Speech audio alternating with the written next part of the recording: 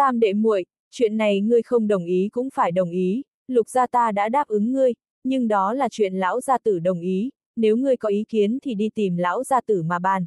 Về phần khác, chúng ta đã quyết định, dù cho rằng có với triệu gia thì chuyện này cũng không sửa đổi, hy vọng ngươi có thể tự hiểu. Lục Đông nói ra, tốt cho lục gia, tốt lắm. Triệu tuệ giận dữ, nhưng cũng không thể làm gì, nàng có một tay bị lão gia tử bắt được, lúc trước nàng hạ thủ trên người lục lâm thiên cho nên hiện tại cũng không thể nói thêm cái gì. Đệ muội, vậy là được rồi, cho dù la lan ngang hàng cùng ngươi thì thế nào, nàng vẫn là một nha hoàn thôi. Lục Nam nói nhỏ. Hừ. Triệu tuệ hừ lạnh một tiếng, nói. Lục Trung đâu rồi, hắn nói như thế nào, vì cái gì xuất quan cũng không tới gặp ta. Tam đệ đã bế quan lần nữa. Lục Đông nói nhỏ. Thần sắc triệu tuệ cực độ khó nhìn, lập tức nhìn chằm chằm vào mọi người trong đại sảnh, vì kế hoạch trong tộc nên nàng phải nhìn, hiện tại còn không phải lúc trở mặt với lục gia. Hừ. Triệu tuệ hừ lạnh lần nữa, lập tức nói. Các ngươi đã có quyết định, cần gì phải để cho ta tới, lục gia các ngươi tự quyết định là tốt rồi. Nói xong triệu tuệ rời khỏi đại sảnh. Thời gian trôi qua nhanh chóng, trong nháy mắt lục lâm thiên bế quan luyện đan đã 5 ngày. Mà lúc này tại Trấn Thanh Vân trở nên náo nhiệt, vũ giả ở mấy thành trấn gần đó, còn có người trong các tiểu gia tộc đi tới Trấn Thanh Vân, trong lúc nhất thời Trấn Thanh Vân trở nên cực kỳ náo nhiệt, dòng người hối hả nhược xuôi, so với mấy ngày thường còn náo nhiệt hơn nhiều. Trên đường, trong một tử quán bên đường, mọi người đàm luận chỉ có một chuyện, chính là Vân Dương Tông tuyển đệ tử mới 3 năm một lần, nhắc tới Vân Dương Tông, trên chấn Thanh Vân này không người nào không biết, thân là vũ giả cùng linh giả thì càng như sấm bên tai. Vân Dương Tông, một trong tam tông tứ môn, đệ tử ngàn vạn, thế lực khổng lồ, chấn Thanh Vân chính là địa bàn của Vân Dương Tông, mà Vân Dương Tông cũng là thánh địa của tất cả vũ giả nơi này.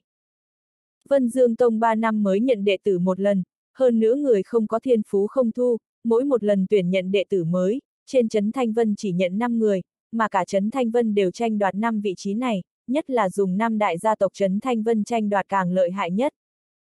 Mỗi 3 năm một lần, Vân Dương Tông phân danh ngạch đệ tử mới trên cơ bản đều rơi vào trong túi các đại gia tộc, các tiểu gia tộc rất ít khi đạt được danh ngạch, từ bồi dưỡng đệ tử, tiểu gia tộc kém đại gia tộc rất nhiều.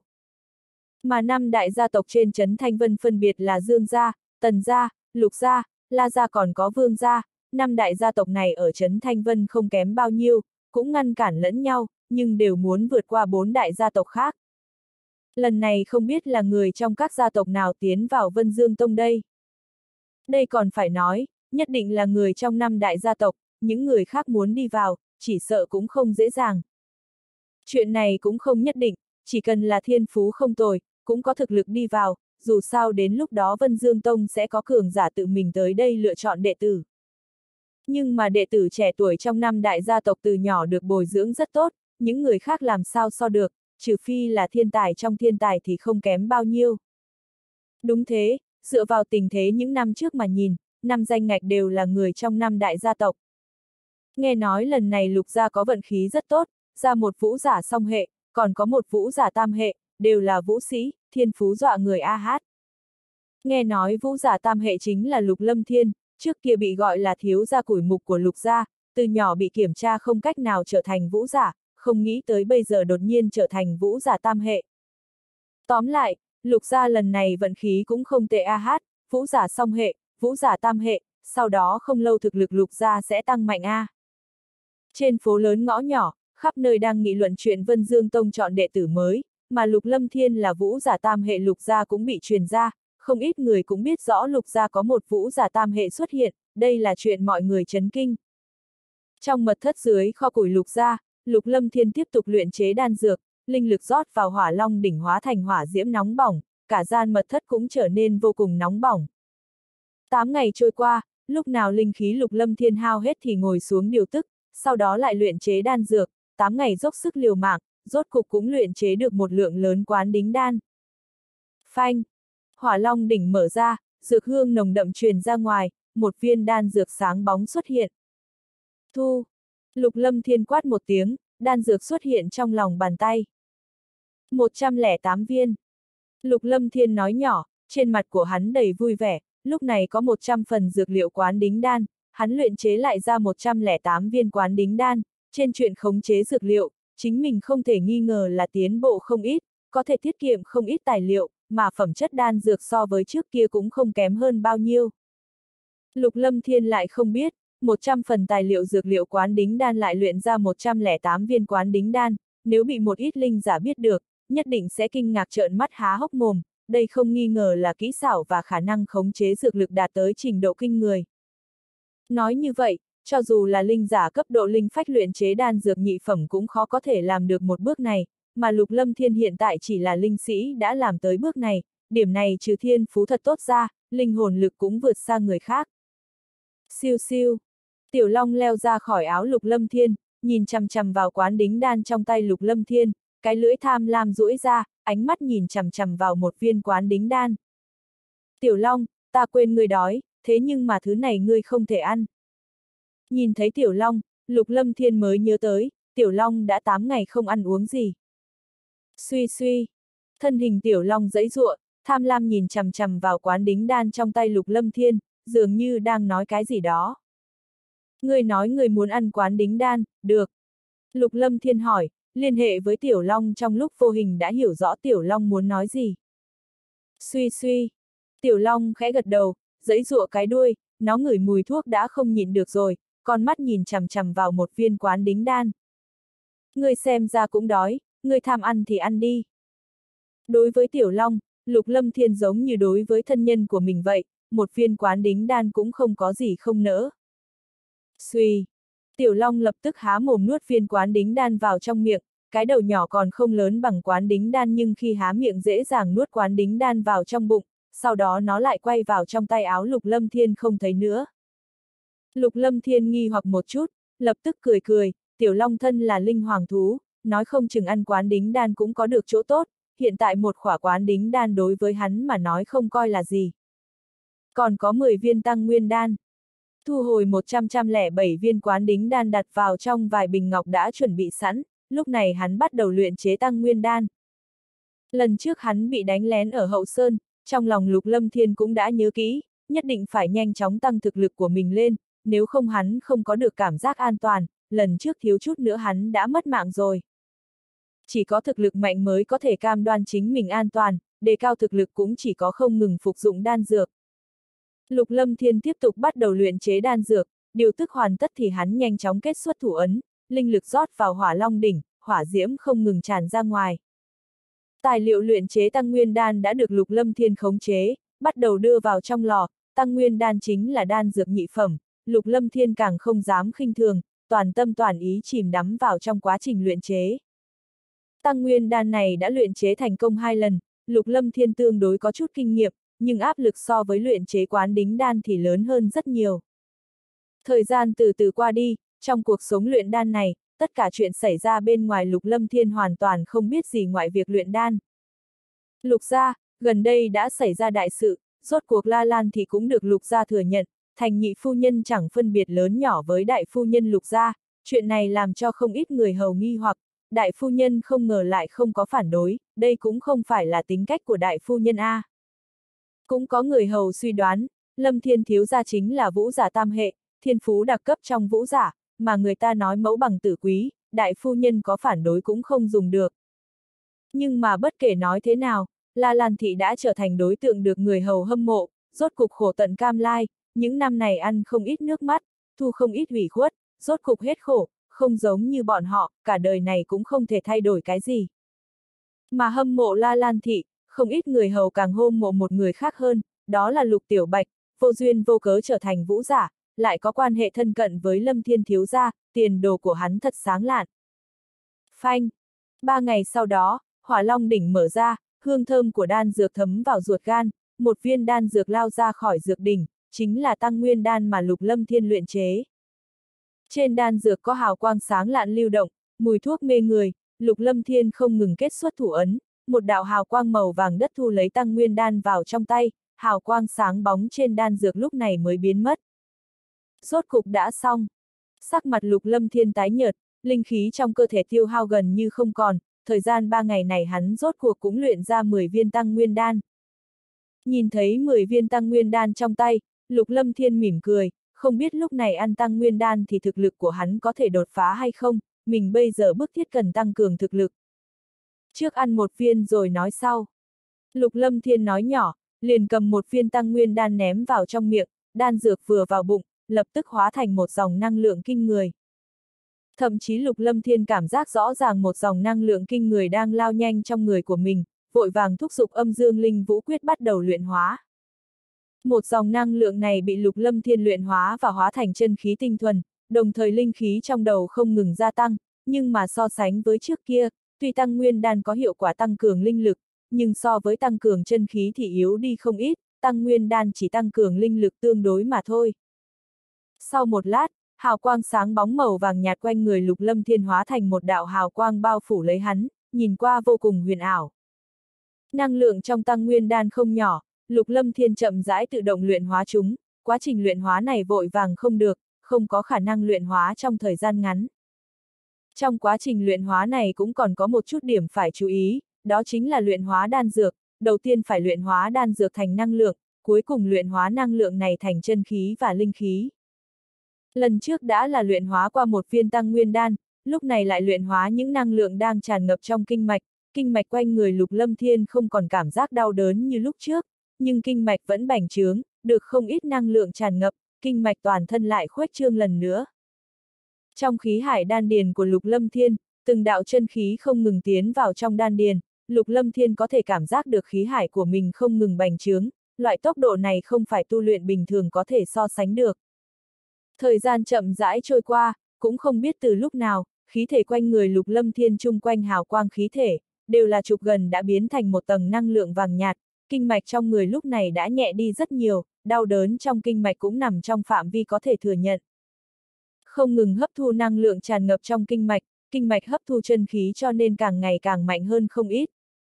Cũng có thể nói như vậy, kinh mạch quanh người lục lâm thiên hiện tại nếu là bình thường, một giây đồng hồ có thể thông qua một hai sợi chân khí như đầu ngón tay trẻ con mà thôi, kinh mạch lục lâm thiên hiện tại đã to gấp đôi, tốc độ vận chuyển chân khí cực nhanh, dưới tình huống nào đó mà nói, đây đại biểu cho thực lực khi chiến đấu chiếm tiện nghi lớn. Từ trong quá trình luyện hóa năng lượng, Lục Lâm Thiên cũng không dám khinh thường, Nam Thúc cũng đã từng nói qua, nếu như luyện hóa năng lượng quá lớn, kinh mạch toàn thân không chịu nổi, đến lúc đó kinh mạch sẽ bị hủy, đồng thời cũng có thể thậm chí ảnh hưởng tới thần trí, khi đó mình tuyệt đối nguy hiểm. Đối với chuyện gặp nguy hiểm, Lục Lâm Thiên vẫn luôn nhớ kỹ trong lòng, không dám có bất cứ sai lầm nào cả. Năng lượng trong tăng nguyên đan được Lục Lâm Thiên luyện hóa, hóa thành chân khí vận chuyển một chu thiên trong người, cuối cùng không ngừng rót vào trong đan điền. Thời gian từ từ trôi qua, chân khí trong khí hải đan điền Lục Lâm Thiên càng ngày càng nhiều, lúc này Lục Lâm Thiên cảm giác trong khí hải của mình dường như sinh ra khí thế như gió lốc, chân khí càng no đủ, tốc độ xoay càng lúc càng nhanh, khí tức quanh người chậm rãi tăng lên. Tiếp tục như thế tới ngày thứ ba, một tia năng lượng cuối cùng tiến vào khí hải Lục Lâm Thiên, năng lượng trong người Lục Lâm Thiên lay động, cuối cùng quanh quẩn xoay vòng trong người Lục Lâm Thiên. Vị trí đan điền khí hải ở bụng dưới, Lục Lâm Thiên lập tức cảm giác năng lượng cực lớn đang điều động, nổi lên gợn sóng cực lớn, cuối cùng nó gào thét sông lên. Vào lúc này, trong mật thất, Lục Lâm Thiên đang nhắm mắt, bỗng nhiên mở hai mắt ra, trong hai mắt bắn ra một đạo tinh quang vô cùng mãnh liệt, một lát sau tinh quang trong hai mắt từ từ thu liếm lại, trong mắt Lục Lâm Thiên, trong đôi mắt đen kịt vào lúc này trở nên thâm thúy, trong lúc vô hình khí chất toàn thân sinh ra biến hóa. Vũ sĩ tứ trọng. Lục Lâm Thiên cảm giác chân khí hùng hồn trong cơ thể, lúc này so với lúc vũ sĩ tam trọng còn mạnh hơn gấp bội, khó trách lúc trước chính mình ngạnh kháng lại không phải là đối thủ của Chu Hải Minh. Chu Hải Minh thực lực vũ sĩ thất trọng, chính mình lúc đó là vũ sĩ tam trọng còn kém quá xa. Mới đột phá một trọng. Tuy thực lực đột phá một trọng, Lục Lâm Thiên lại nhướng mày, lúc trước hắn phục dụng một viên tăng nguyên đan, một hơi đột phá đến hai trọng, từ vũ sĩ nhất trọng đột phá đến vũ sĩ tam trọng, mà bây giờ ăn viên tăng nguyên đan thứ hai lại miễn cưỡng đột phá lên một trọng, cứ theo đà này, càng lên cao, muốn đột phá càng tiêu hao lớn hơn.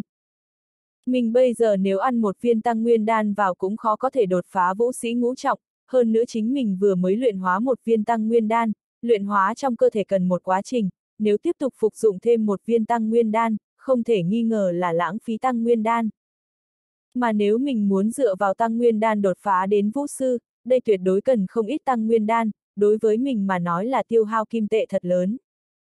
Đồng thời Lục Lâm Thiên cũng cảm giác được mình bây giờ là vũ sĩ tứ trọng, nhưng mà tu vị linh lực vẫn là linh sĩ nhất trọng mà thôi, tăng nguyên đan gia tăng linh khí cũng không có nhiều như chân khí, chính mình muốn tăng cường linh khí phải luyện chế đan dược mới được, dựa vào tăng nguyên đan tuyệt đối không có biện pháp đột phá linh vũ. Cũng nên đi chuẩn bị thôi, vào trong Vân Dương Tông tìm bảo vật gì, cũng nên đi hỏi Nam Thúc. Trong lòng Lục Lâm Thiên nghĩ thầm, Nam Thúc bảo mình đi vào trong Vân Dương Tông, nhưng mà mình không biết phải đi lấy thứ gì, hôm nào phải hỏi Nam Thúc mới được. Thu hồi hỏa long đỉnh và đan dược, Lục Lâm Thiên rời khỏi mật thất phòng chứa củi, lập tức đi về phía tiền viện, lần này bế quan mất 13 ngày, đoán chừng mẫu thân cũng đã sốt ruột. Bái kiến thiếu gia. Trên đường đi, Lục Lâm Thiên gặp người hầu đều hành lễ với hắn, trong mắt cũng không dám khinh thị thiếu gia củi mục nữa, không ít nha hoàn thậm chí ánh mắt phóng điện, nếu như được thiếu gia vừa ý, vận mệnh của các nàng sẽ thay đổi. Một đường thông suốt, hắn đi vào tiền viện của mình, vừa vào cửa Lục Lâm Thiên nhìn thấy nhiều người hầu và nha hoàn đang quét dọn. Ra mắt công tử, là năm người hầu, hai nam ba nữ, nữ đều chừng 20 tuổi, nhìn thấy Lục Lâm Thiên thì hành lễ, được Lục Tiểu Bạch an bài tất cả đều đổi từ thiếu gia sang công tử. Lục Lâm Thiên khẽ gật đầu, Lục Tiểu Bạch đúng là cơ linh, những người khác gọi mình là thiếu gia, mình cũng không có cách nào, cũng không thể gặp ai cũng nói không được gọi mình là thiếu gia a, nhưng nha hoàn trong đình viện của mình thì có thể sửa, xưng hô thiếu gia này làm cho Lục Lâm Thiên nghe không được tự nhiên. Công tử, người rốt cục trở về, phu nhân lo lắng muốn chết. Lục Tiểu Bạch nghe tiếng mà ra. Tiểu Bạch, mẫu thân ta đâu? Lục Lâm Thiên cũng không suy nghĩ nhiều, hắn biết mẫu thân lo lắng. Ta thu thập một ít đồ mà thôi, cái đứa nhỏ này, vừa đi ra ngoài là đi lâu như thế, làm ta lo lắng chết đi được. La Lan thị từ trong viện đi tới, những ngày này nàng lo lắng không thôi, lúc này nhìn thấy Lục Lâm Thiên mới thở ra một hơi. Mẫu thân, bảo người hầu thu dọn là được rồi, chính mình không cần phải làm gì cả. Lục Lâm Thiên nói nhỏ, lúc này thấy mẫu thân thần sắc tốt hơn không ít, cũng một thân áo tơ trắng, nhưng khí chất đã mơ hồ sinh ra biến hóa. Ta còn chưa có già, còn có thể hoạt động một chút, lại nói ta thu dọn đồ vật khi còn bé của con, để những người khác thu dọn ta không yên tâm. La Lan Thị nói ra. Sau đó Lục Lâm Thiên cũng nghe nói Lục Gia đồng ý yêu cầu của mình, cho mẫu thân trở thành phu nhân Lục Gia, nhìn thấy bộ dáng mẫu thân hiện tại, trong nội tâm Lục Lâm Thiên sinh ra cảm giác hạnh phúc, làm phu nhân Lục Gia cũng không phải to tát gì, phu nhân Lục Gia thì Lục Lâm Thiên tự nhiên không đặt vào mắt, nhưng đối với mẫu thân mà nói lại phi thường trọng yếu. Mà làm cho Lục Lâm Thiên cao hứng chính là có thể cải biến tâm tình mẫu thân, làm cho mẫu thân không cần phải chịu ủy khuất nữa. Sau đó trò chuyện với mẫu thân một phen, Lục Lâm Thiên ý định đi gặp Lục Vô Song bên kia, chính mình ý định đi tàng vũ các lục gia, nhưng lại không biết đường, bảo Lục Vô Song mang theo mình đi mới được, hắn không có chút trí nhớ nào về tàng vũ các, chỉ biết đây là cấm địa của lục gia, cho dù là đệ tử lục gia phải trải qua cho phép mới được đi vào. Đình viện của lục vô song ở ngay bên cạnh, trong nội viện lục gia có không ít đình viện như thế, đệ tử trực hệ lục gia đều có một tòa đình viện. Đến đình viện của lục vô song, lục lâm thiên cũng không có nhìn thấy người hầu, lục vô song lần này từ Vân Dương Tông trở về cũng không có bao lâu, bình thường đều ở trong Vân Dương Tông cho nên đình viện này không cần ngươi chăm nom. Vô song tỷ. Lục lâm thiên đến đình viện, hô hai tiếng sau đó không thấy người lên tiếng, do dự một chút liền đi tới tiền viện. Vô song tỷ, tỷ ở đâu? Lục lâm thiên hô một tiếng. Lâm Thiên, sao tự dưng đệ lại tới, chờ ta một chút. Trong một gian phòng truyền ra âm thanh bối rối của lục vô song, sau đó nghe tiếng sột soạt và tiếng nước. Chẳng lẽ đang tắm? Nghe được âm thanh sột soạt của tiếng nước, lục lâm thiên lập tức nghĩ thầm, nhớ tới trong nội viện của mình, mình đã bị lục vô song xem sạch, nếu bây giờ mình vào xem có tính là công bằng hay không. Vô sỉ. Trong lòng lục lâm thiên mắng thầm mình một tiếng, lập tức đi vào trong phòng nhỏ, trong đầu vẫn không tự chủ nghĩ tới mỹ nhân đang tắm, dưới bụng cũng có chút phản ứng. Lâm Thiên, sao ngươi tới đây? Một lát sau, một bóng dáng xinh đẹp xuất hiện trước người Lục Lâm Thiên. Đây là đổ thêm dầu vào lửa A. Nhìn thấy bóng dáng xinh đẹp này, Lục Lâm Thiên lập tức nghĩ thầm trong lòng, chỉ thấy Lục Vô Song mặc cung trang màu xanh ra trời, đầu đầy tóc đen ướt súng đỏng trên vai và trước người, lộ ra nét quyến rũ động lòng người. Đuôi tóc trước ngực và vai có nước chảy xuống, vết ướt thấm dài trên nền vải xanh, vệt nước chảy xuống dưới, hai thỏ ngọc trước ngực như ẩn như hiện, càng trở nên mê người, hai hạt dâu đỏ mơ hồ có thể nhìn ra, đang kiêu ngạo đứng thẳng. Không có mặc nội y. Lục Lâm Thiên lập tức nghĩ thầm, có lẽ trên thế giới này còn không có nội y như kiếp trước, xuân sắc bị mình nhìn thấy. Lúc này lục vô song một thân trang phục nhẹ nhàng khoan khoái, không có trang trí dư thừa, nhưng mà càng trở nên gợi cảm, lục lâm thiên thật sự không ngờ, lục vô song lại có mặt gợi cảm như vậy, da thịt nõn nà, eo tinh tế, bờ mông rất tròn, gương mặt tinh xảo nhỏ nhắn đang dụ hoặc lục lâm thiên huyết khí phương cương. Lục lâm thiên nhịn không được nuốt nước miếng, đúng là quá hấp dẫn người, nhịn không được nói nhỏ. Thật là mê người. Ngươi nói cái gì đó? Lục vô song thẹn thùng một tiếng, cúi đầu xuống, trong lúc vô tình nhìn thấy ánh mắt lục lâm thiên đang nhìn vào ngực của mình, cúi đầu nhìn lại, ngực của mình có hai hạt đậu đỏ như ẩn như hiện, mặt của nàng đỏ tới mang tai, lập tức chạy vào trong phòng. Lục lâm thiên, người thật vô sỉ. Nhìn thấy phản ứng của lục vô song, lục lâm thiên thầm mắng mình một tiếng, lập tức mỉm cười, chuyện này cũng không có gì, bản thân hắn cũng bị nàng nhìn sạch rồi. Lâm thiên, đệ vừa mới thấy cái gì? Sau một lát lục vô song xuất hiện lần nữa trước mặt lục lâm thiên, nàng đã thay cẩm bào màu lam nhạt, tóc cũng lau khô, trên người tràn ngập hương thơm, mùi hương thơm ngát, mặt ngọc đỏ lên, nhỏ giọng hỏi lục lâm thiên. Thấy cái gì, không có thấy cái gì a hát. Lục lâm thiên nói nhỏ. Đúng rồi, đệ tìm ta có chuyện gì? Lục vô song bán tín bán nghi nhìn lục lâm thiên. Vô song tỷ, đệ muốn đi tàng vũ các, thế nhưng mà đệ chưa từng tới đó bao giờ. Lục Lâm Thiên nói ra. Lục Vô Song nói.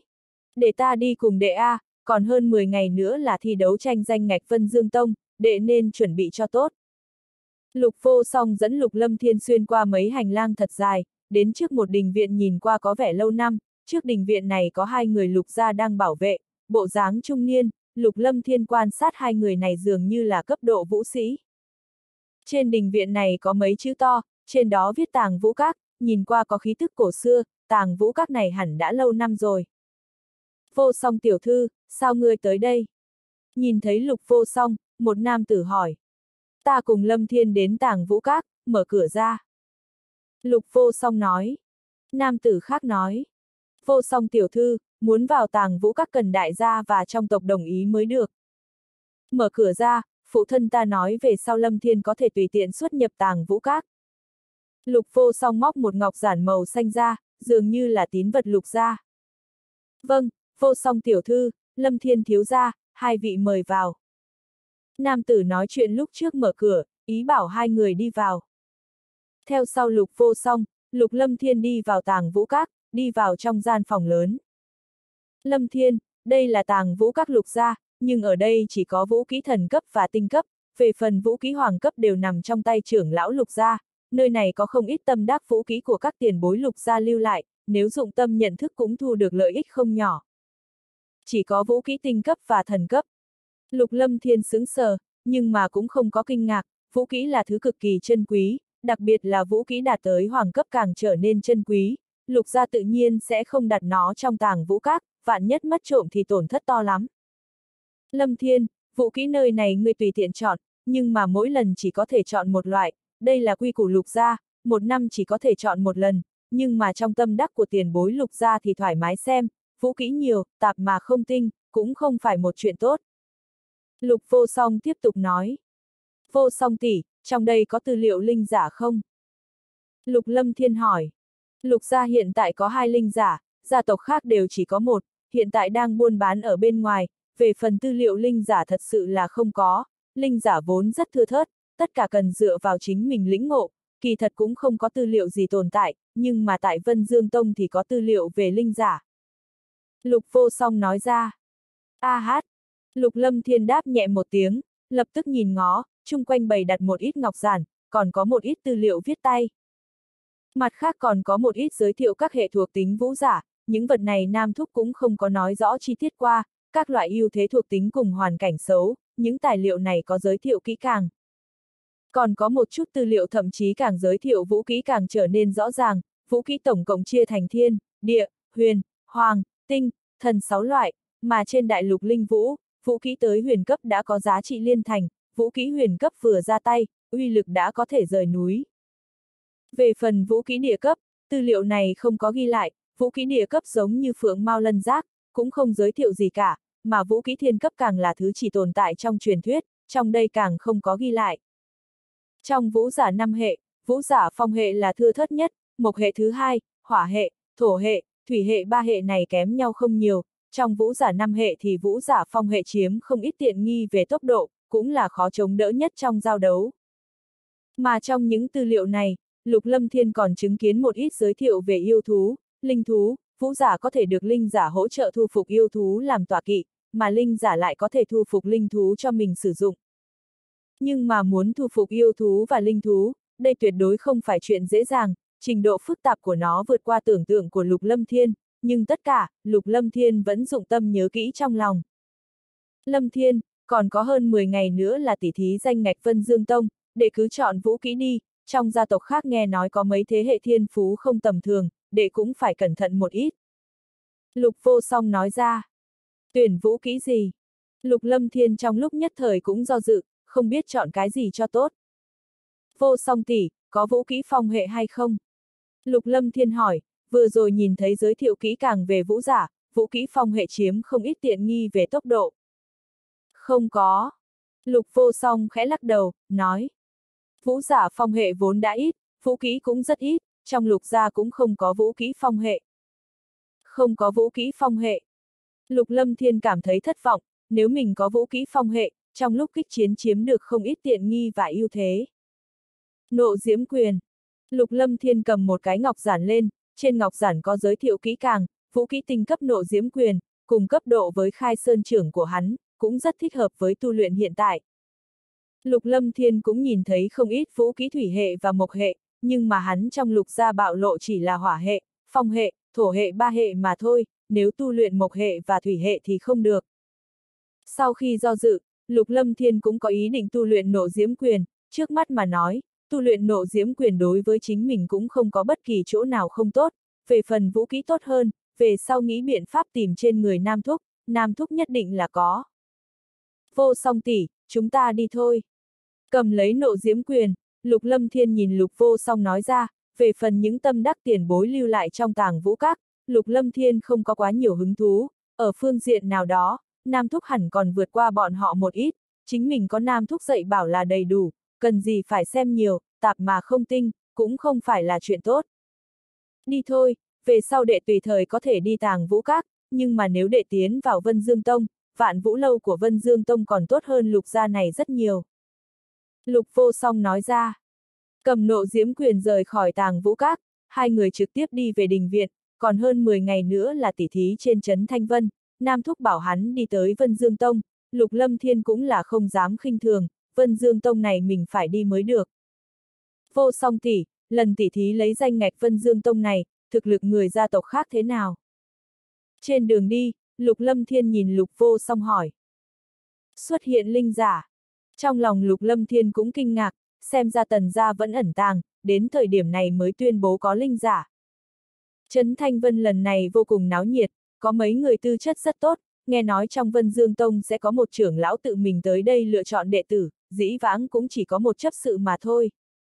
Lục vô song cười nói. Xem ra tranh đoạt lần này rất kịch liệt a. À. Lục lâm thiên nghĩ thầm trong lòng, mình nhất định phải nhanh luyện thành nộ diễm quyền một chút mới được, bằng không muốn vào top 5, độ khó quá lớn. Trở lại trong phòng, Lục Lâm Thiên nói với mẫu thân La Lan Thị một tiếng, liền bàn giao với Lục Tiểu Bạch không cho bất cứ ai quấy rầy gian phòng của mình, đồng thời giao cho Lục Tiểu Bạch hai viên quán đính đan, bảo hắn tu luyện cho tốt.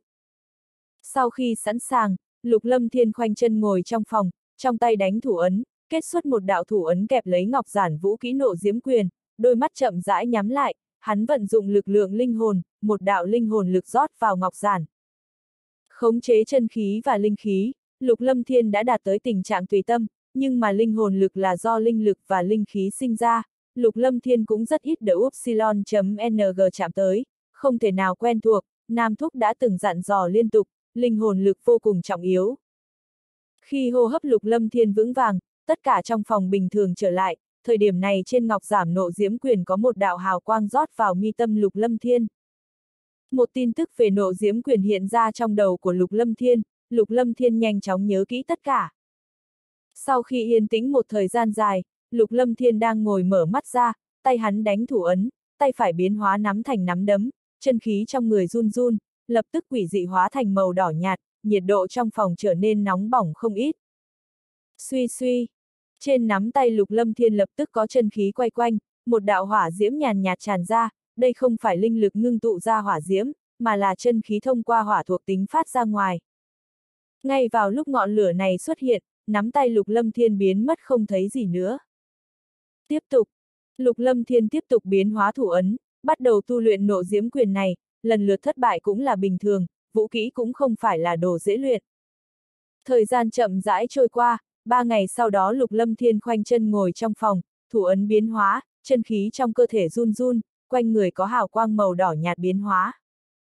Khi Lục Lâm Thiên khống chế, một đạo chân khí xuyên qua một đường kinh mạch đặc biệt, cuối cùng ngưng tụ vào nắm tay phải, lập tức có hỏa diễm phun trào.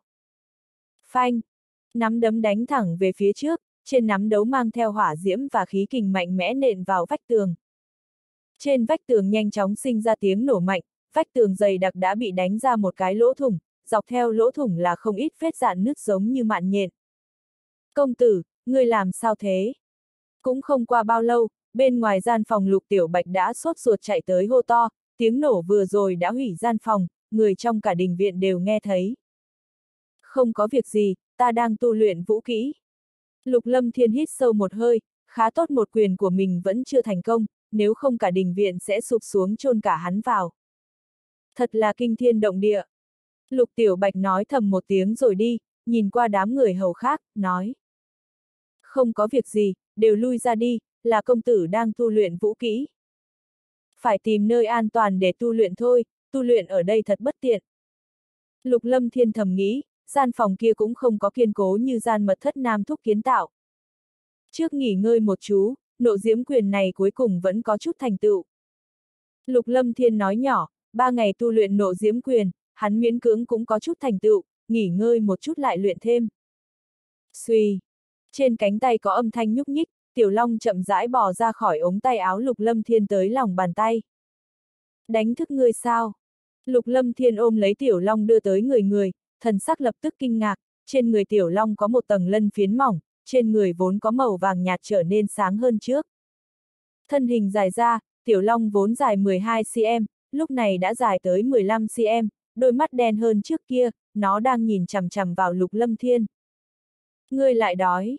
Lục lâm thiên có thể cảm giác được cảm thụ trong nội tâm tiểu long, tiểu long dường như còn muốn ăn thêm quán đính đan. Được rồi, cho ngươi thêm một viên, về sau cũng không có. Lục lâm thiên nghĩ tới còn chưa có chuẩn bị cho tiểu long ăn, dường như cảm giác tiểu long ăn quán đính đan vào đạt được không ít chỗ tốt, bắt đầu từ móc một viên quán đính đan trong chữ vật giới chỉ ra. Vèo. Nhìn thấy quán đính đan, người mùi thuốc mê người, tiểu long há mồm nhanh chóng ăn quán đính đan, thỏa mãn rũi rũi lưỡi. Tiểu long lại bò vào trong tay áo lục lâm thiên, quấn lên cánh tay lục lâm thiên. Vì sao lại mất ra, chẳng lẽ là đột phá sao? Tiểu long lưu lại một tần da hơi mỏng trong lòng bàn tay lục lâm thiên, dường như mới chóc ra, phía trên còn có một vết máu nhàn nhạt dính vào. Lục lâm thiên cầm lấy làn da này, mới phát hiện lần da hơi mỏng nhưng vô cùng kiên cố, chính mình ra sức cũng không xé rách được, Lục Lâm Thiên đặt làn da này vào trong chữ vật giới chỉ, vật trên người Tiểu Long không phải là thứ tầm thường. Đặt làn da này vào trong chữ vật giới chỉ, Lục Lâm Thiên trong lúc vô tình cảm giác được vũ khí thần bí mà Nam Thúc giao cho mình, hắn đã thử rất nhiều biện pháp mở nhưng vẫn không cách nào mở ra được. Lục Lâm Thiên lúc này lại cầm ngọc giản này vào trong tay, cẩn thận cầm ngọc giản màu xanh có phong cách cổ xưa này, rất là cũ kỹ, biên giới ngọc giản thậm chí còn có không ít dấu bùn đất, cũng không biết ngọc giản này là Nam Thúc đào ra từ nơi nào. Nếu không phải tin tưởng Nam Thúc, Lục Lâm Thiên thậm chí hoài nghi ngọc giản này là do Nam Thúc trộm mộ mà có. Lục Lâm Thiên lại dùng linh hồn lực mở ngọc giản, cho dù đã sớm thử qua rồi, linh hồn lực rót vào, Lục Lâm Thiên phát hiện còn không dùng được gì, ngọc giản này căn bản không mở ra được, Nam Thúc cũng đã nói vũ kỹ này Nam Thúc cũng không mở ra được, Lục Lâm Thiên cảm thấy rất bất đắc dĩ. Cầm ngọc giản trong tay vuốt vuốt vài cái, nhưng Lục Lâm Thiên không biết trong tay của mình dính máu nhiễm trên lân giáp của Tiểu Long vô tình chạm vào trong ngọc giản. Vết máu này dính vào ngọc giản, lập tức chỉ thấy trên ngọc giản có hào quang sáng ngời bắn ra ngoài. Xảy ra chuyện gì? Lục Lâm Thiên nhìn qua ngọc giản biến hóa, hắn sinh ra nghi ngờ, lập tức cho linh hồn lực tiến vào trong ngọc y an. Trên ngọc giản màu xanh phong cách cổ xưa này, lúc này tỏa ra hào quang chói mắt rót vào mi tâm Lục Lâm Thiên, lập tức hóa thành tin tức khổng lồ rót vào óc Lục Lâm Thiên. Cả gian phòng này bị một đạo hào quang sáng ngời bao phủ, trong hào quang này mơ hồ có một hình ảnh hình thú đang gào thét, nhìn qua vô cùng thần kỳ, qua một lát hào quang mới thu liếm, trong phòng cũng khôi phục bình thường. Lục Lâm Thiên mở hai mắt ra, trong mắt mang theo kinh ngạc, tin tức trong ngọc giản màu xanh này truyền tới làm hắn vô cùng ngạc nhiên. Thì ra đây là tứ thần quyết. Lục Lâm Thiên lẩm bẩm nói, từ tin tức trong đầu hắn biết vũ kỹ này gọi là tứ thần quyết, là một bộ vũ kỹ vô cùng thâm ảo, mà chính mình lấy được ngọc giản màu xanh chỉ là một phần không trọn vẹn của vũ kỹ, chỉ có một phần tư, gọi là chu tước quyết. Tứ thần quyết tổng cộng có bốn quyết, theo thứ tự là thanh long quyết, bạch hổ quyết, huyền vũ quyết còn có chu tước quyết, nếu hội tụ tứ thần quyết vào người thì đó là vũ kỹ thiên cấp. Không nghĩ tới có thể so sánh với vũ kỹ thiên cấp. Lục lâm thiên kích động run rẩy, đồ vật trên người nam thúc đúng là bảo vật mà. Nhưng lục lâm thiên lập tức buồn khổ, từ tin tức trong ngọc giản màu xanh hắn biết được, một mình Chu Tước Quyết cũng chỉ so sánh được với vũ kỹ hoàng cấp mà thôi, chỉ có thu được toàn bộ tứ thần quyết thì nó mới có thể so sánh với vũ kỹ thiên cấp, mà ba bí quyết khác hắn đi nơi nào tìm đây, có lẽ đời này không tìm thấy cũng là bình thường. Bất kể như thế nào, đây cũng là thứ sánh ngang vũ kỹ hoàng cấp, còn mạnh hơn vũ kỹ tinh cấp nhiều. Lục Lâm Thiên lập tức cười cười, Chu Tước Quyết cũng không tệ, ít nhất là mạnh hơn nộ diễm quyền, khai sơn trưởng của hắn. Tu luyện Chu Tước Quyết. Lục Lâm Thiên thầm nghĩ, Chu Tước Quyết này vô cùng bất phàm, nếu chính mình tu luyện Chu Tước Quyết, hơn 10 ngày sau sẽ có nắm chắc lớn hơn, về sau mình cũng có chỗ dựa vào.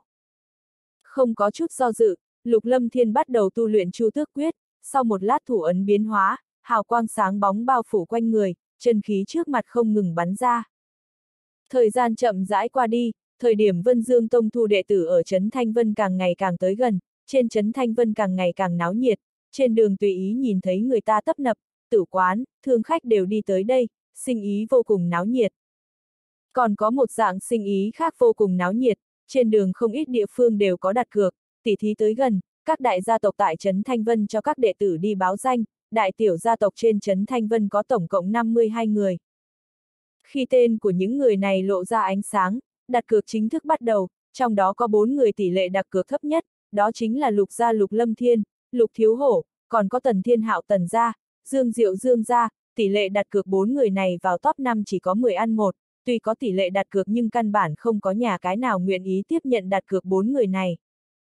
Lý do rất đơn giản, bởi vì chi tiết của bốn người này các nhà cái đã sở rõ ràng cả rồi, Lục Lâm Thiên, Lục Thiếu Hổ Lục Gia, một vũ giả tam hệ, một vũ giả song hệ, Dương Diệu Dương Gia cũng là vũ giả song hệ, Tần Thiên Hạo Tần Gia thì lại là linh giả, bốn người này thiên phú đặt ở đó, cho dù không đọ sức, đoán chừng Vân Dương Tông cũng sẽ kéo bốn người này vào tông. Cho dù tỷ lệ đặt cược bốn người này thấp, người đặt cược lại không ít, dù sao bốn người này chính là ngôi sao chói mắt, trong đó dùng Tần Thiên Hạo, Lục Lâm Thiên hai người này nóng nhất. Hai người một linh giả, một chính là vũ giả tam hệ, thiên phú này một vạn không được một, so về Lục Thiếu Hổ, Dương Diệu còn mạnh hơn, tiến vào Vân Dương Tông trên cơ bản là không có chút vấn đề nào cả. Đương nhiên cũng có chút người cũng không tin, thiên phú rất tốt đi nữa, cuối cùng phải được Vân Dương Tông tự mình kiểm tra mới có thể chắc chắn, các đại gia tộc nói cũng không dùng được, có người thậm chí lo lắng là các đại gia tộc ở sau lưng cố ý tung tinh vịt, cố ý thả tin tức ra để vơ vét tiền. Trên trấn Thanh Vân, một lần duy nhất xuất hiện nhiều thiên tài như thế cũng làm cho không ít người hoài nghi. Mà thời gian này Lục Lâm Thiên đang tu luyện Chu Tước Quyết, Chu Tước Quyết còn khó luyện hơn nộ diễm quyền rất nhiều, sau nhiều lần thất bại, Lục Lâm Thiên tổng kết kinh nghiệm, hắn lại tiếp tục tu luyện. Cứ thế 10 ngày trôi qua, Lục Lâm Thiên vẫn không có luyện thành Chu Tước Quyết, mà cách Vân Dương Tông tới Trấn Thanh Vân thu đồ đệ chỉ còn lại 3 ngày. Đúng là khó luyện A, dục tốc bất đạt. Lục Lâm Thiên cười khổ một tiếng, thu thập tâm tình quyết định nghỉ ngơi một chút, cho mình hít thở không khí, tuy Chu Tước Quyết không có tu luyện thành công, nhưng mà hắn có được không ít tâm đắc, có lẽ kỳ ngộ đến thì hắn sẽ tu luyện thành công. Ra khỏi cửa phòng, Lục Lâm Thiên lại đi thăm mẫu thân, miễn cho mẫu thân lo lắng cho mình, lập tức không thể không phân phó Lục Tiểu Bạch đi tu bổ vách tường của mình, nói không chừng ngày nào đó phòng này sụp xuống thì không tốt. Rồi do dự cả buổi, Lục Lâm Thiên vẫn quyết định đi tới Thiên Bảo Môn, hắn muốn bán đan dược trong người, kiếm thêm chút tiền tài. Tuy lo lắng có người âm thầm đối phó mình, nhưng nghĩ đến cũng không có khả năng có người không ăn không ngủ chờ mình ra khỏi lục gia A, lại nói sau khi hắc y nhân ám sát mình thất bại, đoán chừng triệu tuệ cũng có điều thu liếm.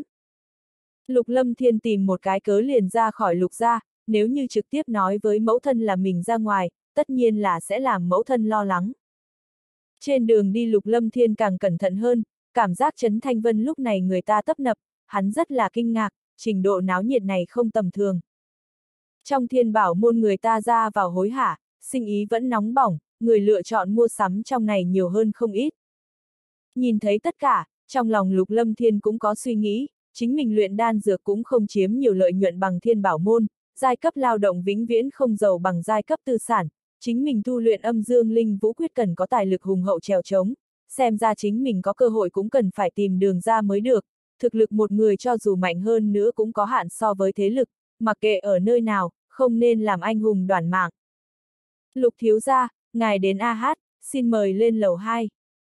Người thiên bảo môn đã sớm quen thuộc Lục Lâm Thiên, lúc này dẫn Lục Lâm Thiên lên lầu 2. Vẫn là gian phòng nhỏ lúc trước, sau khi Lục Lâm Thiên ngồi xuống không bao lâu, hai bóng dáng xinh đẹp đi tới, người được hương thơm thoang thoảng, Lục Lâm Thiên không cần nhìn cũng biết là độc cô băng lan và nha hoàn Thúy Ngọc. Lâm Thiên, còn ba ngày nữa chính là thời gian tỉ thí danh ngạch Vân Dương Tông, ngươi không hảo hảo chuẩn bị một phen, còn rảnh rỗi đi tới thiên bảo môn, chẳng lẽ tự tin như thế sao? Độc cô băng lan tươi cười hỏi thăm. Không có biện pháp, ta là người thiếu nợ thì cảm thấy toàn thân không thoải mái. Lục Lâm Thiên nói nhỏ một tiếng, lập tức móc mấy bình đan dược đã chuẩn bị sẵn ra, bên trong chính là 100 viên quán đính đan. Tính toán một chút, ta còn thiếu nợ bao nhiêu? Không vội, vũ chấp sự một hồi sẽ tới, lục thiếu ra chờ một chút a. Độc cô băng lan nói ra. Không có vấn đề, dù sao ta cũng không vội. Lục lâm thiên nói ra. Lục lâm thiên, lần này tiểu thư nhà ta cũng muốn tự mình tham gia tỷ thí Vân Dương Tông tại Trấn Thanh Vân này, đến lúc đó lục thiếu gia cần phải chiếu cố nhiều mới được. Nha hoàn Thúy Ngọc nói ra. Băng Lan tiểu thư cũng muốn tham gia tỷ thí Vân Dương Tông. Lục Lâm Thiên nhìn qua độc cô băng lan, thật khiến người ngoài ý, Lục Lâm Thiên nhớ rõ Nam Thúc đã từng nói qua, thế lực đằng sau thiên bảo môn không nhỏ, độc cô băng lan còn muốn đi Vân Dương Tông làm cái gì?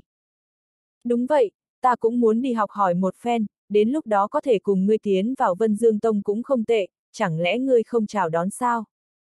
Độc cô băng lan cười lúm đồng tiền nở rộ, nhìn chằm chằm vào Lục Lâm Thiên. Tiểu thư, Lục thiếu gia, ta đến.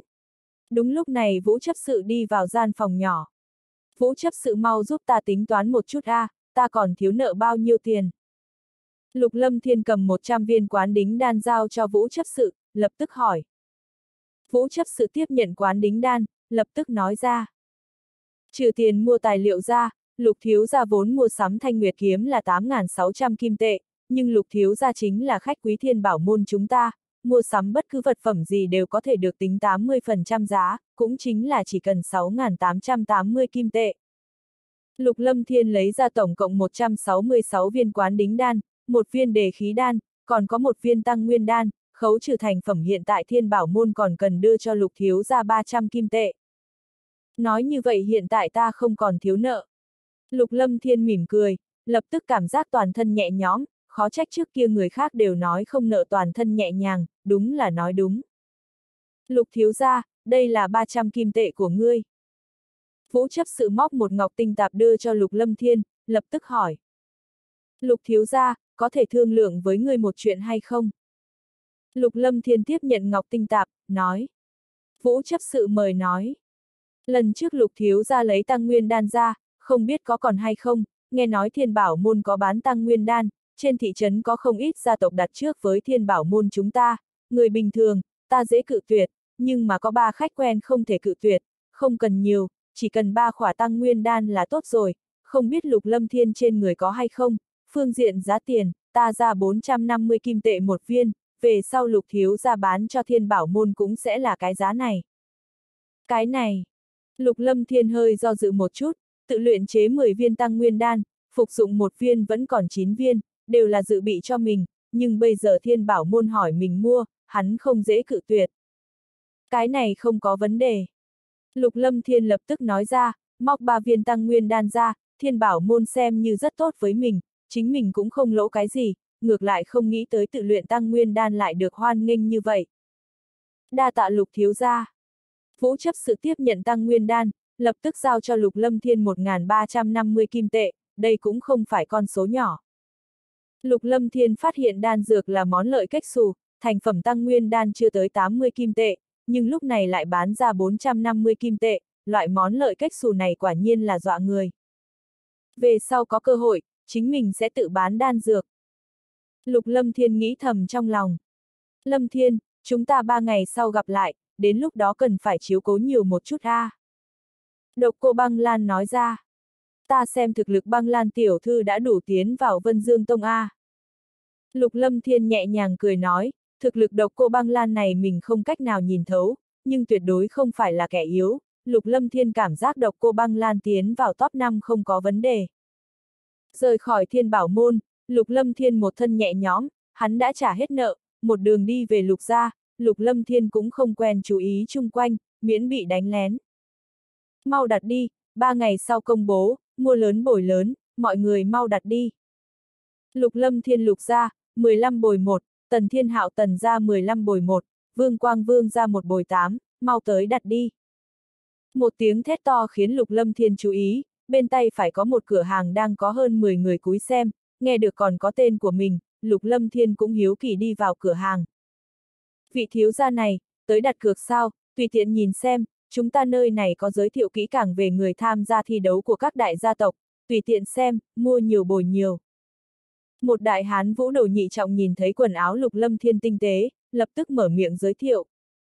Lục Lâm Thiên nhìn vào trong cửa hàng này, vách tường bốn phía có không ít tư liệu, đầu tiên chính diện viết Tần Thiên Hạo Tần gia, niên kỷ 18 tuổi, linh sĩ tứ trọng, tiến vào top 5, 15 bồi 1. Lục Lâm Thiên Lục gia, niên kỷ 16 tuổi, vũ sĩ tam trọng, vũ giả tam hệ, phong hệ, hỏa hệ, thổ hệ, tiến vào top 5, 15 bồi 1. Dương Diệu Dương gia, niên kỷ 17 tuổi, vũ sĩ tam trọng, vũ giả song hệ, hỏa hệ, thủy hệ, tiến vào top 5, 10 bồi 1. Lục gia lục thiếu hổ, niên kỷ. Trên vách tường còn có thêm tư liệu của những người khác, cũng không biết những người này lấy tư liệu từ đâu, lục lâm thiên thầm nghĩ, đúng là chuột có đường chuột, rắn có đường rắn, mình ở đây tìm được không ít tư liệu, xem ra đối thủ cạnh tranh của mình không ít. Độc cô băng lan, niên kỷ 18, thực lực không biết, thuộc tính không biết, một bồi 10.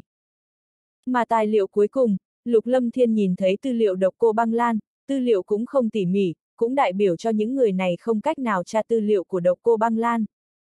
Một bồi 10. Lục Lâm Thiên mỉm cười, người khác không biết độc cô băng lan, nhưng mà mình biết rõ, đây không phải là đưa tiền cho mình sao, độc cô băng lan muốn đi vào top 5, tuyệt đối không có vấn đề. Độc cô băng lan tiến vào top 5, mua 1.500 kim tệ. Lục Lâm Thiên tới quần trên cửa hàng, móc ngọc tinh tạp ra. Mua 1.500 kim tệ. Trung quanh lập tức có không ít người kinh ngạc nhìn qua Lục Lâm Thiên, đặt cược này đúng là lớn rồi, trong những năm qua có ít người thua táng ra bại sản cũng không ít, nhưng mà mua 1.000 kim tệ trở lên lại rất ít, cũng xem như tiến vào hàng ngũ đánh bạc lớn, người bình thường làm gì có nhiều kim tệ như thế. Không có vấn đề, đây là bằng chứng, thiếu gia cầm đi. Trung niên mập mạp nhìn Lục Lâm Thiên nói, rồi cho Lục Lâm Thiên một tờ bằng chứng, lập tức lấy ra một dương ngọc, thu ngọc tinh tạp của Lục Lâm Thiên ném vào bên trong. Một bồi mười, ba ngày sau chính là một vạn năm nghìn kim tệ A. Lục Lâm Thiên mỉm cười, lập tức rời khỏi cửa hàng, trong nội tâm không có quá nhiều lo lắng, dùng thực lực thiên bảo môn, độc cô băng lan không có thực lực tiến vào top 5 hắn không tin. Một đường trở lại lục gia cũng không có gặp phải nguy hiểm gì, mà lục lâm thiên lần này cũng trực tiếp đi vào từ cửa chính. Bái kiến lâm thiên thiếu gia. Hai đại hán ở cửa nhìn thấy là lục lâm thiên, lập tức bối rối hành lễ, khẩn trương run rẩy lên. Hừ. Lục lâm thiên hừ nhẹ một tiếng, hai đại hán này chính là cậu nô tài lúc trước mình xuyên Việt vào lục gia không cho mình qua cửa, tuy lục lâm thiên trong lòng không có ý so đo với những người hầu này, nhưng trong nội tâm vẫn mang theo tức giận. Lục lâm thiên cũng không có làm khó hai tên cẩu nô tài này, lập tức trở lại trong đình viện, mẫu thân đã chuẩn bị cơm tối chờ hắn, chuyện này làm cho lục lâm thiên lập tức cảm giác ấm áp, sau khi ăn xong lại trò chuyện với mẫu thân mới quay về gian phòng của mình. Tốc độ làm việc của Lục Tiểu Bạch cũng không chậm, bức tường bị thủng đã sửa xong, trở lại gian phòng, Lục Lâm Thiên lại móc ra một viên tăng nguyên đan ăn vào, lần trước luyện hóa một tăng nguyên đan đột phá đến vũ sĩ tứ trọng, hiện tại cũng hoàn toàn tiêu hao hết, có thể lần nữa luyện hóa, thực lực càng cao thì càng có cơ hội tiến vào top 5. Đan dược vào miệng lập tức hóa thành năng lượng phân tán khắp toàn thân, Lục Lâm Thiên ngựa quen đường cũ vận chuyển âm dương linh vũ quyết, bắt đầu luyện hóa năng lượng này chuyển hóa thành chân khí, sau một lát hào quang sáng ngời quanh quẩn bên thân, thân thể bao phủ trong ánh sáng. Sáng sớm hôm sau, hào quang quanh người Lục Lâm Thiên đã thu liếm, hắn phun ra một ngụm chọc khí, mở hai mắt ra, nói nhỏ. Quả là thế, một viên tăng nguyên đan cũng không giúp ta đột phá lên vũ sĩ ngũ trọng, càng về sau năng lượng cần đột phá càng nhiều. Đi ra khỏi cửa phòng, ăn xong bữa sáng, Lục Vô Song cùng Lục Mị hai nữ đang ở trong đình viện. Lâm Thiên, còn có hai ngày nữa là thời gian đọ sức, chuẩn bị thế nào rồi? Lục Vô Song nhìn Lục Lâm Thiên hỏi. Không có gì cần chuẩn bị, đến lúc đó lại nhìn A, thích ứng trong mọi tình cảnh. Lục Lâm Thiên nói nhỏ. Đệ đúng là nhẹ nhõm, không bằng đệ hôm nay tập luyện với ta đi. Lục Vô Song cười nói. Lục Lâm Thiên nói. Như thế vừa vặn, vậy phải vất vả vô song tỷ. Có người luyện tập, Lục Lâm Thiên tự nhiên sẽ không cự tuyệt, nộ diễm quyền của mình cần phải thuần thục và kiểm tra một chút mới được, miễn cho đến lúc đó khi đọ sức với đối thủ lại ăn thiệt thòi. Lục gia diễn vũ trường, Lục Lâm Thiên, Lục Vô Song, Lục Mị, Lục Tiểu Bạch bốn người xuất hiện, muốn luyện tay, Lục gia diễn vũ trường mới là nơi thích hợp nhất. Lâm Thiên ca, ca phải cẩn thận một chút, thực lực vô song tỷ rất mạnh đấy. Lục Nghị cười nói, nhìn qua Lục Lâm Thiên, nàng vẫn dính bên người Lục Lâm Thiên. Lâm Thiên, đệ dùng toàn lực đi, không cần cố kỵ, như vậy mới có thể phát huy trạng thái thực lực của đệ lên mức tốt nhất. Lục vô song nói ra. Vô song tỷ, đệ sẽ không khách khí. Lục Lâm Thiên nói nhỏ một tiếng, thực lực lục vô song đã đạt tới cấp phú sư, chính mình dùng toàn lực chỉ sợ cũng không phải là đối thủ, cho nên cũng không cần cố kỵ cái gì. Chân khí run run, thân ảnh lục lâm thiên lướt tới, trường ảnh trong tay mang theo tiếng xé gió ầm ầm, không khí chung quanh bị xé rách. Thân sắc lục vô song biến hóa, thân hình mềm mại uốn éo, cổ ngọc trắng nõn hơi nghiêng, nhưng lại không thể tưởng tượng nổi tránh né một trường của lục lâm thiên, có thể cảm nhận được trường phong chỉ lướt qua chóp mũi của nàng mà thôi. Cũng vào lúc này, thủ ấn trong tay lục vô song ngưng kết lại, bước chân rất nhẹ nhàng, bàn tay ngọc mang theo chân khí dày đặc, quanh người có chân khí màu xanh bao phủ, mười ngón tay mang theo khí kình bén nhọn tấn công lục lâm thiên. Thật mạnh! Lục lâm thiên không có chút do dự, thân hình lập tức lùi lại thật nhanh, chân khí tuôn ra ngoài, tốc độ của hắn càng nhanh hơn vài phần, cảm giác thực lực lục vô song mạnh hơn mình, nếu ngạnh kháng mình chỉ ăn thiệt thòi mà thôi. Tốc độ nhanh, nhưng mà phải dự phòng đối thủ có chuẩn bị, có thể tính toán phương hướng đối thủ khi lách mình. Giọng của lục vô song truyền vào trong tai lục lâm thiên, đồng thời bóng dáng uyển chuyển xinh đẹp lướt tới trước mặt lục lâm thiên, dường như đã tính ra phương hướng tránh né của lục lâm thiên. Lục vô song vô cùng xảo diệu xuất hiện trước người lục lâm thiên, mũi chân điểm một cái, thả người bay lên, một cước đá vào lục lâm thiên. Phản ứng của lục vô song làm cho ánh mắt lục lâm thiên đầy kinh ngạc, xem ra kinh nghiệm giao thủ của lục vô song còn mạnh hơn mình không ít, thân hình đột nhiên trầm xuống, tay của hắn hơi xoay tròn, trong tay xuất hiện một đám hỏa diễm. Nộ diễm quyền. Lục lâm thiên ngưng tụ một quyền đánh vào mũi chân của lục vô song, lập tức quyền cước va chạm với nhau. Phanh. Khí kình hung mãnh va chạm với nhau, kình lực bắn ra từ vị trí va chạm của hai người, trong lúc giao thủ, không gian như khuếch tán ra, hỏa diễm bắn ra tứ phía, thân hình lục lâm thiên lảo đảo lui ra sau mấy bước, trên nắm tay xuất hiện từng cơn đau đớn kịch liệt, lục vô song dù không có dùng toàn lực nhưng cũng không phải mình có thể chống lại. Nộ diễm quyền mới tu luyện hơn 10 ngày đã đạt tới mức này, không tệ. Lục vô song dường như không xa lạ gì nộ diễm quyền, mới 10 ngày lục lâm thiên có thể tu luyện nộ diễm quyền tới trạng thái như thế, rõ ràng cho thấy đã vượt qua dự kiến của nàng. Thân hình lục lâm thiên lảo đảo lui về phía sau, nhưng vừa ổn định thân hình thì thả người lao tới, chân khí hùng hồn trong người tuôn ra, chân khí bốc lên và điều động thanh linh khải giáp, thanh linh khải giáp màu vàng nhạt xuất hiện bên ngoài thân thể. Đối với khải giáp màu vàng của Lục Lâm Thiên, Lục Vô Song đã nhìn thấy trong khi Lục Lâm Thiên đọ sức với Chu Hải Minh, nàng hơi kinh ngạc nhưng cũng không có suy nghĩ nhiều. Khởi động thanh linh khải giáp, Lục Lâm Thiên lại lướt tới, chân phải đạp xuống đất, thân ảnh rất nhanh hiện lên, khai sơn trưởng bổ tới, mặt đất dưới chân phải xuất hiện khe nứt đầy vết nứt, mang theo kình phong bén nhọn, vũ kỹ thổ hệ vốn thiên về lực lượng. Đến tốt!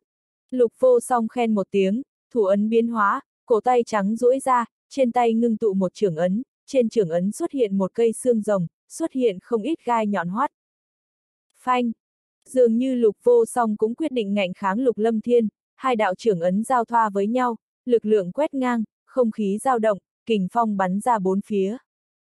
Sắc mặt lục lâm thiên biến đổi liên tục, bàn tay của hắn đau đớn kịch liệt, giống như bị kim đâm vào người, không ngờ lục vô song vẫn còn thủ đoạn như thế. Thế nào, có đau không? Lục vô song mỉm cười nói ra. Ta là vũ giả mộc hệ, có chút thủ đoạn cũng không kỳ quái, để về sau nếu đỡ upsilon.ng phải vũ giả mộc hệ phải cẩn thận đấy. Lại đến. Lục Lâm Thiên nói, xem ra bản thân mình cần phải học thêm không ít, chân khí run run, thân ảnh của hắn tiếp tục lao về phía lục vô song. Đến đây đi, cứ dùng toàn lực. Lục vô song nói xong, thân ảnh của nàng nhanh như thiểm điện liền biến mất, tốc độ còn nhanh hơn lục lâm thiên không ít. Lập tức lục vô song xuất hiện trước mặt lục lâm thiên, tay ngọc đánh tới, trên năm đầu ngón tay có kình phong màu xanh bắn ra ngoài, đánh thẳng về phía lục lâm thiên. Khí kình màu xanh phá tan không khí, giống như xé rách không gian, năm âm thanh xé gió vang vọng. Nộ diễm quyền. Lục lâm thiên khẽ quát một tiếng, hóa trưởng thành quyền, trên quyền pháp mang theo hỏa diễm, nhiệt độ chung quanh quyền pháp cực cao, mang theo kình phong vô cùng nóng bỏng đánh thẳng vào khí kình màu xanh của lục vô song. Bành! Tiếng nổ tung vang vọng, trên nắm đấm của lục lâm thiên có hỏa diễm phát tán ra ngoài, thân hình lảo đảo lui ra sau, mỗi một bước của hắn in hình dấu chân trên đá, trên mu bàn tay có năm đạo cương khí đánh vào, lập tức sưng đỏ lên. Mạnh thật! Lục lâm thiên nghĩ thầm, bản thân mình vốn không phải đối thủ của nàng, ngay cả tốc độ cũng không nhanh bằng lục vô song. Ta vừa rồi mới dùng vũ kỹ tốc độ, phối hợp lực công kích nên uy lực tăng thêm nhiều, để hai ngày sau cũng phải chú ý điểm này, tuy bọn họ không có khả năng có vũ kỹ tốc độ, nhưng mà cũng phải phòng vạn nhất. Lục vô song thu tay lại, lúc này giải thích với Lục Lâm Thiên một phen. Ân. Lục Lâm Thiên khẽ gật đầu, tiếp tục thả người lao tới. Lại đến. Hai người Lục Mị cùng Lục Tiểu Bạch nhìn qua Lục Lâm Thiên cùng Lục Vô song luận bàn với nhau, nhưng mà cũng chỉ nhìn ra một phần, với thực lực Lục Mị vẫn còn xa mới đủ, tuy thiên phú của nàng thật tốt, nhưng thực lực dù sao cũng chỉ là vũ đồ mà thôi. Sau ba canh giờ, Lục Lâm Thiên thở hồng hộc, rốt cục hắn tiêu hao không thể nào chịu nổi nữa, cũng học được không ít kinh nghiệm. Về phần lục vô song thì vô cùng kinh ngạc, dựa theo đạo lý, cấp độ vũ sĩ không thể trèo trống lâu như thế, nhưng mà dường như chân khí trong người lục lâm thiên sử dụng không hết, vẫn còn trèo trống tới khi nàng cảm thấy mệt mỏi. Lâm thiên, được rồi, nghỉ ngơi đi, hai ngày sau chính là thời gian đọ sức, để không nên để thân thể quá mức mệt nhọc, phải nghỉ ngơi dưỡng thần chuẩn bị mới được. Lục vô song nói ra. Ân. Lục lâm thiên đáp nhẹ một tiếng, bây giờ hắn cũng không còn lực để tái chiến rồi. Nghỉ ngơi một lát, Lục Lâm Thiên trở lại trong đình viện, lập tức bắt đầu điều tức, khôi phục chân khí trong cơ thể của mình. Ngày hôm sau Lục Lâm Thiên lại tới diễn vũ trường luận bàn với Lục Vô Song ba canh giờ, nộ diễm quyền và khai sơn trưởng đạt tới tiến bộ thật lớn, đặc biệt là nộ diễm quyền cũng đã khống chế thành thục.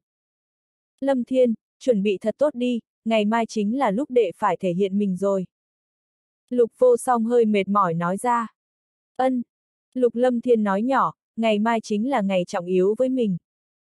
Ta nhận được tin tức, lần này Vân Dương Tông sẽ có một ngoại sự trưởng lão tới, còn đi cùng với chấp sự tới Trấn Thanh Vân, ta đang muốn đi hỏi thăm một chút, xem ra lần này Vân Dương Tông cũng rất xem trọng lần thi đấu này của Trấn Thanh Vân, có lẽ các đệ rất có cơ hội trở thành đệ tử thân truyền của Vân Dương Tông, nhất định phải cố gắng, trong khi đọ sức phải tận lực biểu hiện, như vậy đệ muốn trở thành đệ tử thân truyền Vân Dương Tông có cơ hội lớn hơn rất nhiều. Lục vô song nói ra. Đệ tử thân truyền và đệ tử khác có gì khác nhau sao? Lục lâm thiên hỏi. Khác nhau rất lớn, trong lúc nhất thời nói rất dài dòng, chờ đệ đến Vân Dương Tông thì đệ sẽ biết chỗ tốt thế nào. Lục vô song nói ra. Lục lâm thiên cũng không hỏi nhiều, lục vô song nói như vậy, đệ tử thân truyền tự nhiên đạt được chỗ tốt lớn hơn đệ tử thường, danh ngạch đệ tử bình thường của Vân Dương Tông đã làm cho không ít người tranh nhau vỡ đầu, đệ tử thân truyền tất nhiên sẽ phải tốt hơn rất nhiều. Sau khi trở lại đình viện, Lục Lâm Thiên lại điều tức lần nữa, sau đó nói chuyện với mẫu thân một hồi, nhưng mà đối với việc thi đấu ngày mai cũng không có khẩn trương. Màn đêm buông xuống, sau khi cơm nước xong, Lục Lâm Thiên trở lại trong phòng bắt đầu nhắm mắt dưỡng thần, nghênh đón ngày mai sẽ tới, về phần những chuyện khác đã sớm có Lục gia an bài. Mà một đêm này, đối với không ít người trong trấn Thanh Vân này mà nói nhất định là một đêm khẩn trương, trong một đình viện yên tĩnh, trong phòng có ba đạo thân ảnh, một người trong đó nếu Lục Lâm Thiên có ở đây, hẳn là có thể nhận ra chính là Dương Mạn Dương ra từng tranh chấp với Lục Vô Song trong thiên bảo môn. Hai người khác là một nam tử trung niên mặc áo dài, ánh mắt thâm thúy, quanh thân tỏa ra khí tức thâm trầm, vừa nhìn đã biết không phải kẻ yếu. Một người khác mặc cẩm phục, là mỹ nhân đường cong uyển chuyển mê người, tuổi chừng 16-17, khuôn mặt phình phình, hồng hồng giống như hoa đào vừa nở, khí tức thanh xuân tràn đầy, lông mi thon dài rủ xuống, ánh mắt to ngận nước, khóe miệng còn có hai má lúm đồng tiền, mái tóc đen dài thẳng như thác nước xõa lên vai. Diệu Nhi, ngày mai con phải cẩn thận chú ý một chút, con che giấu nhiều năm như vậy, lần này nhất định phải tiến vào top 5, nếu có thể trở thành đệ tử thân truyền Vân Dương Tông thì càng tốt. Nam tử trung niên nói ra, trong ánh mắt nhìn qua nữ tử diễm lệ kia với thần thái kiêu ngạo. Nam tử trung niên không phải người khác, chính là một gia chủ Dương gia một trong năm đại gia tộc Trấn Thanh Vân, Dương Hướng Phong, tại Trấn Thanh Vân cũng là nhân vật dậm chân một cái cả Trấn Thanh Vân cũng run lên vài lần. Phụ thân, con biết rồi, tiến vào top 5 không phải là vấn đề. Thiếu nữ xinh đẹp dịu dàng cười nói, bộ dáng mang theo ba phần thanh thuần, ba phần đáng yêu, ba phần phong tình, một phần yêu mị. Mà nàng không phải là ai khác, chính là nhị tiểu thư nổi danh thiên tài của Dương gia Dương Diệu, vũ giả song hệ, 17 tuổi đạt tới vũ sĩ tam trọng, tăng thêm song hệ thuộc tính, không thể nghi ngờ là thiên tài khó gặp. Muội muội, người cũng không thể chủ quan, lần này lục gia chui ra hai huynh đệ lục lâm thiên, lục thiếu hổ kia, tần gia lại có tần thiên hạo, đúng là khó đối phó. Dương Mạn nói ra, tỷ, muội biết rõ, muội sẽ hết sức chú ý. Dương Diệu khẽ cười nói. Trên trấn Thanh Vân, trong một căn phòng lớn đèn đuốc sáng trưng, trong phòng có mấy đạo thân ảnh, trong đó có Vương Lương. Quang Nhi, ngày mai con cần phải chú ý một chút, lúc này không nghĩ tới gia tộc khác cũng xuất hiện nhiều thiên tài vậy, có người che giấu lâu như thế, ngày mai nhất định phải áp chế bọn chúng xuống. Một nam tử mặc áo bào vàng nói nhỏ. Phụ thân, ngày mai con sẽ dùng toàn lực, sẽ không để vương ra mất mặt. Một thiếu niên có ba phần tương tự vương lương nói ra, tuổi chừng 17-18, trong ánh mắt mang theo tự tin nhàn nhạt. Hừ, lục gia, tần gia đang đắc ý đấy, ngày mai nhị đệ ra tay, đoán chừng bọn chúng sẽ trợn mắt há hốc mồm. Vương Lương khẽ cười nói ra. Một đêm này đối với rất nhiều người trên Trấn Thanh Vân mà nói là một đêm khẩn trương, tiên nắng ban mai vừa lên, Trấn Thanh Vân không ngừng có người tiến tới quảng trường. Hôm nay các đại gia tộc đọ sức cử hành ngay trên quảng trường của Trấn, nếu đi trễ tới lúc đó sẽ không có chỗ mà ngồi. Thời điểm sắc trời vừa sáng, trên quảng trường cũng đã có người ta tấp nập, nhìn qua ít nhất có mấy vạn người, nam nữ già trẻ đều có, cũng có không ít người đang chạy tới. Hô! Lục lâm thiên phun ra một ngụm chọc khí, thu thủ ấn lại, mở hai mắt ra, trong ánh mắt bắn ra hào quang sáng ngời. Có thể tiến vào Vân Dương Tông hay không, phải xem ngày hôm nay. Cảm giác khí thức hùng hậu trong cơ thể, Lục Lâm Thiên nói nhỏ. Thời gian trôi qua từ từ, giữa không trung có ánh mặt trời chiếu xuống, bầu trời xanh thẳm không mây, ánh mặt trời ôn hòa ấm áp, ngẫu nhiên có gió nhẹ thổi qua mang theo xuân ý nồng đậm, ngày đông giá rét vừa qua, đại địa như sống lại, hương thơm của cỏ cây không ngừng quanh quẩn các nơi.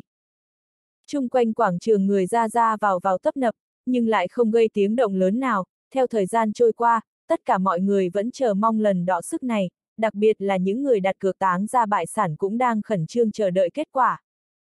Ở trong đám người vây xem, nhìn kỹ thì rất dễ dàng nhìn thấy có vũ giả lẫn lộn trong đó, ngay cả linh giả cũng có một ít.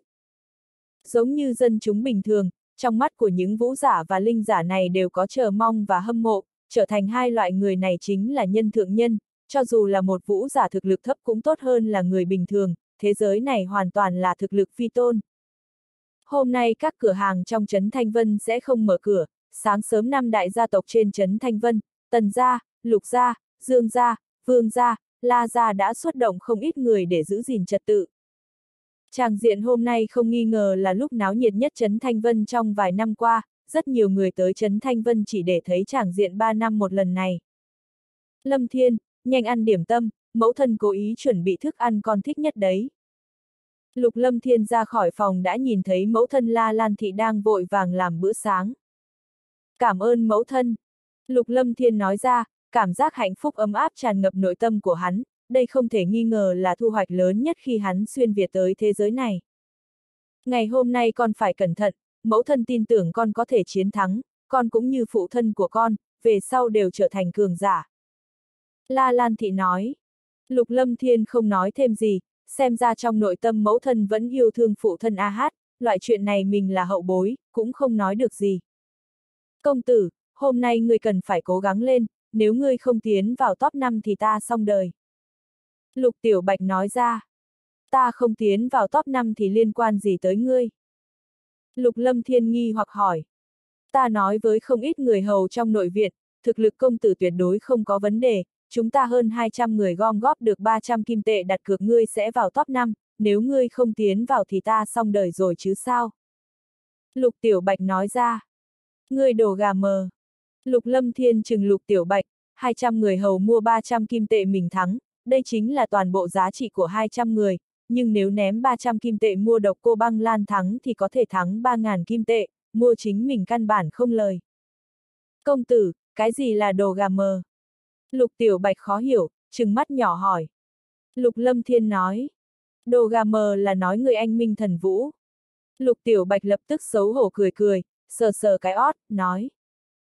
Ta không gà mờ bằng công tử, công tử mới thật sự là đồ gà mờ. Ngươi! Lục Lâm Thiên lập tức phun ra bữa sáng, mặt của hắn biến thành màu gan heo. Lâm Thiên, chuẩn bị cho tốt chưa, chúng ta nên xuất phát thôi. Hai bóng dáng xinh đẹp đi tới, người được hai mùi hương thơm, Lục Lâm Thiên cũng biết người đang tới là hai mỹ nữ Lục Mị cùng Lục Vô Song. Hai mỹ nữ hôm nay đều ăn mặc rất tỉ mỉ, Lục Mị càng trở nên vô cùng hấp dẫn, dáng người như ẩn như hiện và đường cong lung linh, Lục Vô Song thì hiển lộ khí khái oai hùng, dung nhan tuyệt sắc, khí chất cao quý, cho người ta cảm giác khó tiếp cận, chỉ có thể nhìn từ xa mà không dám khinh nhờn. Ân, cũng tới lúc rồi. Lục Lâm Thiên nói nhỏ, ở một cái, hắn đã ăn no. Lâm Thiên ca, người cần phải cố gắng lên nha. Lục Mị đi tới bên người Lục Lâm Thiên, hương thơm nồng đậm làm cho cái mũi Lục Lâm Thiên thiếu chút nữa thì hắt xì. Lâm Thiên, đi thôi, mẫu thân chờ tin tốt của con. La Lan Thị nhìn Lục Lâm Thiên nói ra. Lục Lâm Thiên nói vài câu với mẫu thân, lập tức rời khỏi đình viện, người khác trong Lục gia lúc này đều chờ ở cửa Lục gia. Lục Lâm Thiên cùng Lục Vô Song, Lục Mị, Lục Tiểu Bạch ba người đến cửa Lục gia thì nhìn thấy hơn 10 người đang chờ ở cửa, nhìn qua có Triệu Tuệ, Lục Thiếu Hổ, còn có Đại Bá Lục Đông, Tứ Thúc Lục Tây. Còn có nhị cô Lục Nam, Chu Lập Hưng, Chu Hải Minh và mấy trưởng lão Lục gia ở đây, còn lại đều là tộc nhân trong lục gia. Hừ! Nhìn thấy lục lâm thiên, lục thiếu hổ hừ lạnh một tiếng, mà Chu Hải Minh nhìn chằm chằm vào lục mị bên cạnh lục lâm thiên, thần sắc âm trầm, từ trong ánh mắt mà nhìn, Chu Hải Minh dường như rất thích lục mị. Lâm Thiên, thả lòng một chút, không cần quá khẩn trương. Lục Đông nói với Lục Lâm Thiên, nhìn ra được Lục gia lần này rất cao hứng vì có hai người Lục Lâm Thiên, Lục Thiếu Hổ, bởi vì Lục gia lần này tiến vào top 5 không có vấn đề gì. Lục Lâm Thiên khẽ gật đầu, hắn vốn không có khẩn trương, tốt xấu mình cũng là người hai thế giới, chút bình tĩnh này hắn vẫn có, cho dù tiến hay không tiến vào cũng không có vấn đề gì. Mang theo cái này. Lục Đông móc hai ngọc bài ra, phía trên có sợi dây màu trắng đưa tới trong tay Lục Lâm Thiên, trên đó viết chính là tên và tuổi của Lục Lâm Thiên. Chúng ta đi thôi. Lục Tây nói ra, người lục gia chậm rãi đi ra ngoài, đi trên đường cái, trên đường đi không ít người nhìn lục gia với ánh mắt kính sợ. Mà ở hai bên đường có không ít thiếu nữ dáng người thướt tha, ánh mắt nhìn chằm chằm vào lục lâm thiên cùng lục thiếu hổ, thấp giọng nghị luận gì đó, mà ngẫu nhiên ngẩng đầu, trong ánh mắt mang theo thẹn thùng cùng sùng bái. Nhìn thấy những thiếu nữ này, lục mị lập tức ưỡn ngực ngẩng đầu, dựa vào người lục lâm thiên đi tới, cơ hồ là dán lên người lục lâm thiên, làm cho không ít thiếu nữ ở hai bên đường thất vọng, tư sắc của các nàng đúng là không thể vượt qua lục mị. Trên đường phố cũng có không ít nam nhân hâm mộ nhìn qua hai người lục lâm thiên cùng lục thiếu hổ. Lần này người tới nhiều hơn lúc trước a. À. Trên đường đi, lục đông nói. Đúng thế, trên trấn Thanh Vân lần này xuất hiện không ít thiên tài, cơ hồ tất cả thành trấn gần trấn Thanh Vân đều có người tới xem. Lục Tây nói ra, không biết lần đọ sức này có hắc mã nào xuất hiện hay không, nếu có thì thú vị rồi. Một trưởng lão lục gia nói, đã có nhiều thiên tài như thế, hắc mã xuất hiện sợ rằng không có khả năng, nhưng mà không loại trừ khả năng này. Lục Đông nói, khóe miệng Lục Lâm Thiên hơi mỉm cười, theo những gì mình biết, hắc mã này chính là độc cô băng lan A, tin tưởng đến lúc đó nhất định sẽ làm cho không ít người kinh ngạc. Sau một lát, Lục Lâm Thiên theo người Lục ra đi vào quảng trường, đến gần quảng trường nhìn thấy cửa vào quảng trường bị tắc nghẽn, Lục Lâm Thiên bất đắc dĩ lắc đầu, trên thế giới này cũng giống kiếp trước, ở đâu có náo nhiệt thì ở đó người rất đông. Chúng ta đi vào từ phía sau thôi. Lục Đông nói, thân là một trong năm đại gia tộc Trấn Thanh Vân này, lại là gia tộc dự thi, vào sáng sớm đã lưu lại cửa phía sau. Bái kiến đại gia. Tới cửa phía sau sớm có đệ tử lục gia đi ra chào đón. Mọi người xuyên qua cửa sau tới quảng trường, cửa sau này yên tĩnh hơn rất nhiều, nhưng nhìn thấy bên ngoài quảng trường người ra vào tấp nập, nội tâm bình tĩnh của Lục Lâm Thiên cũng sinh ra gợn sóng, người tới thật sự quá nhiều, nhìn qua chẳng khác gì buổi hòa nhạc của Minh Tinh, nhưng mà cũng chưa chắc nhiều người như ở đây, ở đây có chừng vài chục ngàn người a. À. Lục Đông, sao ngươi bây giờ mới tới? Thời điểm này có một thân ảnh xuất hiện trước mặt Lục gia, người tới bộ dáng trung niên, dáng người thô kệch, mặc trường bào, khí độ bất phàm, đặc biệt là có cặp lông mi gây chú ý cho người ta, lông mi không ngờ lại là màu trắng, sau lưng người này có bốn người, ba nam một nữ, đều là bộ dáng trung niên, khí tức của năm người đều bất phàm. Bạch mi trưởng lão, sao ngươi tới sớm thế? Lục Đông mỉm cười nói ra. Là ngươi tới muộn thì có, đây là Lục Lâm Thiên và Lục Thiếu Hổ Lục ra sao, con của Lục Trung quả nhiên không đơn giản. Nam tử lông mi trắng nhìn qua Lục Lâm Thiên cùng Lục Thiếu Hổ hai người nói ra. Đệ tử bái kiến Bạch mi trưởng lão. Lúc này Lục Vô Song lập tức đi lên hành lễ với người trung niên có đôi lông mi trắng. Vô Song a hát, mấy tháng này không có lười biếng đấy chứ, lần này trở về ngươi rất có cơ hội trở thành đệ tử thân truyền, nên hảo hảo cố gắng, ta rất xem trọng ngươi. Nam tử lông mi trắng cười nói. Đệ tử không dám lười biếng. Lục vô song trả lời. Lâm Thiên, Thiếu Hổ, mau chào Bạch Mi trưởng lão, đây là Bạch Mi trưởng lão của Vân Dương Tông, cũng là người trực tiếp phụ trách đưa các người đi Vân Dương Tông. Lục Đông lập tức nói ra. Bái kiến Bạch Mi trưởng lão. Lục Lâm Thiên lập tức hành lễ, thì ra là trưởng lão Vân Dương Tông, khó trách khí tức bất phàm như thế. Lục Thiếu Hổ lúc này tôn kính hành lễ, những người khác của Lục gia cũng không dám vô lễ, nhao nhao tới chào, trước mặt trưởng lão Vân Dương Tông, bọn họ không dám có chút thất lễ. Ngươi chính là Lục Lâm Thiên A, vũ giả tam hệ, không tệ, thiên phú này kém nha đầu kia một chút, ta xem trọng ngươi. Bạch mi nhìn qua Lục Lâm Thiên nói ra. Tiểu tử sẽ cố hết sức. Lục Lâm Thiên nói nhỏ, giọng điệu không kiêu ngạo không xiểm nịnh. Nhìn thấy thần thái và khí độ của Lục Lâm Thiên, trong lòng Bạch mi trưởng lão âm thầm gật đầu. Nghe thấy Bạch mi trưởng lão tán dương Lục Lâm Thiên, sắc mặt hai người Lục Thiếu Hổ cùng Triệu Tuệ trở nên lúng túng, nhưng cũng không dám nói gì. Bạch mi trưởng lão, gia tộc khác đã tới chưa? Lục Đông hỏi. Bạch mi nói. Đến một ít, nhưng mà năm đại gia tộc mới chỉ có lục gia các ngươi tới. Lục Lâm Thiên đánh giá chung quanh quảng trường, lúc này bên ngoài quảng trường có không ít người năm đại gia tộc Giang duy trì trật tự, nhiều người như vậy, trong đó có không ít vũ giả, nếu như có rối loạn thì phiền toái, cho nên năm đại gia tộc cũng không dám khinh thường. Những người duy trì trật tự này, thực lực đều ngoài vũ đồ nhất trọng, đều là vũ giả chân chính, Lục Lâm Thiên còn nhìn thấy trong lục gia cùng gia tộc khác còn có vài vũ sư, đây cũng là đại biểu thế lực năm đại gia tộc ở mức nào đó. Lâm Thiên, Thiếu Hổ, các ngươi vào đi thôi, nhớ kỹ không thể chủ quan. Lục Đông nói với hai người, tiến về phía cửa nhỏ phía trước, chỗ đó chỉ có người đọ sức mới được vào.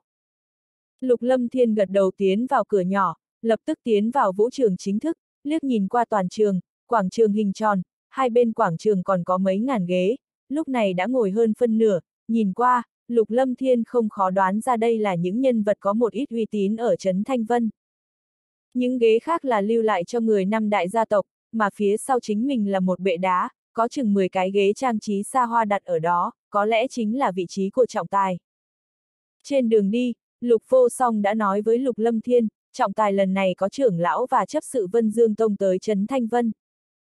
Vào lúc này trong sân rộng đã có 30 thiếu nam thiếu nữ ở một góc, đang ngồi trên ghế đá được an bài tốt, đang chờ bắt đầu đọ sức, Lục Lâm Thiên, Lục Thiếu Hổ hai người xuất hiện cũng khiến không ít người nhìn qua. Lục Lâm Thiên nhìn qua khí tức của những người này, hơn phân nửa người này đều có thực lực vũ sĩ nhất trọng, một phần nhỏ thậm chí mới có thực lực vũ đổ bát trọng, cửu trọng mà thôi, những người có thực lực vũ sĩ cũng đã 19-20 tuổi, đều là đệ tử trong tiểu gia tộc. Vào thời điểm này, lối vào lại xuất hiện mấy thiếu nam thiếu nữ tiến vào, có lẽ là người tới đọ sức. Lục Lâm Thiên không để ý đến Lục Thiếu Hổ bên cạnh, đi tới một nơi hẻo lánh ngồi xuống. Đến rồi sao? Trong ánh mắt, Lục Lâm Thiên nhìn thấy một thân ảnh quen thuộc, thiếu nữ có thân hình uyển chuyển, chính là độc cô băng lan của Thiên Bảo Môn. Lâm Thiên, chào buổi sáng, ngươi tới thật sớm. Độc cô băng lan nở nụ cười chúng chím hiện nên lúm đồng tiền trên má, lập tức đi tới trước người của hắn, hương thơm xông vào mũi Lục Lâm Thiên.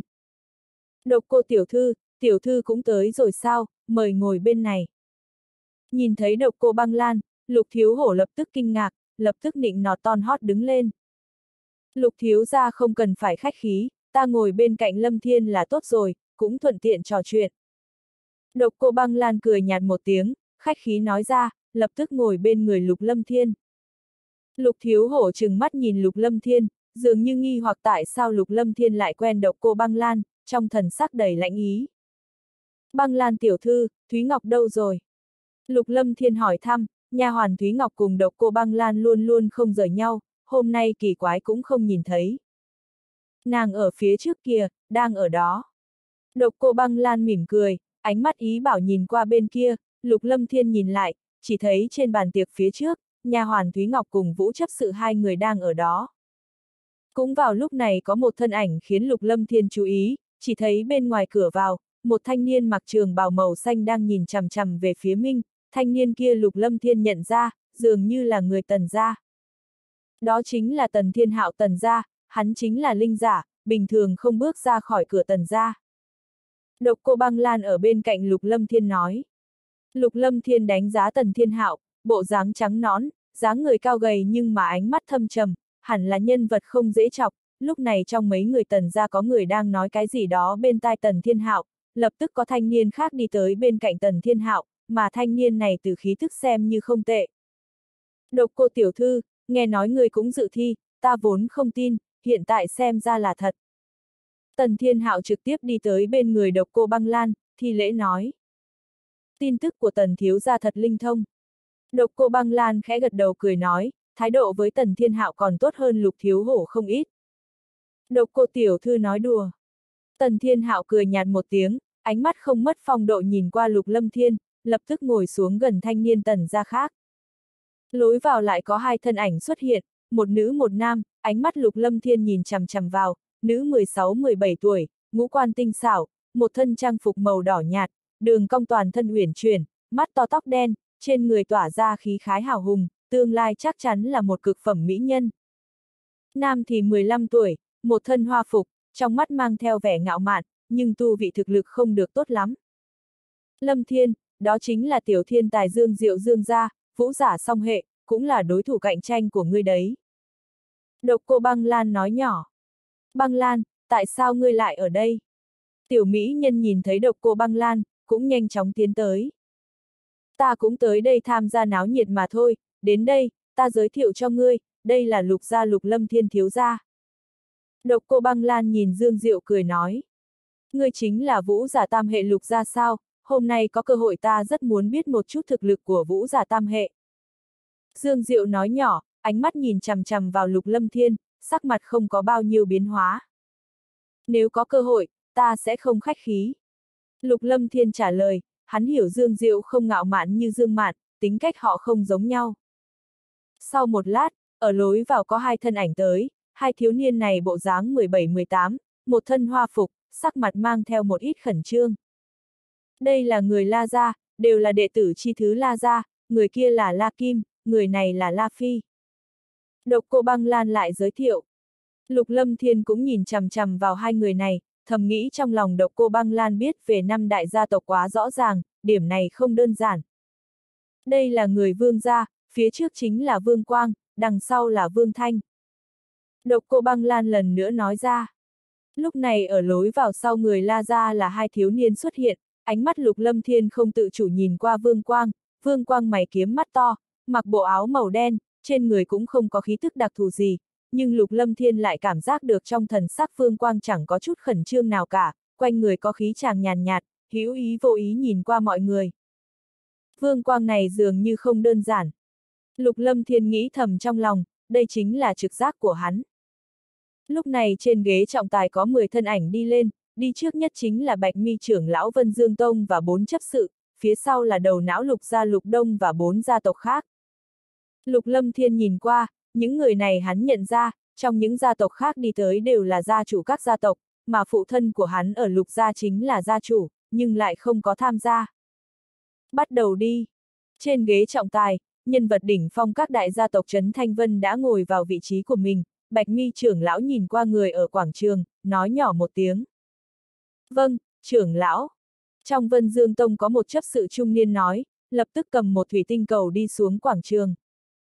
Hiện tại bắt đầu đọ sức, đệ tử các gia tộc dự thi nghe kỹ, tất cả lên đây đi, vòng thứ nhất nghiệm chứng, không phải nghiệm chứng thực lực các ngươi, mà là nghiệm chứng thiên phú các ngươi, có thiên phú thượng đẳng và trên thượng đẳng thì tiến vào vòng 2. Chấp sự trung niên Vân Dương Tông nói ra. Các thiếu niên tham gia đọ sức đi lên, đại bộ phận người đều đầy khẩn trương. Bên ngoài có tiếng kêu vang vọng, người các gia tộc có người dự thi hò hét, hình thành từng tiếng hô chói tai. Trong hào khí này, Lục Lâm Thiên cảm thấy nội tâm nóng bỏng, quy tắc đọ sức, Lục Lâm Thiên cũng có biết chút ít, vòng thứ nhất chính là nghiệm chứng thiên phú, Vân Dương Tông yêu cầu với đệ tử trong môn phái rất nghiêm khắc, ít nhất cũng phải có thiên phú thượng đẳng mới có thể nhập môn, mà vòng đầu tiên chính là nghiệm chứng thiên phú, dựa theo tuổi và thực lực mà phán đoán thiên phú, người thiên phú không đủ sẽ vô duyên với vòng 2.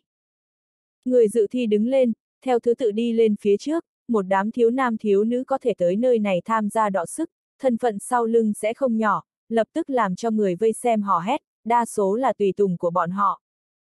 Mà trong tiếng hò hét chói tai này, tiếng hô lớn nhất không nghi ngờ là Dương Diệu, không ít thiếu gia tiểu gia tộc cũng hò hét lên. Mọi người tiến lên đứng trước mặt chấp sự Vân Dương Tông, chỉ nghe nam tử trung niên nói. Hiện tại bắt đầu nghiệm chứng thiên phú các ngươi, thiên phú ngoài thượng đẳng trở lên thì có thể lưu lại, thiên phú thượng đẳng không phải thượng đẳng lui ra đi, Vân Dương Tông không thu đệ tử thiên phú kém. Thứ nhất, đến đây đi. Chấp sự Vân Dương Tông nói nhỏ, đặt thủy tinh cầu trên bệ đá.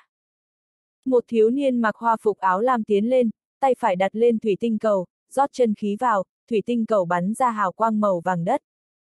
Trần Lãng, thổ hệ vũ sĩ nhất trọng, tuổi 20, thiên phú trung đẳng, lui ra đi. Chấp sự Vân Dương Tông nói, nghiệm chứng đầu tiên mà không vượt qua, vũ sĩ nhất trọng lại thêm cao tuổi, thiên phú này chỉ là bình thường. Thiếu niên mặc hoa phục áo lam lắc đầu, đành phải là bất đắc dĩ đi xuống. Thiếu niên thứ hai mặc áo xanh đi tới, đặt tay lên thủy tinh cầu, hào quang màu đỏ sáng lên. Địch Thanh Phong, 16 tuổi, hỏa hệ vũ đồ cửu trọng, thiên phú thượng đẳng.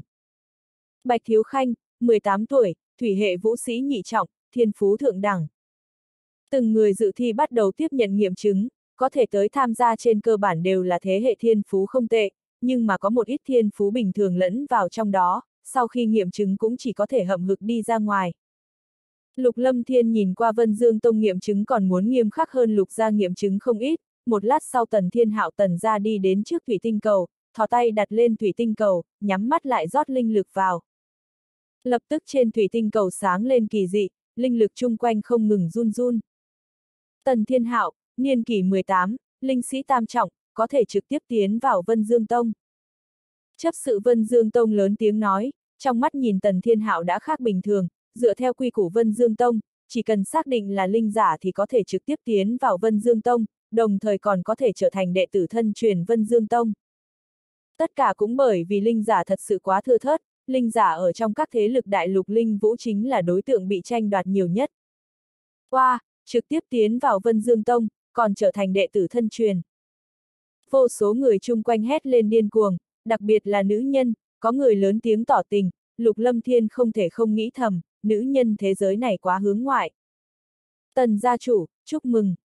Trên ghế trọng tài, gia chủ các thế lực khác chúc mừng tần gia, có thể trở thành đệ tử thân truyền Vân Dương Tông, sau này tần gia lớn mạnh là sự thật, về sau còn có Vân Dương Tông làm hậu trường, tần gia lớn mạnh là chuyện ván đã đóng thuyền.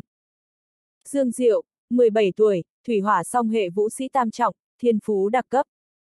Trên khán đài lại bạo động, không ít người la lên, thiên phú đặc cấp trong những năm qua rất khó tìm.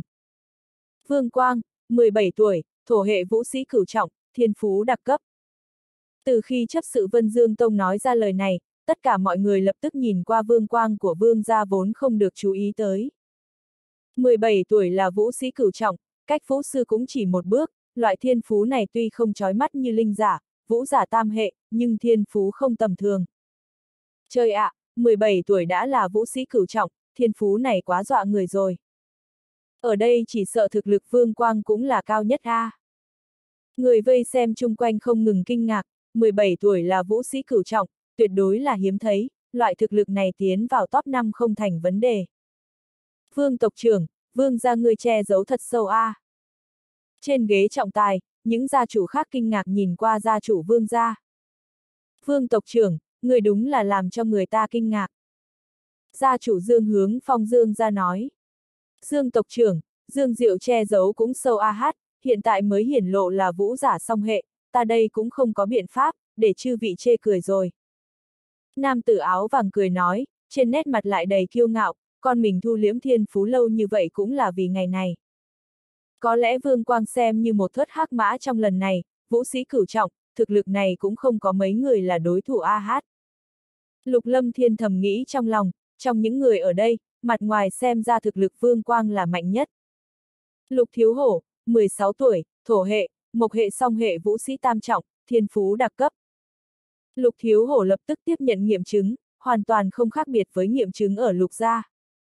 Vũ giả song hệ, thiên phú đặc cấp, lập tức cũng khiến cho không ít người chấn động, không ít người của lục gia ở bên ngoài cũng la hét, đám người triệu tuệ, lục nam, chu lập hưng ngồi trên bàn tiệc cũng vui vẻ. Lục đông, lục gia ngươi lần này không đơn giản a. À. Trên ghế trọng tài, mọi người nói thêm vài câu.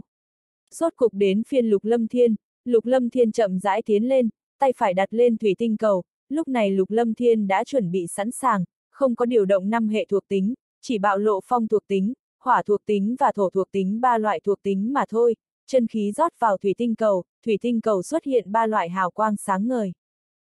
Vẫn che giấu một ít thực lực thì tốt hơn. Lục Lâm Thiên nghĩ trong lòng, mình bây giờ là vũ sĩ tứ trọng, lần trước lục gia trắc nghiệm mình mới là vũ sĩ tam trọng mà thôi, mình bây giờ hoàn toàn có thể ẩn giấu thực lực, vũ sĩ tam trọng và vũ sĩ tứ trọng khác nhau rất lớn. Khống chế chân khí trong tay, Lục Lâm Thiên chỉ khống chế mình ở mức vũ sĩ tam trọng, dù sao Nam Thúc đã từng nói qua, tu luyện âm dương linh vũ quyết, người bình thường không cách nào xem thấu tu vị của hắn. Lục Lâm Thiên, 16 tuổi, thổ hệ, hỏa hệ, phong hệ vũ giả tam hệ, vũ sĩ tam trọng, thiên phú đỉnh cấp. Chấp sự trung niên Vân Dương Tông cũng hơi giật mình nói, vũ giả tam hệ, hắn cả đời này chỉ gặp một người, trong Vân Dương Tông cũng chỉ có một thiên tài yêu nghiệt vũ giả tam hệ mà thôi. Vũ giả tam hệ AH, còn là thiên phú đỉnh cấp. Trong người vây xem lại oanh động lớn, oanh động này so với tần gia có linh giả xuất hiện cũng không thấp hơn, vũ giả tam hệ, đây chính là đối tượng ngàn năm khó gặp. Lục Đông, lần này lục gia các người thật khó lường a hát, hai nhi tử của lục trung đều có thiên phú kinh người. Trên ghế trọng tài, các gia chủ đại gia tộc kinh ngạc, vũ giả tam hệ, bọn họ hiểu nó đại biểu cho cái gì. Nhìn lục lâm thiên tạo ra oanh động, lục thiếu hổ ở cách đó không xa mặt mũi âm trầm, trong mắt vẫn mang theo lạnh ý. Một người cuối cùng, độc cô băng lan. Chấp sự trung niên nói ra, lúc này cũng chỉ còn một mình độc cô băng lan không có nghiệm chứng. Lục lâm thiên cũng tò mò, độc cô băng lan mình nhìn không thấu, không biết là cấp độ gì. Độc cô băng lan bước đi nhẹ nhàng, chậm rãi đi tới trước thủy tinh cầu, cổ tay trắng duỗi duỗi ra, bàn tay ngọc đặt lên thủy tinh cầu, trên thủy tinh cầu lập tức tỏa ra hào quang màu lam sáng ngời. Độc cô băng lan, 18 tuổi, thủy hệ vũ sĩ cửu trọng, thiên phú thật tốt. Chấp sự Vân Dương Tông nói ra. Vũ sĩ cửu trọng. Lục Lâm Thiên chỉ hơi chút kinh ngạc, sớm đã cảm giác được độc cô băng lan bất phàm, vũ sĩ cửu trọng, trừ vương quang ra, người ở đây không mấy người là đối thủ của nàng. Lại là vũ sĩ cửu trọng, top 5 lần này kịch liệt không ít a. Không ít người nghị luận lên, lúc này xuất hiện không ít thế hệ mạnh mẽ, mà bây giờ trong năm danh ngạch Vân Dương Tông đã có Tần Thiên Hạo chiếm cứ một chỗ, cũng chỉ còn lại bốn vị trí, mà trong mọi người, hiện tại thiên phú cùng thực lực rất mạnh không chỉ có bốn người, tranh đoạt là không tránh được. Bạch mi trưởng lão, những năm qua thiên bảo môn không tham gia, lần này độc cô băng lan vì sao lại tham gia đọ sức. Trên ghế trọng tài, gia chủ Dương hướng phong Dương ra hỏi. Ta cũng không biết, độc cô tiểu thư thiên bảo môn tham gia là trong môn bàn giao, lần này Trấn Thanh Vân có không ít hạt giống tốt, không uổng công ta đi một chuyến. Nhìn thấy lần này có nhiều thế hệ thiên phú mạnh mẽ, trong mắt bạch mi trưởng lão đầy vui vẻ, đặc biệt là có một linh giả, một vũ giả tam hệ, hai vũ giả song hệ, đây chính là hạt giống một vạn chọn một A. Lục Lâm Thiên nhìn chằm chằm vào những người dự thi hiện tại, lúc này chung quanh Lục Lâm Thiên vốn có 52 người dự thi, lúc này chỉ còn lại 38 người, 14 người bị đào thải. 38 người còn lại, thiên phú ít nhất đều là thượng đẳng trở lên, nhưng thực lực thì không giống nhau, cao có thấp có, thiên phú cao, không có nghĩa là thực lực cũng mạnh. Hiện tại bắt đầu đợt thứ hai, các người thấy bệ đá phía sau ta không, các người đi lên có thể tùy tiện ra tay, nhưng nhớ không được hạ sát thủ, nếu không sẽ thủ tiêu tư cách, 8 người cuối cùng sẽ tiến vào vòng 3, hiện tại lên đi. Chấp sự Vân Dương Tông nói ra. Mọi người sớm đã chú ý tới, sau lưng chấp sự Vân Dương Tông có bệ đá cao 2 mét, diện tích cũng không phải rất lớn, chỉ chừng 200 mét mà thôi. Siêu siêu siêu. Sau khi chấp sự Vân Dương Tông vừa mới nói xong, lập tức mấy đạo thân ảnh thả người bay lên cao cao, quy tắc đợt thứ hai, mọi người dường như sớm biết rõ, nếu nói tới gần vị trí trung ương sẽ có cơ hội lưu lại cuối cùng, nhưng mà chỉ là có cơ hội thôi. Băng Lan, ta đi lên trước. Dương Diệu nói nhỏ một tiếng, lập tức thả người bay lên, cung trang màu đỏ bao lấy thân hình uyển chuyển thước tha nhảy lên bệ đá, thời điểm sắp rơi xuống đất, chân khí màu đỏ vây lấy thân thể, thân hình xẹt vòng cung 90 đột cuối cùng trong vô số ánh mắt nóng bỏng rơi xuống bệ đá. Vương Quang nhìn chằm chằm vào Dương Diệu, thần sắc trầm xuống, chân khí quanh người run run, thả người nhảy lên, trực tiếp đi tới chỗ tốt nhất của bệ đá, thân thể như bông tuyết, cuối cùng xoay tròn rơi xuống, tư thế phiêu nhiên giống như không có gì, thời điểm rơi xuống đất, trên bệ đá không có động tĩnh nào, làm cho không ít thiếu nữ vây xem reo hò lên. Lâm Thiên, chúng ta cũng lên đi.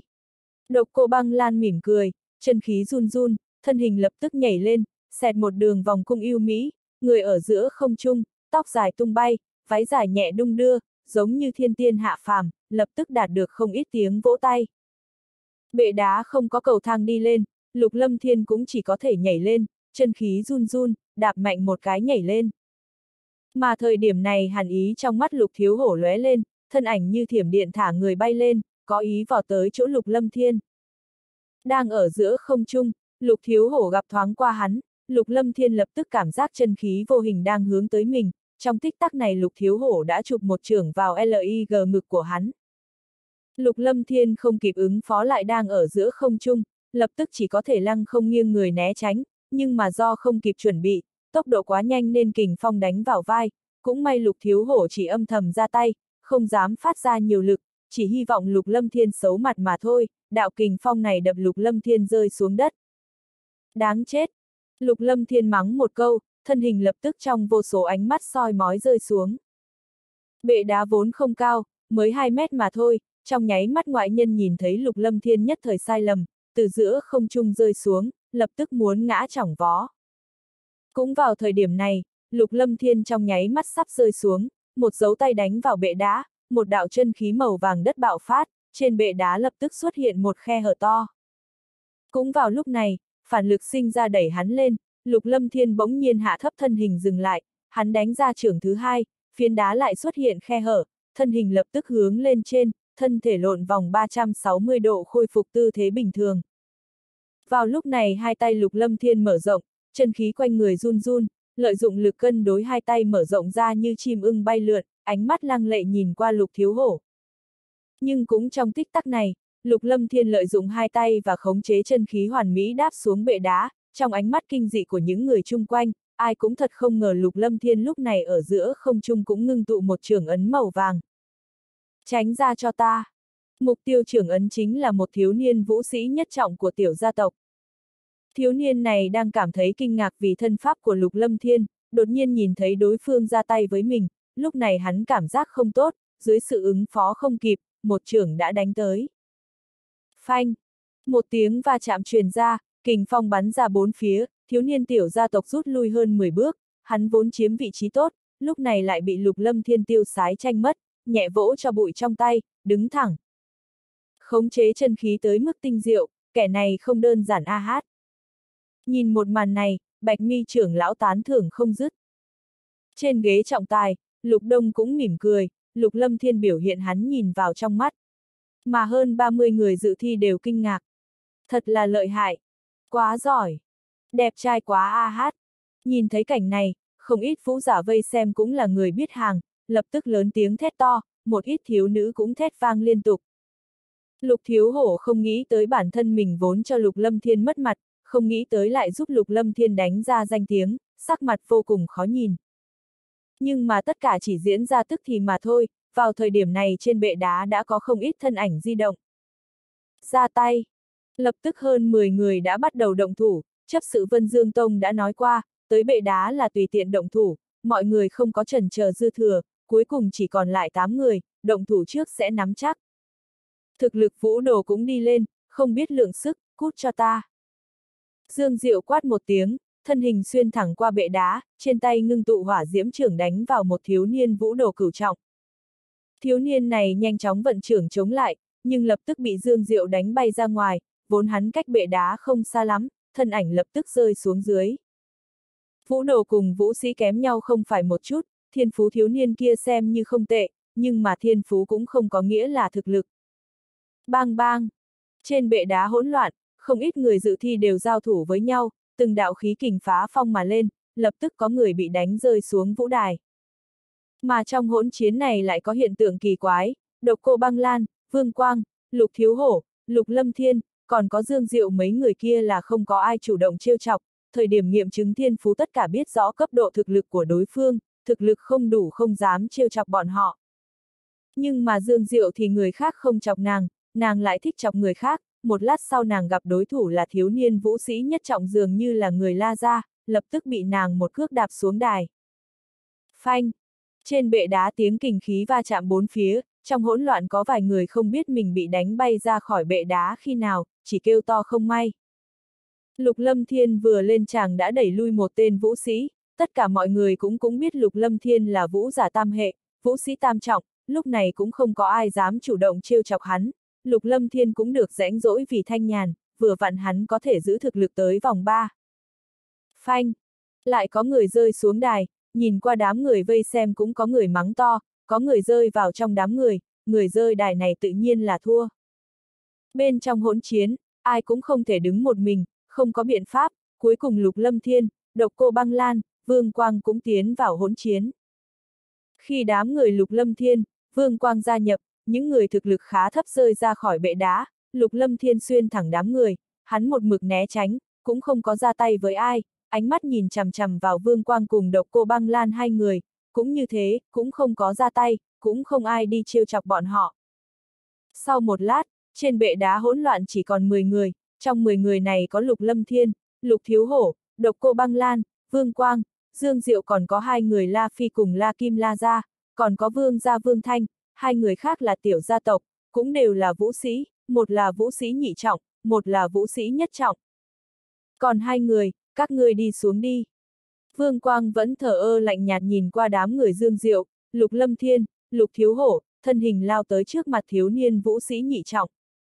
Thực lực ngươi quá yếu, đi xuống đi. Ánh mắt Vương Quang lạnh lùng đảo một vòng, thủ ấn ngưng kết đánh ra. Thần sắc thiếu niên kinh hãi, cũng biết mình không phải đối thủ, căn bản cũng không có ý định chống lại, thân hình lui nhanh.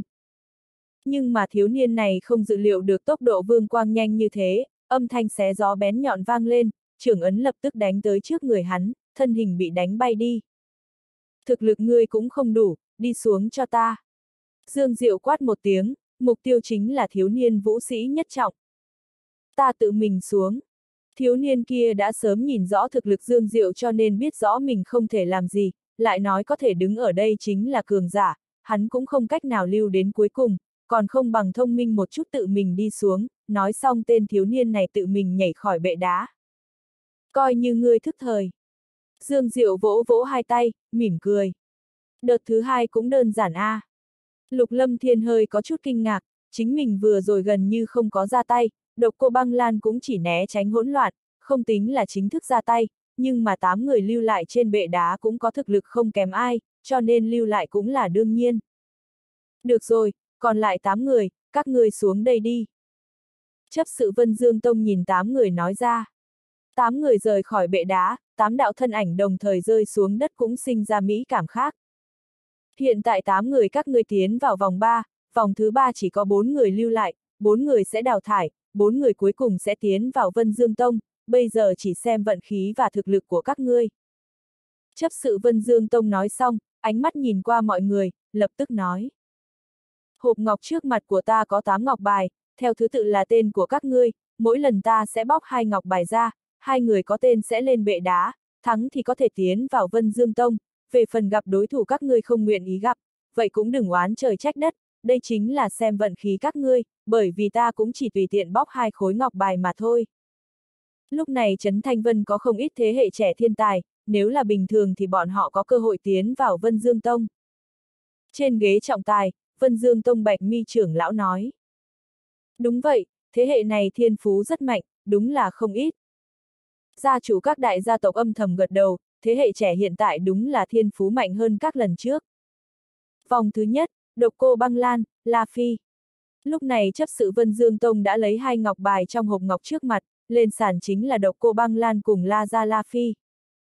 Gia chủ La Gia trên ghế trọng tài biến sắc, La Phi mới là vũ sĩ nhị trọng mà thôi, độc cô băng lan đã là vũ sĩ cửu trọng, tranh lệch này không phải lớn bình thường. Các ngươi lên đi, rơi xuống bệ đá là thua. Chấp sự Vân Dương Tông nói ra. Vèo. Thần sắc La Phi bất đắc dĩ, hắn bay lên bệ đá, thân là người La Gia, cho dù hắn biết không có địch lại cũng không thể tỏ ra yếu thế trước mặt nhiều người như thế. Thần sắc độc cô băng lan không có bao nhiêu biến hóa, thân hình uyển chuyển tỏa ra chân khí run run, nàng nhảy lên bệ đá, đường cong yêu Mỹ làm cho không ít thiếu nam sinh ra rung động trong lòng. Bắt đầu đi. Độc cô băng lan nhìn qua La Phi nói ra, chân khí tỏa ra, toàn thân bao phủ trong chân khí như ẩn như hiện. Độc cô tiểu thư, đắc tội. La Phi nói nhỏ một tiếng, trong tay hắn xuất hiện trường kiếm màu xanh, chân khí xuyên thấu qua thân kiếm, mũi kiếm tỏa ra hào quang lăng lệ làm cho người ta không dám khinh thường. Đến đây đi. Độc cô băng lan nói nhỏ, chân khí toàn thân bốc lên, chân khí hai người ngưng tụ cũng làm không khí trên bệ đá như đông cứng lại, mấy vạn người đang xem cũng an tĩnh, ánh mắt nhìn chằm chằm xem ai sẽ là người tiến vào Vân Dương Tông. Lục Lâm Thiên nhìn qua độc cô băng lan cùng La Phi trên lôi đài, kết cục hẳn không có bao nhiêu lo lắng, lập tức ánh mắt Lục Lâm Thiên nhìn chằm chằm lên người Thúy Ngọc, nhà hoàn Thúy Ngọc kia dường như cũng đang nhìn qua Lục Lâm Thiên, nhìn Lục Lâm Thiên sau đó khẽ gật đầu, đối với tiểu thư nhà mình cũng không cảm thấy có chút lo lắng gì. Hô! La Phi hít sâu một hơi, trường kiếm trong tay bắn ra ánh sáng lăng lệ cắt một vết sâu trên bệ đá. Mang theo hoa lửa đánh thẳng vào độc cô băng lan. Thần sắc độc cô băng lan không có quá nhiều biến hóa, thân ảnh La Phi tiếp cận 5 mét thì nàng mới hành động, mũi chân điểm nhẹ mặt đất, thân thể giống như lá rụng trong gió, phiêu đãng lóe lên, trong thời gian ngắn thân ảnh giao thoa với La Phi. Trong nháy mắt này, độc cô băng lan kết xuất thủ ấn, làm sắc quang mang trên người đại thịnh, cổ tay trắng yêu mỹ duỗi ra, lập tức hình thành năm cột nước và biến thành băng nhận cắt vỡ không khí lao thẳng về phía La Phi. Thần sắc La Phi trầm xuống, trường kiếm trong tay bắn ra năm bóng kiếm, phân biệt va chạm với năm băng nhận kia, bóng kiếm cắt vỡ không khí, cũng mang theo âm thanh xé gió chém tới. Siêu, siêu, xíu, yêu yêu. Lực lượng này sắp va chạm nhau, tuy băng nhận bị bóng kiếm nghiền nát nhưng thân thể La Phi vẫn lảo đảo lui ra phía sau hơn 10 bước, trường kiếm trong tay cắm thẳng xuống bệ đá mới dừng lại được. Mà vào lúc này, thân ảnh độc cô băng lan lóe lên lần nữa, thân ảnh uyển chuyển cánh tay huy động, trong tay ngưng tụ thủy cầu to nửa mét, mang theo khí kình hung hãn nện thẳng vào La Phi, khí kình trên thủy cầu áp bách, không khí rung động, thực lực vũ sĩ cửu trọng tuyệt đối không thấp. Thần sắc La Phi trầm xuống, trường kiếm trong tay rút ra khỏi bệ đá, hắn đánh thủ ấn, chân khí quán chú, thân kiếm kêu ông ông, lập tức cắn răng thả người bay lên, trường kiếm đâm ra đầy hung mãnh, trường kiếm lưu lại hư ảnh trói mắt trong không khí, mũi kiếm sắc nhọn xuyên thấu hư không. Mũi kiếm và thủy cầu va chạm vào nhau, âm thanh thanh thúy vang vọng, trong lúc va chạm hai khí kình nổ tung, mũi kiếm bị thủy cầu thôn phệ, trường kiếm trong tay La Phi căn bản không thể nhúc nhích. Thủy cầu thôi động nhanh chóng, thân kiếm đã bị áp lực uốn cong lại, giống như sắp bẻ gãy kiếm, ánh mắt La Phi kinh hãi, lập tức lui lại. Nhìn thấy một màn này, không ít người cũng đổ mồ hôi lạnh thay La Phi, thực lực La Phi trên thực tế kém đối phương quá lớn. Xuy. Vào thời điểm này thân ảnh độc cô băng lan lóe lên đầy quỷ dị, bàn tay trắng nõn đánh ra một trường, một đạo trưởng ấn màu xanh ra trời bắn ra, chân khí thủy thuộc tính cuồng bạo lao ra ngoài, đánh vào vai phải La Phi, lực lượng cường hãn nghiền nát cương khí hộ thể của La Phi, ngọc trưởng đánh thân thể La Phi bay đi như diều đứt dây. Bành! Âm thanh rơi xuống đất xuất hiện, thân hình La Phi rơi khỏi bệ đá. Độc cô băng lan thắng. Chấp sự Vân Dương Tông nói ra, dựa theo quy củ, rơi khỏi bệ đá là thua, trận đầu, độc cô băng lan thành công trở thành đệ tử tiến vào Vân Dương Tông. Bóng hình xinh xắn của độc cô băng lan nhanh chóng rời khỏi bệ đá, đến bên người lục lâm thiên mỉm cười, dường như tất cả sớm nằm trong dự tính của nàng, cũng không có cảm thấy có bất cứ cái gì ngoài ý muốn. Một vạn năm nghìn kim tệ AH. Lục lâm thiên lúc này càng vui mừng trong lòng, độc cô băng lan chiến thắng, chính mình đặt cược 1.500 kim tệ, trong vòng 3 ngày lại kiếm được gấp 10 lần, sớm biết như vậy gom thêm một ít tiền cược thêm vào. Trận thứ hai, Lục Thiếu Hổ, Dương Khánh. Chấp sự Vân Dương Tông móc hai khối ngọc bài ra, chính là Lục Thiếu Hổ và Dương Khánh. Lục Lâm Thiên nhìn chằm chằm vào Dương Khánh, tên Dương Khánh này ngay từ đầu đã theo sau lưng Dương Diệu, tuổi chừng 18, một thân hoa phục, trong mắt mang theo ngạo khí của thiếu niên, tu vị chỉ là vũ sĩ nhị trọng, nhưng cũng xem như không tệ, nhưng mà ở trong đám người lại chẳng khác gì La Phi cả. Lục thiếu hổ mỉm cười, trong nội tâm âm thầm cao hứng, bản thân mình gặp phải Dương Khánh chính là vận khí tốt, nếu đợi upsilon.ng phải vương quang thì đúng là không may. Thả người nhảy lên, động tác lục thiếu hổ gọn gàng tiến vào bệ đá, chính mình vũ sĩ tam trọng đã chiếm cứu ưu thế to lớn.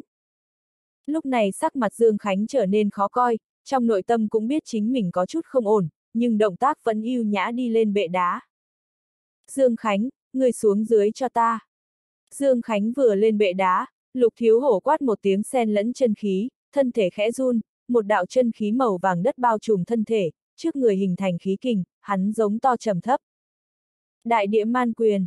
Lục thiếu hổ quát xong, thủ ấn ngưng tụ, hai tay giao nhau trước người, một quyền kình đánh tan không khí, tiếng xé gió mang theo khí kình hung hãn tấn công Dương Khánh.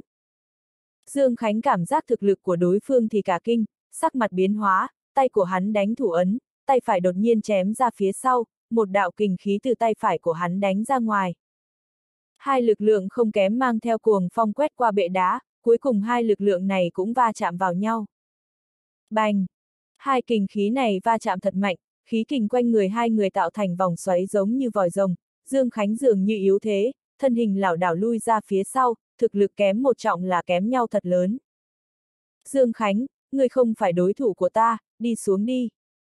Lục thiếu hổ quát lạnh, bàn chân đạp mạnh lên đất, thân ảnh lướt tới, đánh ra một quyền thật mạnh. Hừ, lục thiếu hổ, người không cần hung hăng càn quấy. Dương Khánh hét lớn một tiếng, thân hình hơi nghiêng lùi lại, nghiêng người hiểm hiểm tránh một quyền của lục thiếu hổ. Hung hăng càn quấy thì thế nào, ai bảo thực lực ngươi không đủ. Lục thiếu hổ quát lạnh, Dương Khánh vừa mới lùi lại, bàn chân lục thiếu hổ đột nhiên đạp lên mặt đất, thân ảnh biến hướng, thủ ấn biến hóa, 10 giây mây xuất hiện xuyên qua gợn sóng vô hình, lập tức lao tới quấn quanh Dương Khánh, âm thanh xé gió vang vọng. Cảm nhận được kình phong bén nhọn, sắc mặt Dương Khánh ngưng trọng, vũ giả song hệ còn mạnh hơn vũ giả bình thường không ít, song hệ thuộc tính làm cho người ta khó lòng phòng bị. Không hổ là vũ giả song hệ, thực lực phát huy ra mạnh hơn đồng cấp không ít.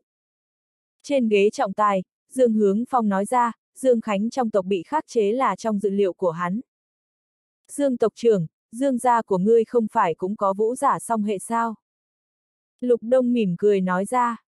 Vậy cũng còn kém lục gia của ngươi, lục gia còn có một vũ giả tam hệ đấy. Dương Hướng Phong nói nhỏ. Mà lúc này trên bệ đá có hơn 10 dây mây xuất hiện, thân thể Dương Khánh hơi nghiêng, bước chân nhanh chóng thối lui, chân khí trong người khởi động nhanh chóng, tay phải của hắn bất chi bất giác cầm một thanh đại đao, đao mang hiện ra bổ vào dây mây. Xíu, yêu yêu. Dây mây đứt đoạn, lập tức thu hồi đao chém vào mấy dây mây khác, nhưng mà những dây mây kia đã tới gần trong gang tấc. Đứt cho ta. Dương Khánh hét lớn một tiếng, chân khí trong người bạo phát, thân đao mang theo một đám hỏa diễm, mắt thường có thể thấy được chấn động vô hình xuất hiện trên người Dương Khánh, chân khí trong cơ thể quán chú vào thân đao, sắc mặt của hắn cũng tái nhợt vài phần, một chiêu này dường như là át chủ bài, uy lực không nhỏ, nhưng cần tiêu hao không ít chân khí. Ngay vào lúc này đao mang kéo lê, không gian chung quanh giống như mang theo hỏa diễm, cẩn thận bảo vệ quanh người Dương Khánh. Dây mây xẹt qua không gian, lập tức bị đao mang hỏa diễm thôn phệ, lập tức hóa thành khói trắng tiêu tán. Hừ, hiện tại, tới lúc ngươi phải xuống dưới rồi. Nhưng vào thời điểm này, thân ảnh lục thiếu hổ đã tới trước mặt Dương Khánh, hắn đánh ra một trường, chân khí tàn phá không khí chung quanh, trường ấn xẹt qua không gian, sau đó đánh thẳng vào Dương Khánh đang hoảng sợ, trường ấn đi qua chẳng khác nào cuồng phong tàn sát bừa bãi. Đồng tử Dương Khánh co rút lại, thần sắc kinh hãi, căn bản không cách nào né tránh một chương này, trong lòng rung động muốn tránh né, chân khí quanh người bạo tăng, chân khí hỏa thuộc tính quán chú vào đao trong tay, đao mang lập tức bạo phát, nhưng mà hắn đã chậm một bước. Chỉ trong nháy mắt này, trường ấn của lục thiếu hổ đã xuyên qua cương khí hộ thân của đối phương, nện vào vai phải Dương Khánh. Oanh! Không gian nổ vang, thời điểm âm thanh vang lên thì có thân ảnh bay ra ngoài, ngã xuống dưới bệ đá, trong miệng phun máu tươi, người rơi xuống đương nhiên là Dương Khánh. Lục thiếu hổ thắng. Dương Khánh rơi xuống bệ đá, vậy hắn đã bại trận, chấp sự Vân Dương Tông cũng tuyên bố kết quả. Người vây xem trước bàn tiệc, triệu tuệ cùng không ít người lục gia vui vẻ. Trên ghế trọng tài, lục đông cũng vui vẻ giạt rào, rốt cục có một người thuận lợi tiến vào Vân Dương Tông, nhưng mà trong nội tâm hơi lo lắng, còn lại bốn người, nếu lục lâm thiên gặp gỡ vương quang thì phiền phức. Lúc này Dương Hướng Phong Dương ra sắc mặt khó coi, đệ tử trong tộc bại bởi lục gia, tất nhiên không phải chuyện cao hứng gì. Hừ! Lục thiếu hổ nhảy xuống, ánh mắt lạnh lẽo nhìn lục lâm thiên. Tiểu tử, người chớ đắc ý, chờ có cơ hội ta sẽ chơi người tàn, sổ sách này về sau sẽ tính cùng một chỗ. Lục lâm thiên nghĩ thầm trong lòng, tuy hắn là huynh đệ cùng cha khác mẹ, nhưng Lục Lâm Thiên lúc trước và Lục Lâm Thiên hiện tại hoàn toàn không có bao nhiêu quan hệ với hắn. Khi Lục Thiếu Hổ nhảy xuống bệ đá, bốn người còn lại nhìn vào chấp sự Vân Dương Tông, vòng thứ ba không nghi ngờ làm mọi người vô cùng khẩn trương, ba người Lục Lâm Thiên, Dương Diệu, còn có La Kim La Gia, bọn họ đều không muốn gặp Vương Quang, ba người cũng không phải ngốc tử, Vương Quang thực lực mạnh nhất, nếu ai gặp hắn là kẻ đó không may. Trận thứ ba, Dương Diệu. Chấp sự Vân Dương Tông cầm hai ngọc bài trong hộp ngọc ra, nhìn qua bốn người phía dưới. La Kim. Vận khí đúng là quá kém a. À. Thần sắc lục lâm thiên trầm xuống, đúng là không may, vương quang thực lực vũ sĩ cửu trọng, chính mình vũ sĩ tứ trọng, kém nhau quá lớn, kém một trọng đã là một khoảng cách lớn, huống chi kém tới năm trọng. Xem ra, lần này ta không có cơ hội đọ sức với vũ giả tam hệ rồi. Dương Diệu nhìn Lục Lâm Thiên nói ra, dáng người lung linh tiến lên bệ đá. Thần sắc La Kim bất đắc dĩ, hắn nhảy lên bệ đá, xem như vận khí tốt, ít nhất từ biểu hiện thì hắn gặp Dương Diệu là may mắn, nếu so với đậu upsilon.ng phải vương quang của vương gia, lục lâm thiên lục gia còn tốt hơn. Dưới bệ đá, còn lại chỉ là hai người lục lâm thiên cùng vương quang, đám người lục đông, lục vô song, lục tây lúc này biến sắc, tuy bọn họ biết rõ lục lâm thiên bất phàm, nhưng mà kém nhau 6 cấp độ, thực lực kém quá lớn, trong mắt bọn họ, Lục Lâm Thiên vẫn chỉ là vũ sĩ tam trọng mà thôi, họ không biết Lục Lâm Thiên che giấu đi một trọng thực lực. Chỉ có triệu tuệ, Lục Thiếu Hổ nhìn qua là vui vẻ, ngay cả ba người Chu Lập Hưng cùng Lục Nam, Chu Hải Minh cũng cười lạnh, chờ xem Lục Lâm Thiên bị thua. La Kim, ngươi chỉ là vũ sĩ nhị trọng, ngươi không phải đối thủ của ta, đầu hàng đi. Dương Diệu nhìn chằm chằm vào La Kim nói ra. Có phải đối thủ hay không, phải thử qua mới biết, cho dù không phải đối thủ, La Gia ta cũng không có kẻ không chiến mà hàng. La Kim lạnh nhạt nói ra. Lời này vừa nói ra, tộc trưởng La Gia mỉm cười, thật là thỏa mãn, cũng làm cho người xem có không ít hảo cảm. Được rồi, ta sẽ nhường cho ngươi động thủ trước. Dương Diệu chu miệng nói. Ta cũng không khách khí. Giọng nói vừa vang lên, La Kim biết thực lực mình yếu nhược, tự nhiên không có khách khí, thân hình nhảy lên, chân khí màu đỏ cuồng bạo bắn ra ngoài. Chỉ trong tích tắc nhảy lên không trung, La Kim tay kết thủ ấn, một loan đao dài nửa mét xuất hiện trong tay, trên thân đao có hào quang màu đỏ lập lòe, mũi đao uốn lượn mang theo hàn quang, đao này không phải vật bình thường. Loan đao xẹt qua một đường cong, lập tức cắt vỡ không khí chém thẳng vào Dương Diệu. Đến tốt! Dương Diệu cười khanh khách một tiếng, nàng kết xuất thủ ấn, trong tay lúc này xuất hiện trường kiếm màu đỏ, trường kiếm ra khỏi vỏ, mấy bóng kiếm xoay tròn mang theo đường cong chói mắt, giống như linh xà vặn vẹo, cực kỳ linh hoạt cùng độc ác, lập tức ngăn cản loan đao của La Kim. Đao quang kiếm ảnh giao thoa qua lại trên không trung, nhanh tới mức làm cho người ta hoa mắt, thân ảnh hai người tách ra, sắc mặt La Kim đã có chút tái nhợt, loan đao vẽ một cái, hoa lửa nhàn nhạt bắn ra, mang theo ánh đao xâm lãnh chém vào Dương Diệu. Xuy! Thân thể mềm mại của Dương Diệu nhảy lên, chân khí rồi đột nhiên bộc phát, mà thân hình như bóng mở lao thẳng về phía La Kim, tốc độ vô cùng nhanh chóng, ngay lúc này trường kiếm trong tay được rót chân khí vào cũng mang theo hỏa diễm, kiếm quang vạch phá không khí, bổ thẳng vào La Kim. Thần sắc La Kim không biến hóa, biết thực lực mình hơi thấp, ngạnh kháng Dương Diệu sẽ không chiếm được chút tiện nghi nào, lập tức mũi chân chỉa xuống đất, chân khí tuôn vào chan, thân ảnh của hắn như thuấn di lui ra sau vài bước, loan đao trong tay vót ngang, kinh lực mạnh mẽ mang theo hỏa diễm nóng bỏng, không trung trước mặt xuất hiện ánh lửa, đánh ra một đường vòng cung, âm thanh bén nhọn xé gió lao tới. Thân thể mềm mại của Dương Diệu nghiêng người qua, thủ ấn trong tay ngưng kết lại, trường kiếm đột nhiên cải biến phương hướng kéo ra một bóng kiếm, cũng là chân khí hỏa thuộc tính bắn ra, bóng kiếm bao trùm cả không gian này, bao phủ La Kim. Keng keng. Trong thời gian ngắn, ánh lửa bắn tung tóe giữa hai người, thân ảnh hai người lui ra phía sau, nhưng mà La Kim không địch lại, thân ảnh lảo đảo. Lại đến. Dương Diệu đắc thế không buông thang người, thân thể mềm mại lui ra phía sau, mũi kiếm cắm vào bệ đá, dùng bệ đá ổn định thân thể, điểm chân nhẹ vào mặt đất, thân ảnh lao thẳng tới phía trước, thân thể lăng không bay lên, chợt hai chân chỉ lên trời đạp một cái, thân hình như diều hâu săn mồi, giống như thiểm điện đánh vào đầu La Kim, trường kiếm trong tay đánh ra mấy bóng kiếm, nhiệt độ chung quanh tăng lên nhanh chóng. Dương tộc trưởng, nữ nhi của ngươi thật bất phàm, thiên phú rất mạnh, vận dụng vũ kỹ cũng xuất thần nhập hóa, khống chế tự nhiên, điểm này không phải kẻ thiên phú kém có thể làm được. Nhìn thấy hai người trên bệ đá, Bạch Mi trưởng lão Vân Dương Tông tán thưởng, có đôi khi năng lực phản ứng chiến đấu cũng trọng yếu như thiên phú tu luyện, bất luận cường giả gì tuyệt đối không phải dựa vào thiên phú tu luyện mà thành công, chỉ có trải qua vô số lần kịch chiến mới có thể chính thức tôi luyện ra một cường giả. Về sau cần phải dựa vào bạch mi trưởng lão tài bồi. Dương Hướng Phong mỉm cười nói ra, đối với biểu hiện của nữ nhi mình hắn rất hài lòng. Đó là tự nhiên, nàng có thiên phú như thế, tăng thêm biểu hiện vừa rồi, ở trong Vân Dương Tông muốn bộc lộ tài năng cũng không khó, đến lúc đó muốn trở thành đệ tử thân truyền cơ hội rất lớn. Bạch mi trưởng lão cười nói, vũ giả song hệ nếu không có gì bất ngờ xảy ra, muốn trở thành đệ tử thân truyền Vân Dương Tông là chuyện ván đã đóng thuyền. Lục Lâm Thiên lúc này cũng quan sát chiến đấu trên bệ đá, mà trong đầu vẫn đang nghĩ tới, chính mình làm như thế nào đối phó Vương Quang, thực lực kém quá lớn, xem ra chỉ giống như đấu với Chu Hải Minh, tìm cơ hội thừa dịp bất ngờ ra tay một kích. Chiến đấu trên bệ đá kịch liệt, hai đạo thân ảnh giao thủ không ngừng, chậm rãi La Kim đã tới biên giới bệ đá. Tinh hỏa liệu nguyên đao. La Kim hét lớn một tiếng, chân khí nóng bỏng quanh người tuôn ra, đột nhiên chân khí lượn lờ quanh thân, hỏa diễm thần dị hiện ra ngoài, đao mang phóng đại, loan đao trước người không ngừng xoay tròn, hình thành hỏa cầu, không khí chung quanh bị đốt cháy kêu xèo xèo. Hỏa cầu này nhanh chóng rời tay đánh thẳng về phía Dương Diệu, vẻ mặt La Kim lúc này đã tái nhợt, tinh hỏa liệu nguyên đao uy lực cực lớn, nhưng mà cũng tiêu hao chân khí bản thân to lớn, không đến cuối cùng hắn không thi triển ra. Hỏa ảnh kiếm.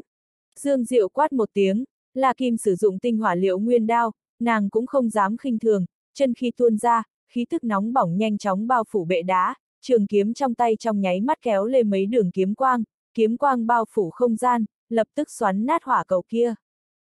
Ngay tại lúc đó thần sắc dương diệu trầm xuống, chân khí màu xanh ra trời trên tay trái khuếch tán ra, cuối cùng quang cầu màu xanh ra trời ngưng tụ lại, quang cầu không ngừng bành trướng, dường như nó đang trong giai đoạn chuẩn bị, không ngưng chung quanh sinh ra áp lực to lớn.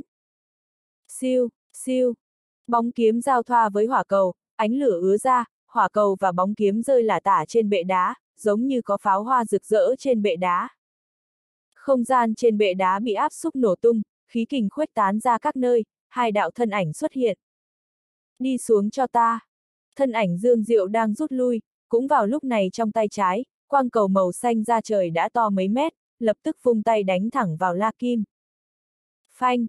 Quang cầu màu xanh ra trời lướt nhanh tới trước, nhưng nó lại nổ tung giữa không trung, hóa thành một cột nước lớn đánh vào thân thể La Kim đang lảo đảo thối lui ra phía sau, lực lượng to lớn ập tới.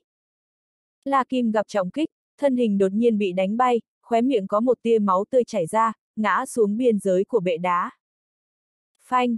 La Kim ngã xuống dưới đài, thực lực kém một trọng, cộng thêm Dương Diệu lại là vũ giả song hệ, hắn khó có thể chống lại, giao thủ mười mấy hiệp đã thua thảm hại. Trận thứ ba, Dương Diệu thắng. Chấp sự Vân Dương Tông nói. Dương Diệu thắng, trận chiến thứ ba tranh danh ngạch tiến vào Vân Dương Tông đã chấm dứt, lúc này có không ít nam thanh niên thét to, xem ra người ái mộ Dương Diệu không ít. Nếu ngươi đánh bại Vương Quang tiến vào Vân Dương Tông, chúng ta còn có cơ hội đọ sức một phen. Dương Diệu nhảy xuống bệ đá, đến bên cạnh Lục Lâm Thiên nói ra. Vương Quang, Lục Lâm Thiên, trận thứ tư các người tiến lên đi. Chấp sự Vân Dương Tông nhìn qua hai người Vương Quang cùng Lục Lâm Thiên nói, trong ánh mắt đầy phức tạp lại nhìn qua Lục Lâm Thiên, thầm nghĩ Lục Lâm Thiên vận khí đúng là không tốt, lại gặp phải Vương Quang, tranh lệch quá lớn, cho dù là vũ giả tam hệ cũng không cách nào chống lại. Tiểu tử, cho ta xem vũ giả tam hệ có cái gì bất phàm. Vương Quang mỉm cười, lập tức nhảy lên trên bệ đá, đối phó lục lâm thiên vũ sĩ tam trọng, hắn căn bản không có quan tâm nhiều, hắn rất rõ ràng vũ sĩ tam trọng và vũ sĩ cửu trọng khác nhau ra sao, đây không phải là tranh lệch cấp độ bình thường. Thần sắc lục lâm thiên thu liếm lại, chân khí quanh người run run, thân hình thong thả tiến lên bệ đá, hắn hành sự tùy theo hoàn cảnh. Nhìn thấy hai người đứng trên bệ đá, đám người triệu tuệ, lục thiếu hổ, Chu Hải Minh cười lạnh, ở giữa sân người, tất cả mọi người không xem trọng lục lâm thiên, nhưng phàm là người am hiểu vũ giả cũng biết vũ sĩ tam trọng cùng vũ sĩ cửu trọng khác nhau ra sao.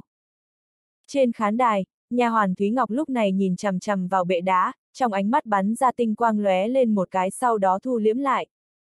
Tiểu tử, ra tay đi, cho ta xem cái gì gọi là vũ giả tam hệ. Vương Quang khẽ cười một tiếng nói. Thật sao, hay là ngươi ra tay trước đi? Lục Lâm Thiên buông lỏng tâm tình, cười nhạt một tiếng nói ra, bản thân mình cần giữ thực lực, xuất thủ trước sẽ làm trái kế hoạch của mình. Tiểu tử liều lĩnh. Vương Quang cười lạnh một tiếng, thủ ấn trong tay biến hóa, chân khí màu vàng đất tạo thành vòng bảo vệ quanh người, thân hình lướt tới như thiểm điện đánh thẳng vào Lục Lâm Thiên. Lục Lâm Thiên nhanh chóng lùi lại, đến thời điểm này mình cũng không thể khẩn trương được, dưới tình huống thực lực kém nhau quá xa, nếu mình chỉ cần có sai lầm nhỏ chính là chấm dứt. Thân hình vương quang lướt tới, thân thể biểu hiện ra một tầng chân khí màu vàng đất bao phủ quanh thân, hai tay biến hóa, hai quyền nắm chặt, khớp xương vang lên răng rắc, mang theo tiếng xé gió bén nhọn, hai quyền còn mang theo khí kình cường hãn, tay trái đánh thẳng vào lục lâm thiên. Lục lâm thiên cũng không dám ngạnh kháng, thân hình lập tức lùi lại lần nữa, chỉ có chờ tới khi đối phương tiêu hao quá nhiều thì mình mới có cơ hội. Muốn chạy, tốc độ của ngươi hình như không đủ. Vương Quang khẽ quát một tiếng, hai chân điểm xuống đất, xoay người bay lên, chân khí run run, thân hình mượn lực đả lực, hai đấm giao thoa, lập tức đánh thẳng vào lục lâm thiên. Nhanh thật! Thần sắc lục lâm thiên trầm xuống, tốc độ của đối phương vượt qua dự kiến của hắn, mình bây giờ đã không cách nào rút lui được nữa. Hắn cắn răng, không còn phương pháp, lục lâm thiên vận chuyển chân khí, thủ ấn trong tay nhanh chóng biến đổi, không khí quanh người nóng lên, chân khí hỏa thuộc tính tỏa ra ngoài. Nhìn qua khí kình hung mãnh đánh thẳng vào vương quang, hai đấm lục lâm thiên ngưng tụ, bỗng nhiên mở ra, quát khẽ. Nộ diễm quyền. Khi lục lâm thiên quát lên, khí tức nóng bỏng mang theo khí kình hung hãn đột nhiên bắn ra từ trong nắm đấm, nện mạnh vào hai quyền của vương quang. Bành, bành. Hai tiếng nổ vang xuất hiện, khí kình cường hãn khuếch tán, ánh lửa tứ tán, Lục Lâm Thiên lập tức cảm giác trên hai nắm đấm của mình có một lực lượng khổng lồ chút xuống, đau đớn kịch liệt từ hai tay sinh ra, thân hình không tự chủ được rút lui, chân khí trong cơ thể cuồn cuộn sôi trào. Thân hình lảo đảo rút lui hơn 10 bước, hai chân Lục Lâm Thiên vẫn bám chặt vào mặt đất mới đứng vững thân hình, cưỡng ép ngăn cản chân khí trong cơ thể, thực lực đối phương còn mạnh hơn mình quá nhiều. Không tệ, có thể tiếp được 8 phần lực lượng của ta, nhưng mà chỉ như thế là chưa đủ. Vương Quang nói, hắn vừa rồi chỉ thi triển 8 phần lực lượng mà thôi. Mới tám phần lực đã mạnh mẽ và hung hãn thế rồi. Trong nội tâm lục lâm thiên thầm kêu khổ, Vương Quang quá khó đối phó. Lại đến.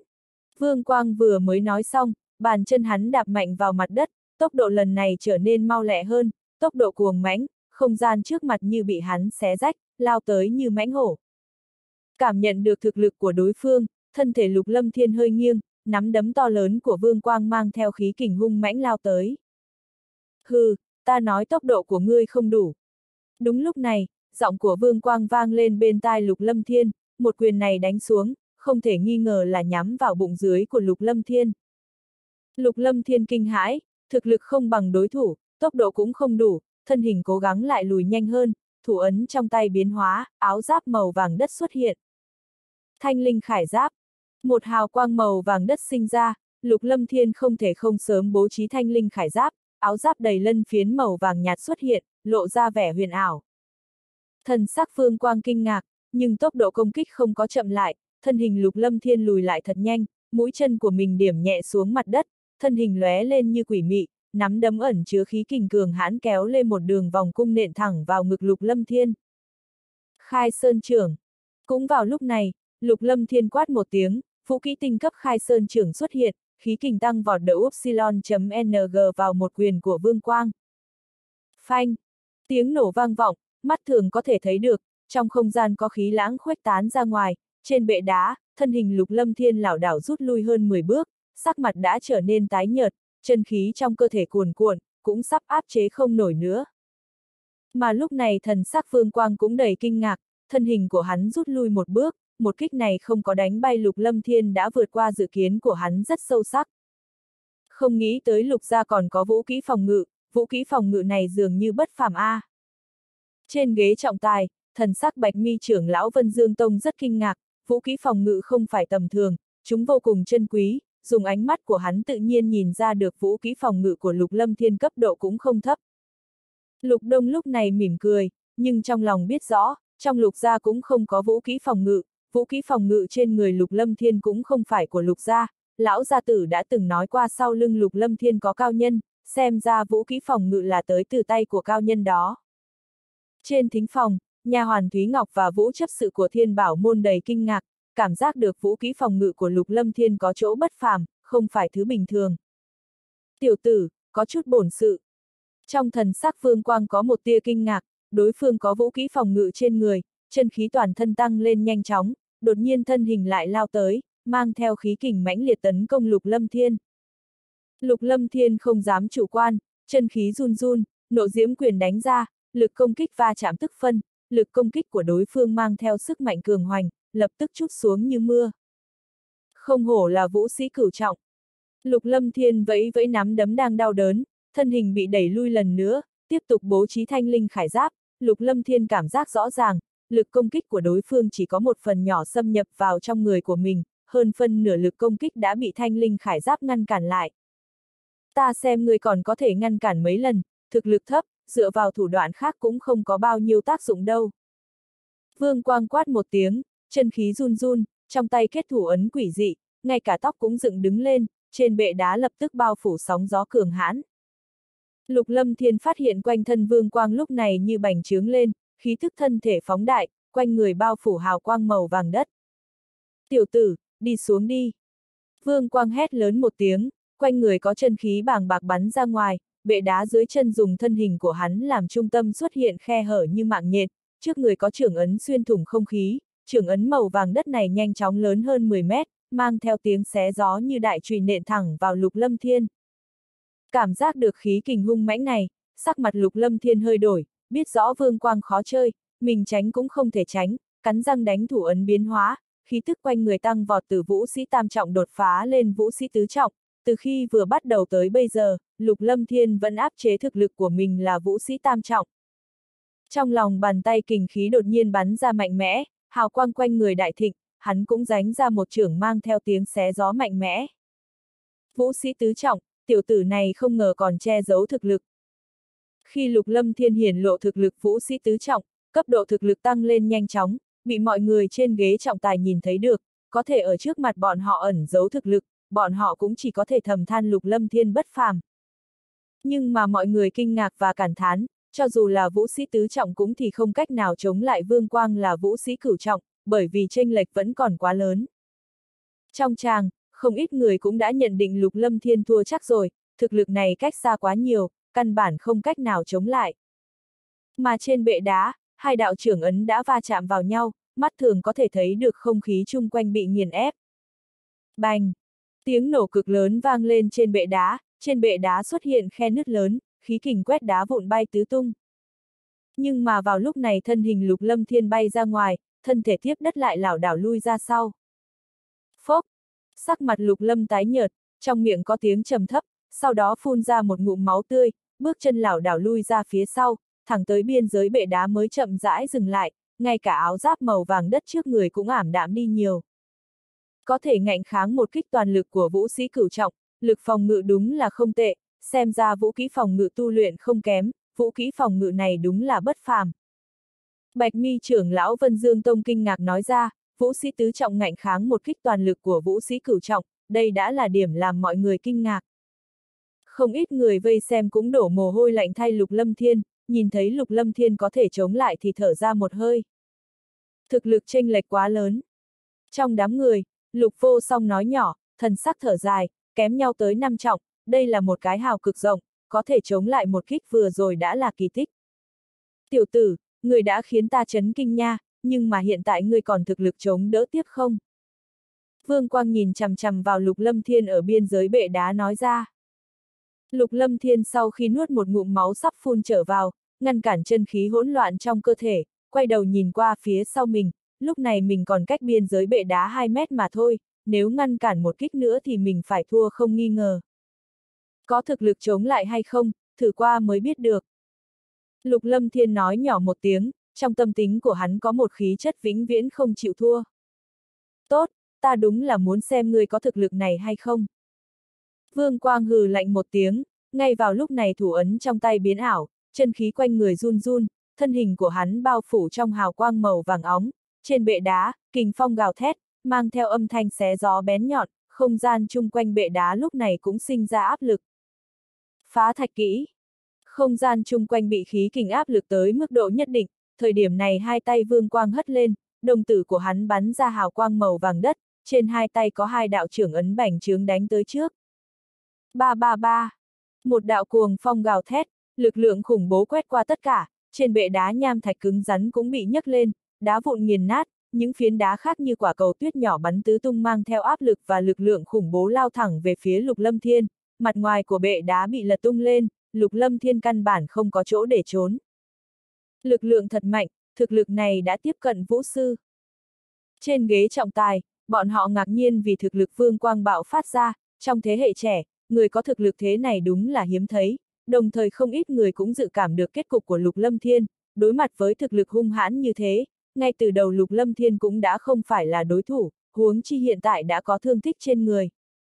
Nhìn thấy biểu lộ kinh ngạc của mọi người, tộc trưởng Vương ra mỉm cười, nhi tử che giấu nhiều năm như vậy chính là vì hôm nay, nhi tử rốt cuộc cũng không để cho mình thất vọng.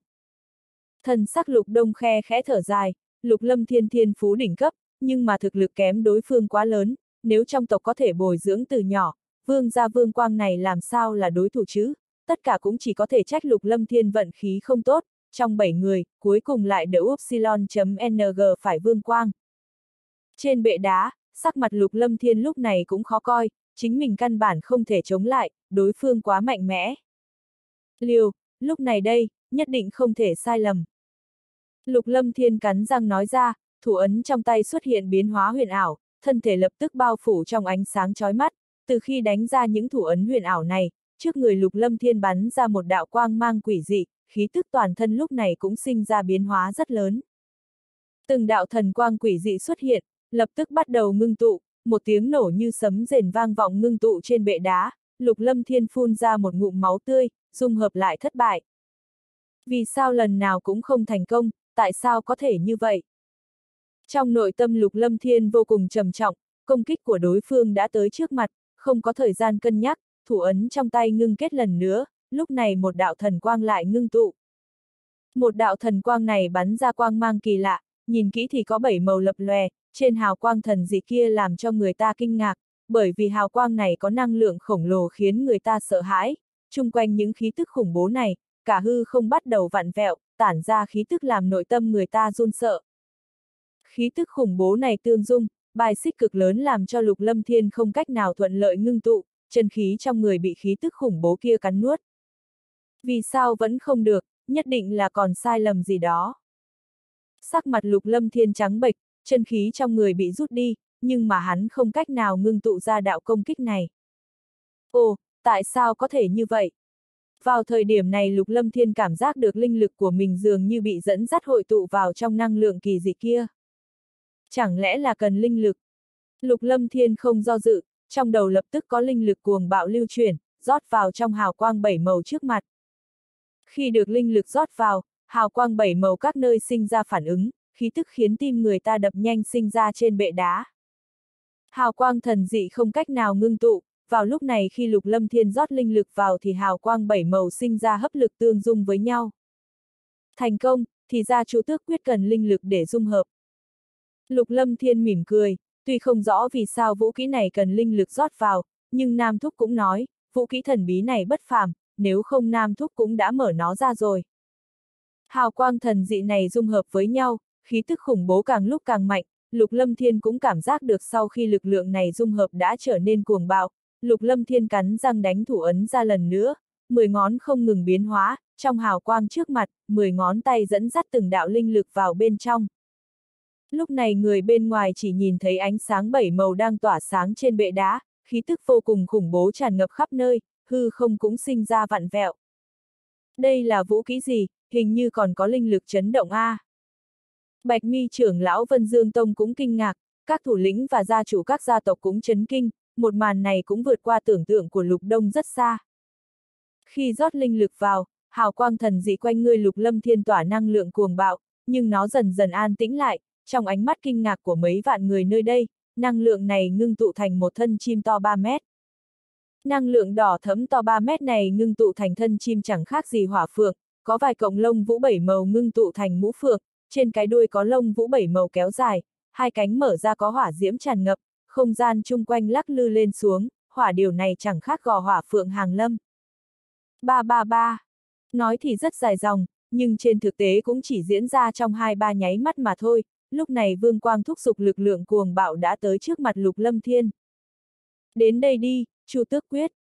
Lục lâm thiên hét lớn một tiếng, chân khí trong cơ thể đã tiêu hao hết, hai tay đánh ra đạo thủ ấn cuối cùng, hỏa điều trước người vỗ cánh bay đi.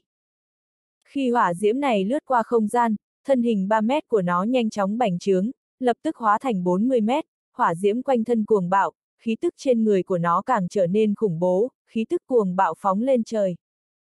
Cảm nhận được khí tức cuồng bạo này, Vương Quang vốn vô cùng tự tin, cảm thấy tóc gáy dựng thẳng lên. Trên ghế trọng tài, sắc mặt bạch mi trưởng lão Vân Dương Tông đại biến, trong ánh mắt đầy kinh hãi. Tiểu tử không nên. Bạch mi trưởng lão hét lớn một tiếng, thân hình lướt tới, thân thể của hắn mang theo khí tức cường hãn lao xuống bệ đá. Trên bệ đá, hai cánh hỏa điểu chập chờn, đá vụn bắn tới như mưa rào biến thành hơi tiêu tán đi, năng lượng thể đỏ thẫm nhanh chóng lao thẳng tới vương quang, thời điểm tới gần vương quang thi hư ảnh hỏa điều biến mất, sau đó ngưng tụ thành một hỏa cầu to lớn, hỏa cầu bạo động căng phồng lên, ngay sau đó là một tiếng nổ cực mạnh xuất hiện trên bệ đá. Dầm dầm dầm phanh. Hỏa diễm bao phủ cả bệ đá, không chỉ trên bệ đá, trong phạm vi ít nhất 300 mét đều bị ngọn lửa bao phủ. Trong hỏa diễm có khí tức cuồng bạo phóng thẳng lên trời.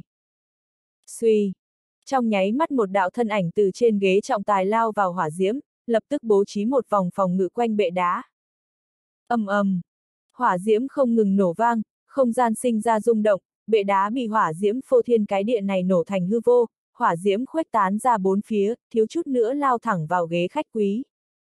Trong một đống đá vụn, Bạch Mi trưởng lão xuất hiện ở trong đó, một đạo cương quang hiện ra, nhưng mà vương quang với khóe miệng có máu tươi chảy ra và ánh mắt đầy kính hãi được bảo vệ bên trong cương quang. Sau một lát, trong ánh mắt kinh ngạc của tất cả mọi người, Lục Lâm Thiên chậm rãi bỏ ra khỏi đống đá vụn, sắc mặt tái nhợt, thần sắc uể oải, trên người chật vật không chịu nổi.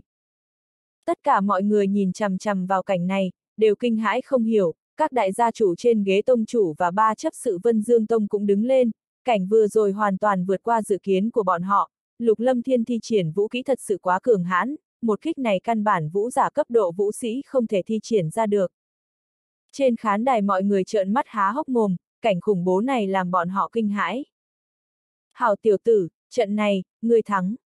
Bạch mi trưởng lão Vân Dương Tông nhìn chằm chằm vào lục lâm thiên, trong mắt ánh mắt kinh ngạc, lập tức thu hồi cương khí hộ thân, trong lực lượng cuồng bạo vừa rồi, hắn tự nhiên rõ ràng uy lực của một kích đó, chỉ sợ cho dù vũ sư nhất trọng gặp gỡ không chết cũng trọng thương, nếu không phải mình bảo vệ vương quang, hiện tại vương quang đã là một thi thể. Tốt lắm công tử, công tử thắng. Trên khán đài, lục tiểu bạch lớn tiếng quát lên. Trên ghế trọng tài, sắc mặt tộc trưởng vương gia biến thành âm trầm, con mình nắm chắc thắng lợi trong tay, không nghĩ tới cuối cùng vẫn bị thua, mà lục đông tới lúc này vẫn còn không tin nổi, lục lâm thiên thi triển vũ kỹ thần bí kia lại có thể một lần hành động đánh bại vũ sĩ cửu trọng. Mọi người trên ghế trọng tài đều nhìn ra, nếu không có bạch mi trưởng lão bảo vệ vương quang, chỉ sợ vương quang hiện tại đã chết rồi. Vũ kỹ hoàng cấp sao, là vũ kỹ hoàng cấp cao cấp, hoặc chí ít là vũ kỹ huyền cấp sơ giai. Trên khán đài, nhà hoàn Thúy Ngọc nói nhỏ. Lục Lâm Thiên nhìn chằm chằm vào Bạch Mi trưởng lão, nhẹ nhàng hỏi. Ta thắng sao? Bạch Mi trưởng lão nói nhỏ. Đúng vậy, người thắng, thật sự ngoài ý muốn của ta. Rốt cục cũng thắng. Khóe miệng Lục Lâm Thiên mỉm cười, cảm giác hai mắt tối sầm, toàn thân vô lực ngã xuống đất, thi triển chu tước quyết xong thì chân khí trong cơ thể hắn tiêu hao hầu như không còn. Lâm Thiên, Lục Đông, Lục Vô song lập tức chạy lên bệ đá. Hắn không có việc gì đâu, chỉ hao hết chân khí hư thoát mà thôi, điều dưỡng một phen sẽ khôi phục. Bạch mi trưởng lão đến bên người Lục Lâm Thiên kiểm tra một phen rồi nói ra. Một ngày sau đó trong đình viện Lục gia, La Lan Thị nhìn qua Lục Lâm Thiên, trong nội tâm lo lắng. Vô song, Lâm Thiên không có sao chứ, tại sao vẫn bất tỉnh? La Lan Thị lo lắng hỏi. Tam Di, người yên tâm đi, Lâm Thiên vì tiêu hao quá nhiều, không sao đâu.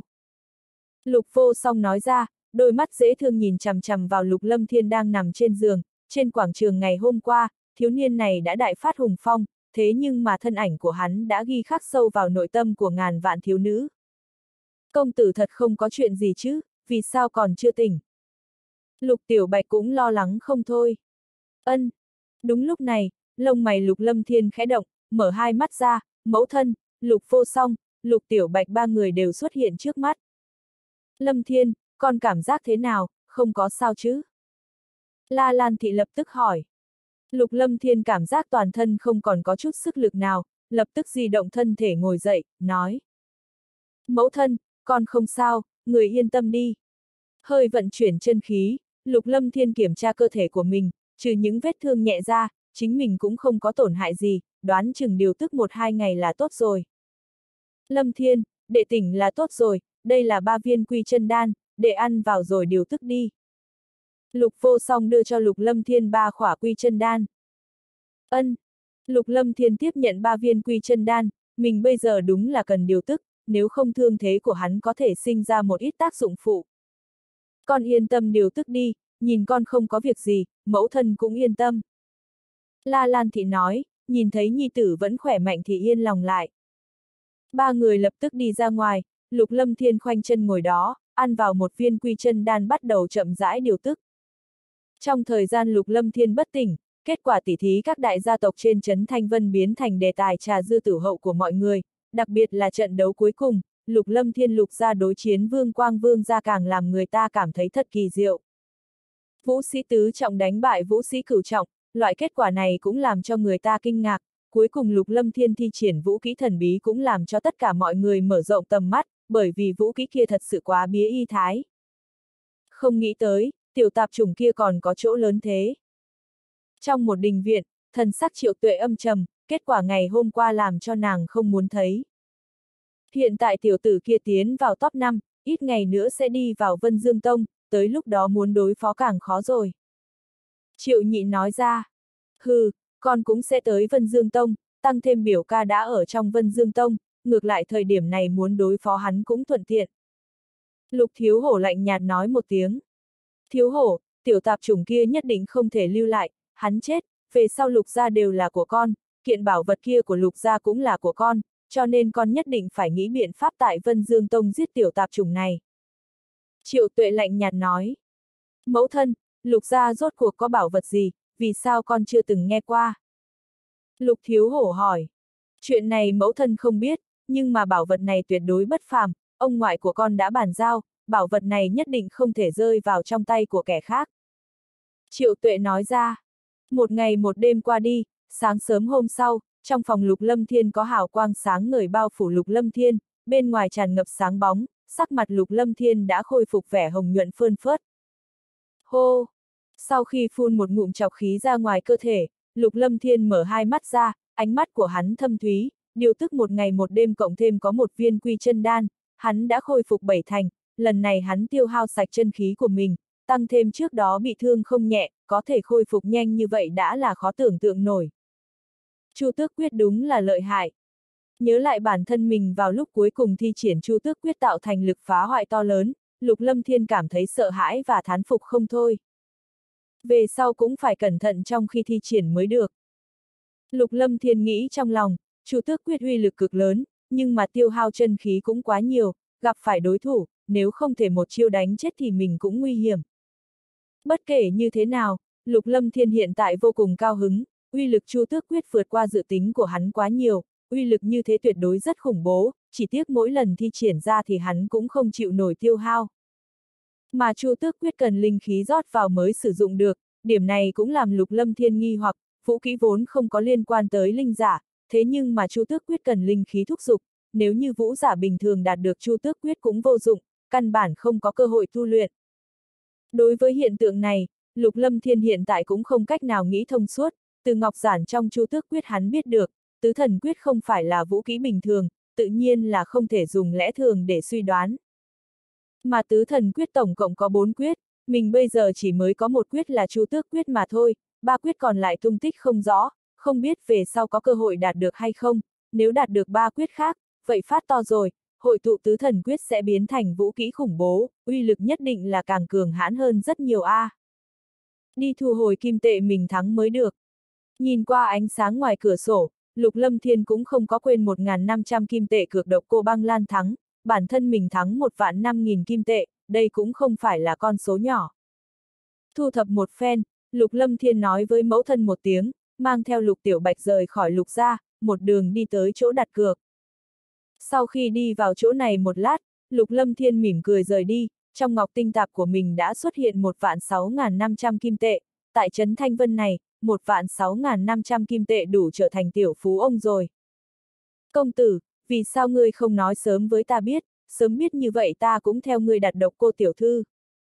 Trên đường cái, lục tiểu bạch vẻ mặt nhăn nhó nói, bọn họ gom góp 300 kim tệ, cuối cùng trừ đi tiền vốn chỉ thắng được 20 kim tệ mà thôi, nếu sớm biết như vậy đặt vào độc cô tiểu thư, như vậy có thể thắng 3.000 kim tệ, đây chính là con số lớn nha.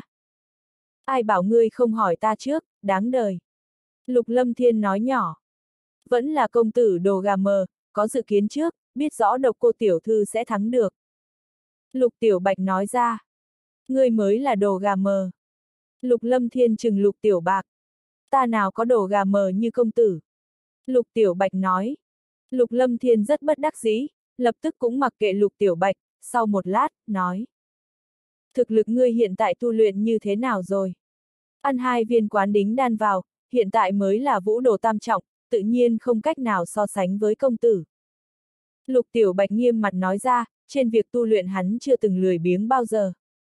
Lục Lâm Thiên sững sờ, chính mình lúc trước ăn vào hai viên quán đính đan thì đột phá tới vũ đồ tứ trọng, Lục Tiểu Bạch mới đột phá tam trọng, xem ra có quan hệ tới mình tu luyện âm dương linh vũ quyết.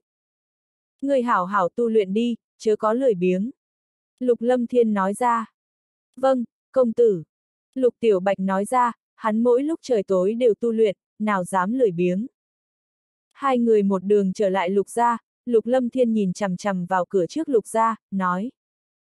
Người đi về trước đi, ta đi thăm Nam Thúc, một hồi trở về, đừng nói cho người khác biết. Vâng, công tử. Lục Tiểu Bạch đáp, lập tức đi vào đại môn, thân là tiểu tổng quản Lục gia hiện tại, địa vị tự nhiên là không hề như trước, cũng có thể tiến vào cửa chính Lục gia. Lục Lâm Thiên lại đi ra cửa sau Lục gia, bản thân mình tu luyện Chu Tước Quyết còn không có nói cho Nam Thúc biết, chính mình lập tức đi Vân Dương Tông, còn không biết Nam Thúc bảo mình đi Vân Dương Tông tìm bảo vật gì. Sau khi đi vào cửa sau Lục gia, Lục Lâm Thiên không có nhìn thấy Nam Thúc, lập tức suy đoán Nam Thúc khả năng đang ở trong sân nhỏ của mình, hắn đi tới gian phòng của Nam Thúc. Nam Thúc sống ở Lục Gia đã lâu lắm rồi, vừa vặn tới gần cửa sau thì có một viện nhỏ, đây là nơi một mình Nam Thúc ở, trong sân nhỏ này, trong trí nhớ Lục Lâm Thiên còn bé, hắn đã tới đây vài lần. Đi vào trong tiểu viện, tiểu viện này hơi cũ nát, nhưng lại rất sạch sẽ, bên trong còn có không ít bồn hoa, Lục Lâm Thiên trực tiếp đi vào bên trong phòng, nhìn trộm chung quanh, dường như Nam Thúc không ở đây. Ngươi cho rằng chút thực lực của ngươi là có thể nhìn trộm ta sao, múa dìu qua mắt thợ. Một giọng nói vang lên, lập tức một đạo thân ảnh vô thanh vô tức xuất hiện sau lưng Lục Lâm Thiên. Nam Thúc, lúc nào trở nên xuất quỷ nhập thần như thế? Lục Lâm Thiên quay đầu lại mỉm cười, người tới là Nam Thúc. Lão bộc Nam Thúc vẫn bộ dáng tuổi già sức yếu, thủ ấn trong tay ngưng kết, một bình chướng vô hình bao phủ gian phòng, lúc này mới biến đổi khí thức quanh người, hào quang đỡ upsilon, xê ngầu trong mắt biến thành thanh tịnh, nói. Người tới tìm ta làm gì, vũ kỹ người thi triển ngày hôm qua là thế nào? Lục Lâm Thiên nói. Nam Thúc, con đang muốn nói chuyện này với Thúc. Sau đó Lục Lâm Thiên nói trong lúc vô tình mở được tứ thần quyết ra, cuối cùng rót linh khí phụ trợ tu thành chu tước quyết, mọi chuyện nói cẩn thận một lần. Tứ thần quyết. Lão Bộc Nam Thúc cẩn thận suy nghĩ một chút, dường như cũng không rõ lai lịch của tứ thần quyết. Tứ thần quyết này đúng là bất phàm, tiểu tử ngươi vận khí tốt, không ngờ lại mở ra được, nếu có thể tìm được ba quyết khác mới xem như chính thức bất phàm, về sau phải xem vận khí của ngươi rồi, chu thức quyết ta cũng thấy qua, cấp độ có lẽ là hoàng cấp cao cấp, thậm chí là tiếp cận huyền cấp, đối với ngươi bây giờ mà nói, thi triển ra rất là gánh nặng, thi triển một lần mà không đánh chết đối thủ, chính mình sẽ mất mạng, về sau nên dùng làm át chủ bài, tận lực đừng thi triển. Lão Bộc Nam Thúc nói ra. Nam Thúc, con sắp đi Vân Dương Tông, trong Vân Dương Tông có bảo vật gì chờ con lấy thế? Lục Lâm Thiên hỏi. Vân Dương Tông thực lực không tệ, mà trong Vân Dương Tông có một khối vạn niên xích đồng, chính là chấn tông chi bảo của Vân Dương Tông, nếu người đạt được tuyệt đối có thể luyện chế thành một thanh thần binh, người nghĩ biện pháp đạt được vạn niên xích đồng này đi. Nam Thúc nói nhỏ. Chấn tông chi bảo của Vân Dương Tông, con làm sao đạt được, Nam Thúc, Thúc nói đùa rồi. Lục Lâm Thiên tự hiểu lấy mình, chấn tông chi bảo của người ta, sao mình có thể đạt được. Buồn cười, nếu tùy tiện có thể có được, vậy còn là chấn tông chi bảo của Vân Dương Tông sao? Chính người nghĩ biện pháp đi, vạn niên xích đồng, linh giả trong Vân Dương Tông căn bản không có biện pháp luyện hóa, người có thể luyện hóa vạn niên xích đồng, thêm ta vào cũng không có mấy người, năm đó lão quái trong Vân Dương Tông cầu ta mấy lần, nhưng mà lão quái quá keo kiệt, ta không đáp ứng. Nam Thúc nói. Nam Thúc, chuyện này thật khó khăn, với lại con là đệ tử vừa nhập môn, sợ là muốn biết tung tích vạn niên xích đồng cũng khó. Lục Lâm Thiên nói ra. Đây là chuyện của ngươi, không phải chuyện của ta, còn nữa, trong Vân Dương Tông có một môn thân pháp vũ kỹ gọi là phù quang lược ảnh, cũng không tệ lắm, hẳn là vũ kỹ huyền cấp, người không có vũ kỹ thân pháp, vậy tu luyện nó đi, mặt khác, người tự xem mà làm cho tốt. Nam Thúc nói nhỏ. Lục Lâm Thiên lập tức tái mặt, Nam Thúc quả thực coi Vân Dương Tông người ta như ba mẫu đất nhà mình, tùy tiện lấy là được. Nam Thúc, con sẽ tận lực a. À. Lục Lâm Thiên bất đắc dĩ nói ra. Không có tiền đồ, cái gì gọi là tận lực, quản ngươi ăn cướp trộm cắp cũng tốt, là nhất định phải đạt được, người đến Vân Dương Tông nên tôi luyện bản thân một phen, không có việc gì nữa thì đi đi. Nam Thúc hạ lệnh đuổi khách. Lục Lâm Thiên bất đắc dĩ, cáo lui rời khỏi tiểu viện về phòng của mình. Sau khi trở về đình viện cũng không có việc gì, Lục Lâm Thiên đến gian phòng tiếp tục điều tức, thương thế trên người còn chưa khỏi hẳn, chuyện này cũng không ổn. Lại ăn một viên quy chân đan, lục lâm thiên chậm rãi điều tức, quanh người có hào quang sáng ngời bao phủ. Lúc này ở trong lục gia, mỗi người đều cao hứng không thôi, lục gia lần này có hai người thành công tiến vào Vân Dương Tông, đặc biệt là lục lâm thiên biểu hiện trong đọ sức ngày đó, danh tiếng đại thịnh, lục gia cũng nở mày nở mặt, các trưởng lão lục gia mấy ngày qua tâm tình thật tốt.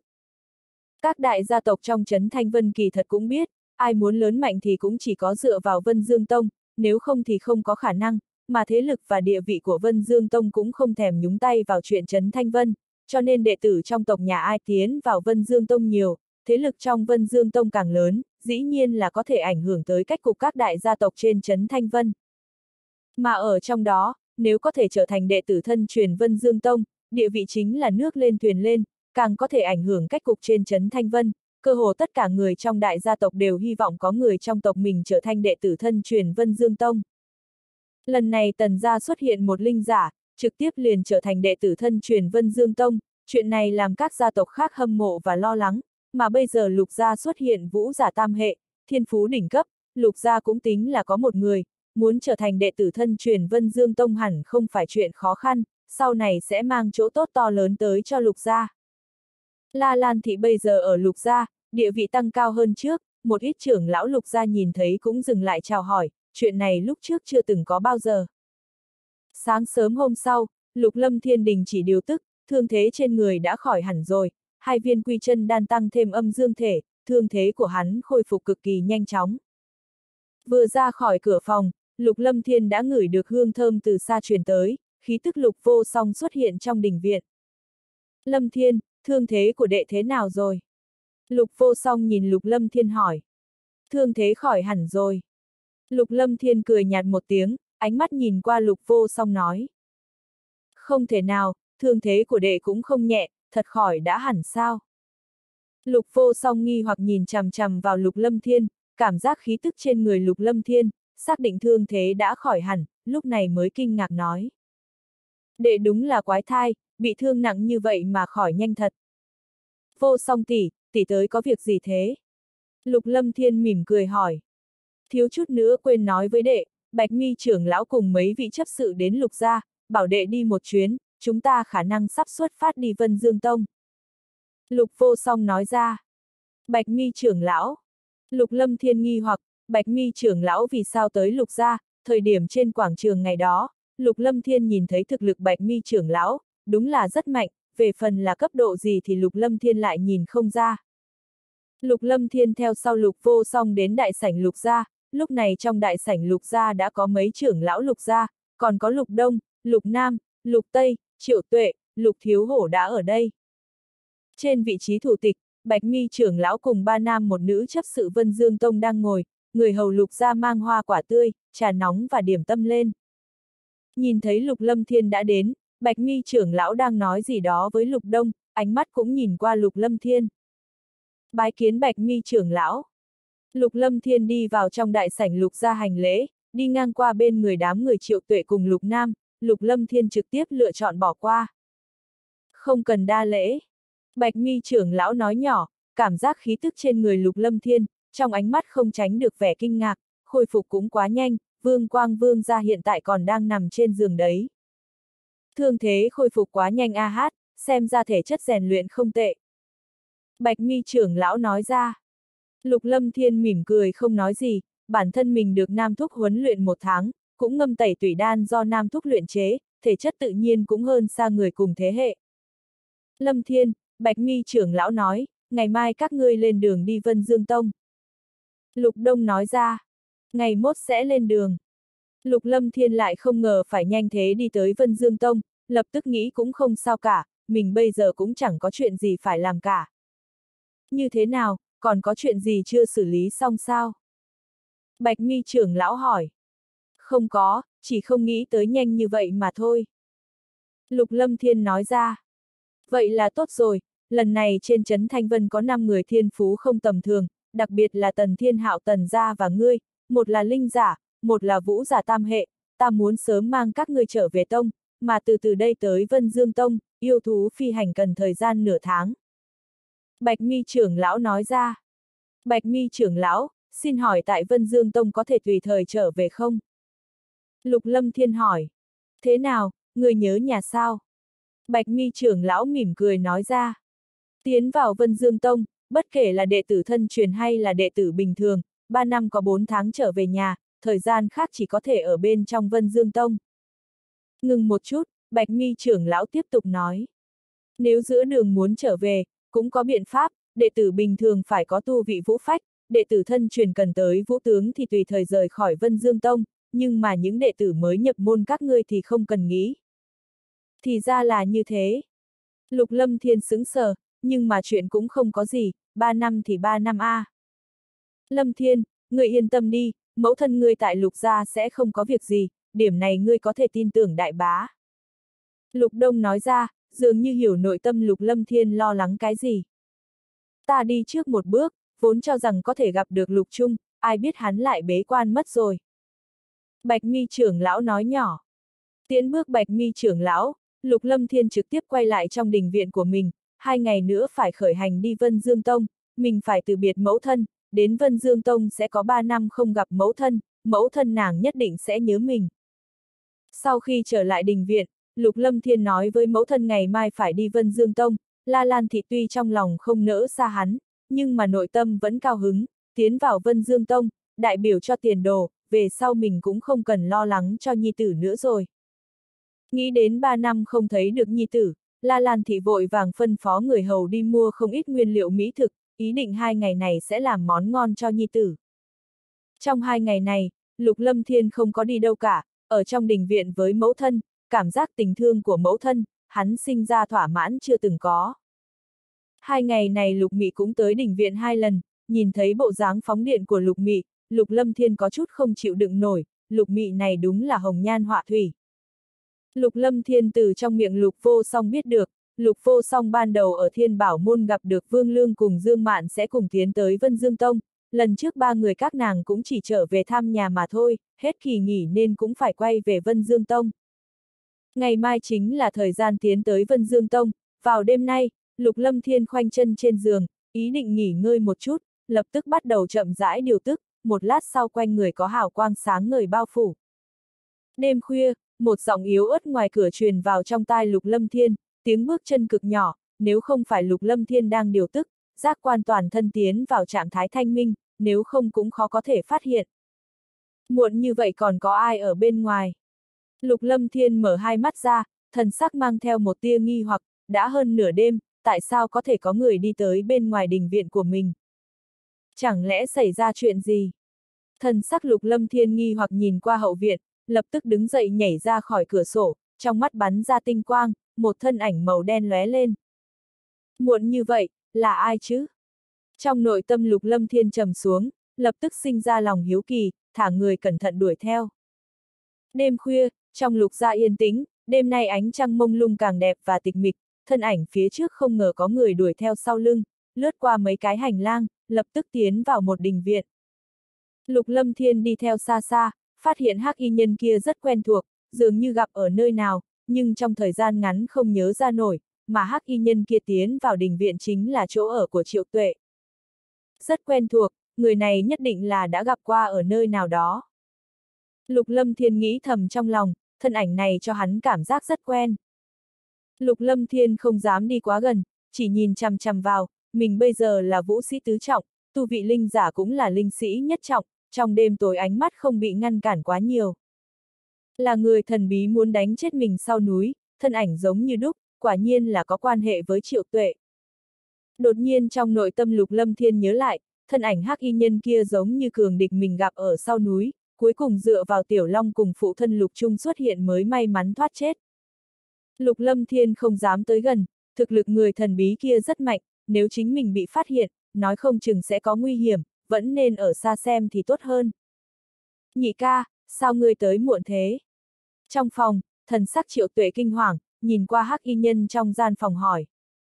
Yên tâm, lục gia lão gia hỏa đang bế quan, đoán chừng trong lục gia sẽ không có người nào phát hiện ra ta cả. Hắc y nhân nói nhỏ. Chuyện cha thế nào rồi? Vẫn như cũ, lục gia căn bản đề phòng ta, còn không có tra ra tung tích của vật kia. Triệu tuệ nói nhỏ một tiếng. Phải nhanh chóng điều tra, chúng ta chờ lâu như thế, đã lãng phí không ít thời gian. Hắc y nhân nói ra, ta biết rõ, ta sẽ gấp rút điều tra, nhưng mà hiện tại đột nhiên xuất hiện tên Lục Lâm Thiên, chỉ sợ đến lúc đó Lục gia sẽ lưu đường lui trên người hắn, chúng ta lại bận rộn không công. Triệu tuệ nói ra, lần trước vốn có cơ hội, chỉ tiếc Lục Trung đột nhiên xuất hiện, thực lực của hắn còn mạnh hơn ta, làm cho tiểu tử kia tránh được một kiếp. Hắc y nhân nói, vậy làm sao bây giờ, tiểu tử kia sẽ tiến tới Vân Dương Tông, vũ giả tam hệ, đến lúc đó muốn trở thành đệ tử thân truyền cũng không khó, muốn động thủ thì càng cố kỵ nhiều. Triệu tuệ nói ra, hừ, tam muội, người chẳng lẽ quên, trong Vân Dương Tông, tiểu tử kia phải có mệnh rời khỏi Vân Dương Tông mới được, lục gia cho rằng tiến vào Vân Dương Tông là có thể bảo vệ mạng nhỏ tiểu tử kia, đáng tiếc không có ai biết, Vân Dương Tông xem như là địa bàn của triệu gia chúng ta, hừ. Hắc y nhân hừ lạnh một tiếng nói. Đúng thế, nhưng mà lục gia lão gia hỏa kia đúng là khó đối phó. Triệu tuệ nói ra, lão gia hỏa kia thực lực đúng là rất mạnh, nhưng mà đến lúc đó triệu gia ta tự nhiên có người có thể đối phó hắn, ngươi chỉ cần nhanh chóng tìm ra tung tích của vật kia là được. Hắc y nhân nói ra. Ân. Triệu tuệ đáp nhẹ một tiếng nói ra. Ta đi trước. Hắc y nhân nói xong liền rời khỏi đình viện, thân ảnh nhảy vài cái, vô thanh vô tức rời khỏi lục gia. Lục lâm thiên trốn ở một góc đình viện, nhìn xem hắc y nhân kia biến mất, thân sắc trầm xuống, ý định đi về đình viện, hắn đã hiểu rõ ràng, hắc y nhân kia có không ít quan hệ với triệu tuệ. Là ai? Vào thời điểm này, Lục Lâm Thiên cảm giác được phía sau có tiếng bước chân rất nhỏ truyền tới, quay đầu nhìn lại, thân hình như mèo đêm thả người tránh ra. Lục Lâm Thiên, người đang làm gì ở đây? Một đạo thân ảnh xuất hiện trước người Lục Lâm Thiên, người này là Triệu Đại. Bị phát hiện. Trong nội tâm Lục Lâm Thiên trầm xuống, vừa rồi mình phát hiện hắc y nhân kia, nếu như bị Triệu Tuệ biết rõ, chắc chắn sẽ có phiền toái. Lục Lâm Thiên không có chút do dự, vận chuyển chân khí trong người đánh ra. Tiểu tử, người muốn. Triệu đại biến sắc, quát lớn, nhưng hắn vừa há mồm, lời nói còn chưa dứt thì thân hình uể oải, đã bất tỉnh nhân sự. Nam thúc. Sau lưng triệu đại xuất hiện một thân ảnh, lục lâm thiên kinh ngạc, người tới không ngờ là Nam thúc. Tiểu tử, lần sau cẩn thận một chút. Nam thúc nói nhỏ. Nam thúc, tại sao thúc ở nơi này? Lục lâm thiên kinh ngạc hỏi. Ta thấy có cường giả đến lục gia, hiếu kỳ nghĩ tới xem một chút, không ngờ ngươi cũng ở đây. Lão bộc Nam Thúc nói nhỏ. Nam Thúc, Thúc biết người nọ là ai không? Lục Lâm Thiên hỏi. Hạng người vô danh, ta tại sao phải biết, thực lực cũng bình thường. Lão bộc Nam Thúc nói nhỏ một tiếng, lập tức nhìn qua Lục Lâm Thiên, nói. Ngày mai phải đi Vân Dương Tông A, đến Vân Dương Tông thì cẩn thận, không được bạo lộ việc ngươi tu luyện âm dương linh vũ quyết, nghĩ biện pháp đạt được vạn niên xích đồng cùng phù quang lược ảnh, đường sau này phải do ngươi đi rồi. Con sẽ nhớ kỹ lời Nam Thúc dạy bảo. Lục Lâm Thiên nói ra, lập tức nghĩ tới cái gì đó, nói. Nam Thúc, có chuyện muốn nhờ Thúc. Là bảo ta chiếu cố mẫu thân ngươi sao, yên tâm đi, ngươi bây giờ trong mắt Lục Gia là vũ giả tam hệ, Lục Gia tuyệt đối sẽ không để mẫu thân ngươi gặp chuyện không may, ta cũng sẽ chú ý giúp ngươi. Lão Bộc Nam Thúc nói ra.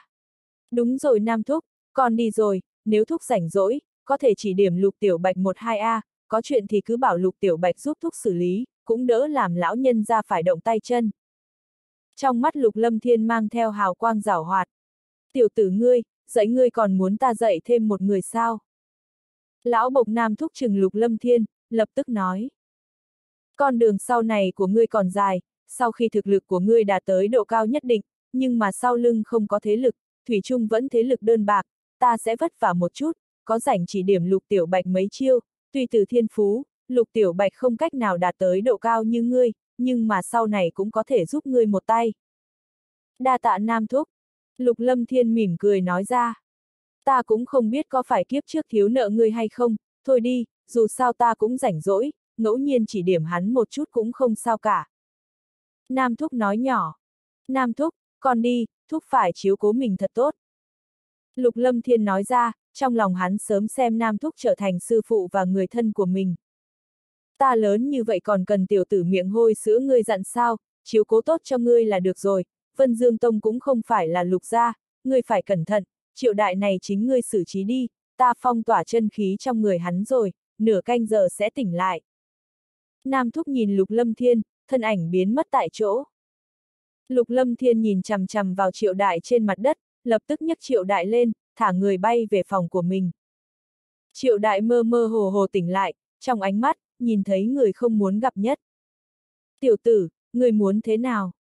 Nhìn rõ ràng Lục Lâm Thiên, thần sắc triệu đại trầm xuống nói ra, trong mắt đầy kinh hoàng, Lục Lâm Thiên trước mặt không bao giờ là củi mục để hắn tùy ý khi nhục nữa, chính mình bị tiểu tử này đánh trọng thương, nếu không phải tiểu thư cho mấy viên đan dược chữa thương, chỉ sợ hiện tại còn nằm trên giường. Ngươi đoán thử xem, ta hỏi ngươi, không lâu trước là các ngươi tìm người giết ta. Lục Lâm Thiên hỏi, nhìn chằm chằm vào triệu đại, Lục Lâm Thiên vừa rồi đã kiểm tra thương thế trên người triệu đại, lần trước hắn bị mình đánh trọng thương, cũng chỉ tốt lên năm thành mà thôi, đoán chừng cũng ăn không ít đan dược chữa thương. Ta không biết ngươi nói cái gì. Triệu đại nói ra, trong thần sắc đầy hoảng hốt. Hừ, cũng không thèm mất công hỏi ngươi nữa, dù sao ngươi cũng phải chết. Lục Lâm Thiên nói nhỏ một tiếng, triệu đại này không thể lưu, đánh chết là thỏa đáng. Ngươi muốn làm cái gì, ngươi dám động tới ta, tiểu thư nhà ta sẽ không bỏ qua cho ngươi. Triệu đại lạnh nhạt nói, thân hình vẫn không tự chủ lui ra phía sau.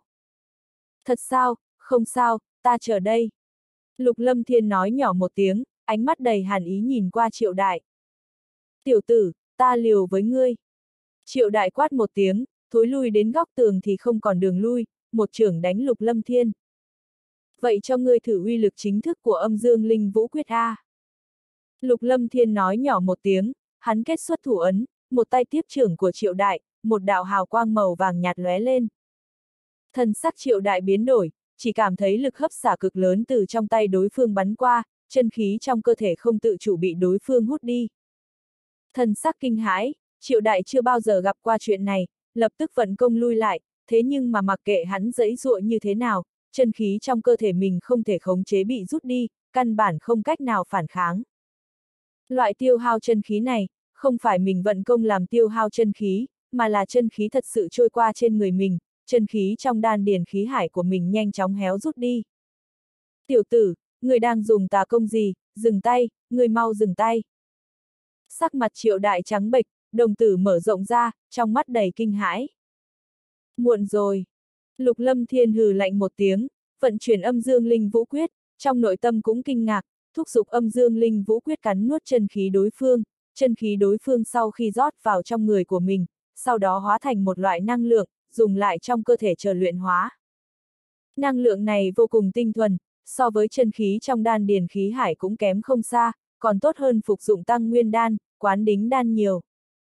Sau một lát, toàn thân triệu đại run rẩy, cơ bắp trên mặt run run, đã nói không ra lời, mắt thường có thể thấy được huyết mạch toàn thân bành trướng, gân xanh lộ ra, hơi nước trên người mất đi, sắc mặt dữ tợn, dường như đang chịu thống khổ to lớn.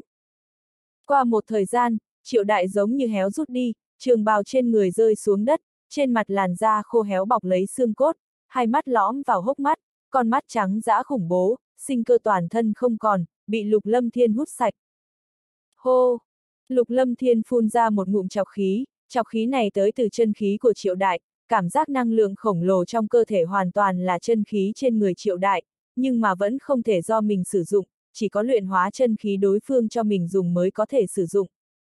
Âm dương linh vũ quyết, năng lực bía y thái nhất chính là thôn phệ chân khí đối phương cho mình sử dụng, mà Lục Lâm Thiên lúc này cũng chân chính cảm nhận được chỗ bía y thái của âm dương linh vũ quyết.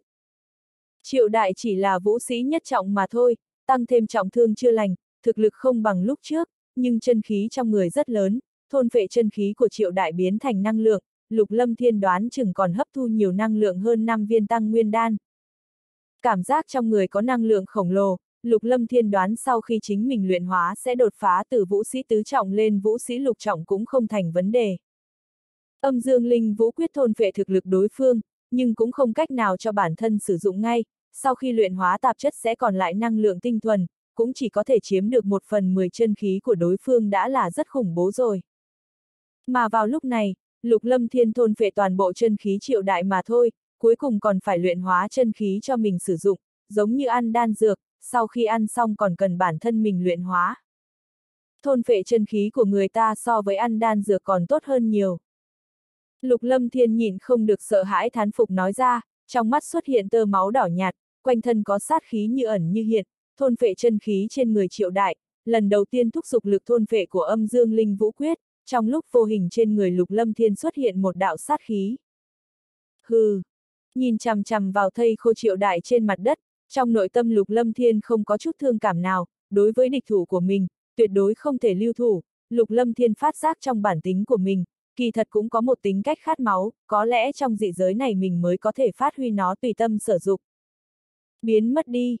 Lục Lâm Thiên hừ lạnh một tiếng, kết xuất thủ ấn trong tay, linh lực rót vào tay phải ngưng tụ hỏa cầu, lập tức bao phủ thi thể triệu đại, chưa tới một phút sau, thây khô hóa thành cho tàn, cho tàn lại bị hào quang trong tay Lục Lâm Thiên bao phủ, ném vào bồn hoa ngoài cửa sổ. Sắc trời đã canh ba, Lục Lâm Thiên tiếp tục khoanh chân luyện hóa năng lượng trong cơ thể, thủ ấn không ngừng giao nhau, hai tay lập tức đặt lên gối, âm dương linh vũ quyết bắt đầu luyện hóa năng lượng khổng lồ trong người.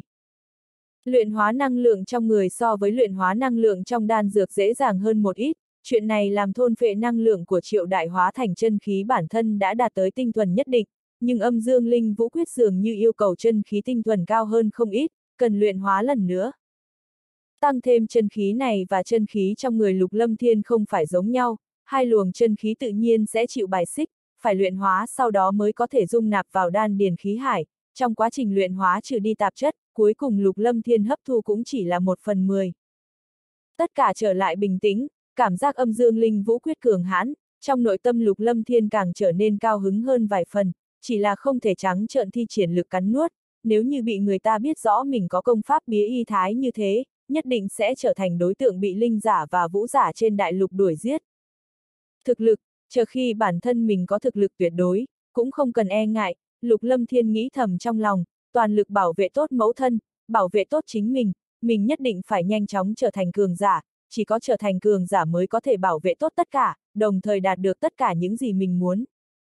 Thời gian chậm rãi trôi qua, canh năm đã tới, lục lâm thiên thu hồi chân khí đình chỉ luyện hóa, phun một ngụm chọc khí và mở mắt ra. Cảm giác luyện hóa chân khí trong hai canh giờ cũng đã mơ hồ sắp đột phá đến vũ sĩ ngũ trọng, trong nội tâm lục lâm thiên cảm thán, âm dương linh vũ quyết đúng là cường hãn đến bía y thái, muốn luyện hóa năng lượng trong cơ thể đoán chừng chỉ cần mấy ngày là đủ, đến lúc đó chính mình muốn đột phá tới vũ sĩ lục trọng, vấn đề cũng không lớn. Tu luyện linh lực đúng là phiền toái, cần phải linh vũ cùng đột phá mới được.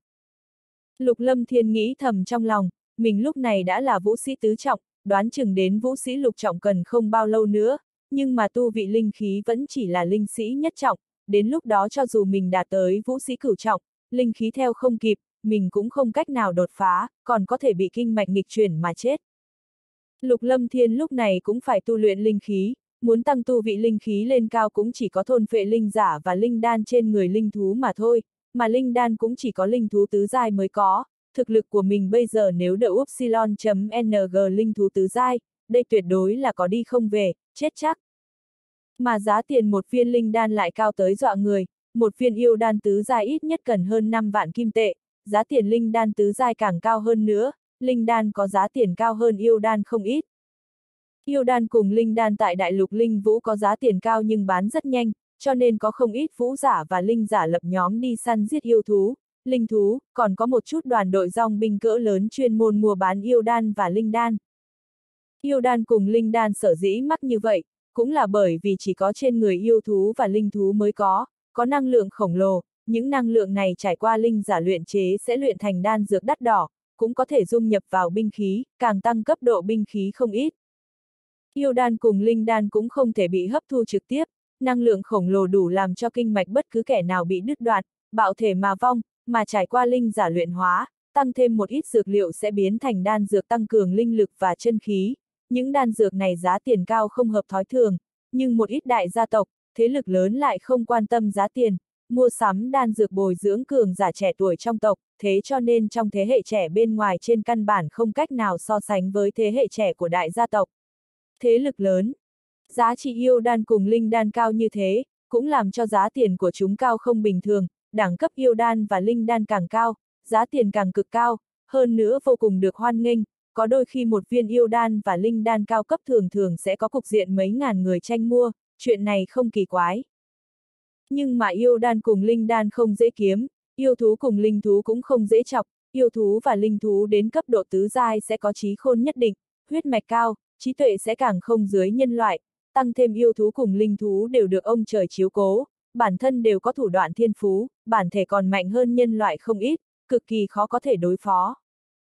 Có yêu thú cùng linh thú vô cùng hung hãn, nói thí dụ như yêu thú tứ giai có cấp độ ngang vũ phách trong nhân loại, nhưng mà thực lực yêu thú lại mạnh hơn nhân loại nhiều, nhân loại muốn săn giết yêu thú đồng cấp cần có nhiều người, thường thường là ăn trộm gà không được còn mất nắm thóc, sẽ ném mạng của mình vào. Mà nhân loại săn giết yêu thú cùng linh thú, yêu thú cùng linh thú cũng săn giết nhân loại, đến địa bàn yêu thú, ai săn giết ai còn khó nói, địa bàn yêu thú cùng linh thú không phải nhân loại bình thường có thể tới gần. Yêu thú cùng linh thú đến thực lực nhất định liền có thể biến hóa thành bộ dáng nhân loại, thực lực không đủ, cho dù yêu thú linh thú đến bên người cũng không nhất định phân biệt được. Đương nhiên, yêu thú và linh thú biến thành bộ dáng nhân loại, thực lực bản thân cần ít nhất đạt tới thất giai.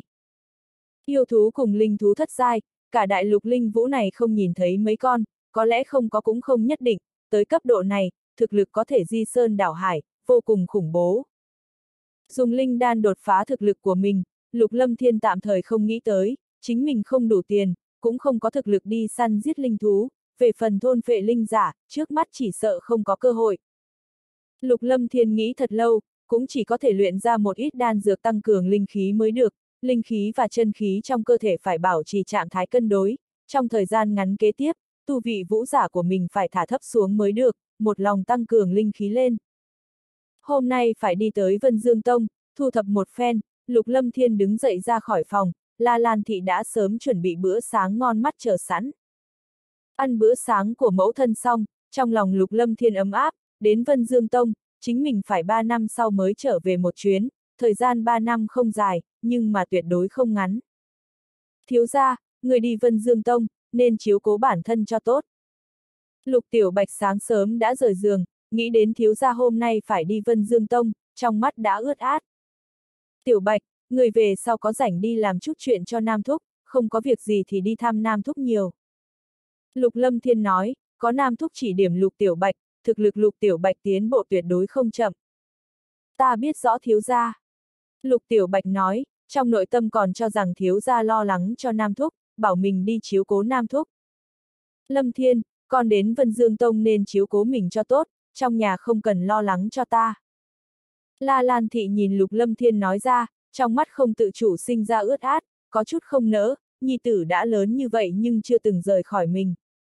Mẫu thân, con sẽ chiếu cố tốt chính mình. Lục Lâm Thiên nói. Lâm Thiên, chuẩn bị tốt chưa, chúng ta nên đi thôi.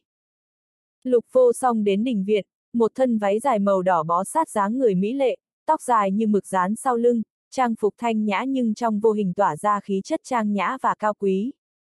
Xong rồi, chúng ta có thể xuất phát. Lục Lâm Thiên đứng dậy, nhìn qua lục vô song, trong mắt nhìn nhiều thêm vài lần. Lâm Thiên, thả đồ của đệ vào túi không gian của ta này, cũng không cần cầm trong tay thế đâu. Lục vô song nhìn bao lớn bao nhỏ trong tay Lục Lâm Thiên nói ra. Tốt. Lục Lâm Thiên mỉm cười, cầm bao phục giao cho Lục vô song, bản thân hắn có chữ vật giới chỉ, nhưng mà không muốn người ta hoài nghi, lúc này mới đem bao phục cầm trong tay, bên trong chỉ có một ít quần áo, mà quần áo thì có cũng được, không có chẳng sao, không có vật phẩm nào quý trọng cả. Tiếp nhận bao phục trong tay Lục Lâm Thiên, Lục vô song lấy ra một cái túi nhỏ giống như túi thơm, mở túi nhỏ ra và hào quang bắn ra ngoài, bao phục đã bị thu vào bên trong túi nhỏ. Nhìn qua túi không gian trong tay Lục vô song, Lục Lâm Thiên không xa lạ gì, đây chính là túi không gian giá trị đắt đỏ, có tính chất giống như chữ vật giới chỉ của hắn, có thể sắp xếp không ít đồ vật, nhưng mà không gian trong túi không nhiều như hắn, nhiều nhất chỉ có thể bỏ đủ mấy mét vuông mà thôi, mà không gian trong chữ vật giới chỉ của hắn lại tới 100 mét vuông, không gian càng lớn, giá trị cũng càng lớn. Đồng thời chữ vật giới chỉ của mình còn có thể dung nhập trong cơ thể, càng thêm chân quý, không phải túi không gian có thể so sánh, nhưng túi không gian cũng là đồ vật đắt giá, nói như vậy, giá trị ít nhất cũng hơn một viên đan dược nhị phẩm, đồng thời túi không gian giá trị cũng có cao có thấp, có chút túi không gian lớn, giá trị trên ngàn kim tệ cũng có khả năng. Chúng ta đi thôi, mọi người đang chờ chúng ta bên ngoài. Lục vô song nói, người lục gia đang chờ ở cửa lớn, hôm nay lục gia có ba người đi tới Vân Dương Tông, đối với lục gia mà nói đây là chuyện hãnh diện, tự nhiên là phải đưa tiễn. Lâm Thiên, đi thôi, mẫu thân đi tiễn con.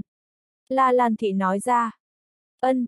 Lục Lâm Thiên không có cự tuyệt, hắn cảm nhận được tâm tình của mẫu thân, mẫu thân đang muốn nhìn mình nhiều thêm vài lần. Lục Lâm Thiên, Lục Vô Song, La Lan Thị, Lục Tiểu Bạch bốn người đi tới trước cửa Lục gia, Lục Lâm Thiên nhìn thấy Lục gia Lục Đông, Lục Nam, Lục Tây còn có Triệu Tuệ, Lục Thiếu Hổ, Chu Lập Hưng, Chu Hải Minh, Lục Mị và mấy trưởng lão Lục gia đang đứng chờ ở cửa lớn Lục gia. Trước mặt mọi người còn có 5 cỗ xe ngựa, 10 thất ngựa cao lớn đèn bóng uy phong lẫm lẫm, toàn thân không có sợi lông tạp nào cả, cũng đại biểu cho địa vị Lục gia tại trấn Thanh Vân, xe ngựa chú ý trang trí, biên giới bao phủ ngọc phiến giá trị xa xỉ, lộ ra hào quang long lanh. Nhìn thấy triệu tuệ, trong nội tâm lục lâm thiên đoán chừng triệu tuệ còn không biết triệu đại đã chết a, à, hài cốt không còn, cho dù phát hiện cũng không biết ai làm. Lâm thiên, chúng ta nên xuất phát rồi, đi thôi. Nhìn thấy lục lâm thiên, lục đông nói ra, nhìn ra được lục đông hôm nay tâm tình không tệ, lần này lục gia có hai người tiến vào Vân Dương Tông, đây là chuyện khó gặp. Lục lâm thiên khẽ gật đầu, vịn mẫu thân la lan thị, ngồi lên xe ngựa lục gia sớm chuẩn bị sẵn, trong xe ngựa trang trí vô cùng thoải mái, bên trong trải lên ra động vật không biết tên, êm ái thoải mái dễ chịu, một chiếc xe ngựa có thể chứa 7-8 người. La Lan Thị cùng Lục Tiểu Bạch lần đầu tiên ngồi lên xe ngựa này, nhìn qua xe ngựa xa hoa thoải mái, trong lòng vô cùng kinh ngạc, La Lan Thị sống tại Lục gia 20 năm, trước giờ chưa bao giờ ngồi xe ngựa này bao giờ. Sau đó Lục Mị, Lục Đông, Lục Tây, Lục Vô song bốn người cũng lên xe ngựa, mọi người ngồi vào chỗ của mình, tiếng ngựa si. Si, lập tức bụi đất tung bay, năm xe ngựa tiến lên. Lâm Thiên, nơi này không có người ngoài, đến Vân Dương Tông thì phải cẩn thận, ta cũng không quanh co, trong Vân Dương Tông cũng có người triệu ra, người chú ý một ít. Lục Đông nói khẽ. Đại bá, con biết rõ. Lục Lâm Thiên nói ra, đối với đại bá, hắn không có phản cảm gì. Trên quảng trường Trấn Thanh Vân, hôm nay cũng tụ tập không ít người, tuy không có tụ tập đông như ngày các đại gia tộc đọ sức, nhưng nhân số cũng không ít, trên vạn người. Top 5 trong lần đọ sức vừa rồi được đi Vân Dương Tông A. Tới Vân Dương Tông, tiền đồ ngày sau sáng lạn, thật hâm mộ. Đúng vậy A, đáng tiếc chúng ta không đi được. Mau nhìn, người Dương ra tới rồi. Bụi mù tung bay, bốn cỗ xe ngựa chạy tới, thân ngựa đỏ hồng, đây chính là xe ngựa của Dương gia. Ngoài sân rộng, bốn cỗ xe ngựa chỉnh tề dừng lại, hơn 20 người đi xuống, đi đầu là gia chủ Dương gia Dương Hướng Phong, hai bóng dáng xinh đẹp sau lưng chính là tỉ muội Dương Mạn cùng Dương Diệu. Dương Mạn mặc cẩm bào, đường nét nổi bật, cái thân thái lồi lõm lung linh quả thật upsilon bản quyền võ IG của nam nhân. Dương Diệu thì mang theo phong tình khác, mặc một bộ trang phục nhẹ nhàng, toàn thân đường cong trẻ trung nổi bật, bộ dáng yêu mị mang theo ba phần thanh thuần, ba phần đáng yêu, ba phần phong tình, nam nhân nào cũng không cự tuyệt nữ nhân như thế. Hai tỷ muội dương gia xuất hiện làm không ít nam nhân máu mũi chảy ròng ròng, hai tỷ muội này trong cả trấn Thanh Vân cũng là đối tượng đàm luận của không ít nam nhân, hận không thể âu yếm, nhưng mà hai nữ trên trấn Thanh Vân không có mấy người dám trêu chọc. Chỉ sau một lát, bốn chiếc xe ngựa chạy tới, khí thế không thua dương gia chút nào, người trên trấn Thanh Vân không khó nhìn ra, đây là xe ngựa tần gia, xe ngựa dừng lại, gia chủ tần gia và tần thiên hạo xuất hiện trước mặt mọi người. Đạp đạp đạp, trong bụi mù tung bay, năm cỗ xe ngựa chạy như bay xuất hiện trong tầm mắt mọi người, nhìn thấy năm xe ngựa này, trong mắt người tần gia cùng dương gia hơi đổi, thần sắc trầm xuống, bởi vì lần này lục gia đã chiếm được danh tiếng rất lớn. Năm cỗ xe ngựa dừng lại, người lục gia xuất hiện, lục lâm thiên vịn mẫu thân đi xuống xe ngựa. Thấy không, đó chính là lục lâm thiên, vũ giả tam hệ, thực lực vũ sĩ tứ trọng đánh bại vũ sĩ cửu trọng, lúc trước trong trận đọ sức với Vương Quang Vương ra thi triển vũ kỹ khủng bố, nếu không phải trưởng lão Vân Dương Tông ra tay, Vương Quang chết chắc rồi. Ai là lục lâm thiên thế? Chính là người mặc áo xanh, bên người còn có một đại mỹ nữ đấy. Hắn chính là lục lâm thiên A Hát, không phải nói hắn trước kia là củi mục sao, vì sao thoáng cái biến thành vũ giả tam hệ. Người biết cái gì, hiện tại người bên ngoài đều nói, đây là lục gia an bài từ sớm, chính là sợ gia tộc khác chú ý, hiện tại bỗng nhiên nổi tiếng rồi. Lục Lâm Thiên xuất hiện, lập tức làm cho không ít người kích động, lúc trước trong đọ sức với Vương Quang, một cảnh kinh khủng kia vẫn còn mới mẻ trong trí nhớ của mọi người. Lục Đông, các ngươi tới rồi sao, đúng là long trọng mà. Dương Hướng Phong nói ra. Các ngươi cũng không kém A hát, cũng vậy. Lục Đông mỉm cười. Lần này lục ra các ngươi khó lường, hai người tiến vào Vân Dương Tông, thật khó được, tiếp qua vài năm, lục gia ngươi sẽ trở thành đệ nhất gia tộc trong thành trấn Thanh rồi. Gia chủ tần gia cười nói. Không dám, tần gia lần này có linh giả A, làm sao mà vượt qua tần gia được. Lục Đông cũng khẽ cười nói ra. Lục Lâm Thiên nhìn qua người tần gia cùng dương gia, ánh mắt nhìn lên người tần thiên hạo, ánh mắt tần thiên hạo vẫn đang nhìn chằm chằm vào chính mình. Lục Lâm Thiên không có để ý, ánh mắt cuối cùng nhìn qua người Dương Diệu cùng Dương Mạn hai nữ nhân này, một yêu mị mang theo thanh thuần, người khác là vũ mị hấp dẫn, hai tỷ muội Dương gia này đúng là vưu vật, nhưng Dương Diệu càng tốt hơn, dung nhan tuyệt mỹ phối hợp khí chất thanh thuần và yêu mị, chừng hai năm nữa Dương Mạn không thể so sánh được. Giá! Một chiếc xe ngựa chạy tới, lộ ra vẻ đơn bạc, nhưng chiếc xe ngựa có bốn thất ngựa màu xanh, xe ngựa trang trí cũng không tầm thường, mọi người xem xét cũng biết là xe ngựa vương gia. Xe ngựa dừng lại, một thân ảnh mặc hoa phục đi xuống, đúng là vương lương vương gia, lần này vương gia không có người tiến vào Vân Dương Tông, tự nhiên sẽ không náo nhiệt đưa tiến, tăng thêm vương quang vũ sĩ cửu trọng vương gia thua trong tay lục gia lục lâm thiên vũ sĩ tứ trọng, gần đây vương gia tại thành trấn Thanh Vân biến thành trò cười của người ta. Vương Lương lần này cũng phải về Vân Dương Tông, hôm nay cũng phải xuất phát, đi xuống xe ngựa, lần đầu tiên hắn nhìn chằm chằm vào lục lâm thiên, trong ánh mắt mang theo lạnh ý, sau đó hắn đi tới bên cạnh Dương gia, chào hỏi Dương Hướng Phong, sau đó đứng bên cạnh Dương Mạn. Mọi người cũng không có kỳ quái, Vương gia cùng Dương gia quan hệ không tệ, hơn nữa không ít người cũng biết, Vương Lương đang theo đuổi Dương Mạn, hai đại gia tộc cũng có ý thúc đẩy chuyện này, đến lúc đó Vương Dương hai nhà quan hệ thông gia, thế lực sẽ càng mạnh hơn nữa, muốn áp chế ba gia tộc khác không khó. Độc cô băng lan vì sao chưa tới? Lục Lâm Thiên nhìn chằm chằm vào mọi người, Tần Thiên Hạo, Dương Diệu, đều đến, cũng chỉ có độc cô băng lan chưa tới. Cạc cạc. Thời điểm này trên không trung có tiếng thú giống cạc cạc, lập tức có khí lưu thổi qua, trên bầu trời, mọi người ngẩng đầu nhìn lại, đã thấy hai con chim lớn đang xoay vòng. Hai con chim lớn này hai cánh mở ra rộng 8 mét, thân hình to lớn dài 10 mét, toàn thân có màu nâu xanh, mỏ nhọn móng vuốt sắc bén, trong mắt bắn ra hào quang lăng lệ. Yêu thú, yêu thú phi hành. Trên quảng trường sinh ra bạo động, đây chính là yêu thú phi hành, trên chấn Thanh Vân số lần nhìn thấy yêu thú không nhiều, một ít người chưa từng gặp qua yêu thú, lúc này đều vô cùng kinh ngạc. Yêu thú. Lục Lâm Thiên cũng kinh ngạc nhìn chằm chằm vào hai con yêu thú này, thân hình hai con yêu thú này khổng lồ, nhưng mà Lục Lâm Thiên lại hơi kinh ngạc, cũng cảm giác không có gì, ban đầu ở dưới vách núi chính mình gặp được hai con linh thú, so với hai con yêu thú này, khí tức còn mạnh hơn rất nhiều. Độc cô băng lan, Thúy Ngọc. Lúc này trên người một con yêu thú có hai đạo thân ảnh làm cho Lục Lâm Thiên hơi giật mình, đúng là hai người độc cô băng lan cùng Thúy Ngọc, Lục Lâm Thiên thật không ngờ độc cô băng lan lại ở trên lưng yêu thú, mà trên lưng yêu thú khác đúng là bác mi trưởng lão và bốn chấp sự Vân Dương Tông. Lâm Thiên, đây là yêu thú phi hành nham thứ của Vân Dương Tông nuôi dưỡng, bây giờ là yêu thú cấp 2, tốc độ phi hành cực nhanh, lực công kích cũng rất mạnh, vũ sư đấu upsilon.ng phải cũng phải cẩn thận, khó chiếm được tiện nghi. Nhìn thấy Lục Lâm Thiên tò mò, Lục vô song nói bên tai Lục Lâm Thiên. Yêu thú thổ hệ cấp 2. Lục Lâm Thiên nhìn chằm chằm vào nham thứ kia, yêu thú phi hành cấp 2, nếu là vũ sĩ cửu trọng gặp phải, trên căn bản là không có phần thắng, không nghĩ tới Vân Dương Tông còn nuôi yêu thú riêng cho mình, không hổ là đại môn đại phái. Cạc cạc, hai yêu thú này đáp xuống quảng trường rộng rãi, hai cánh thu liếm lại cũng rộng mấy mét, cao hơn 2 mét, đám người độc cô băng lan, bạch mi trưởng lão nhảy khỏi lưng yêu thú, lập tức đi tới bên cạnh các đại gia tộc. Bái kiến bạch mi trưởng lão, chư vị chấp sự. Các đại gia tộc hành lễ. Độc cô băng lan đi tới, lục lâm thiên gật đầu chào. Đã tới đủ rồi, chúng ta xuất phát thôi. Bạch mi trưởng lão nhìn chằm chằm vào lục lâm thiên, tần thiên hạo nói ra. Lần này phải phiền toái bạch mi trưởng lão. Lục đông nói ra. Chuyện này cũng không có gì phiền toái cả, làm việc cho tông môn là chức trách của ta. Bạch mi trưởng lão cười cười, lập tức nói.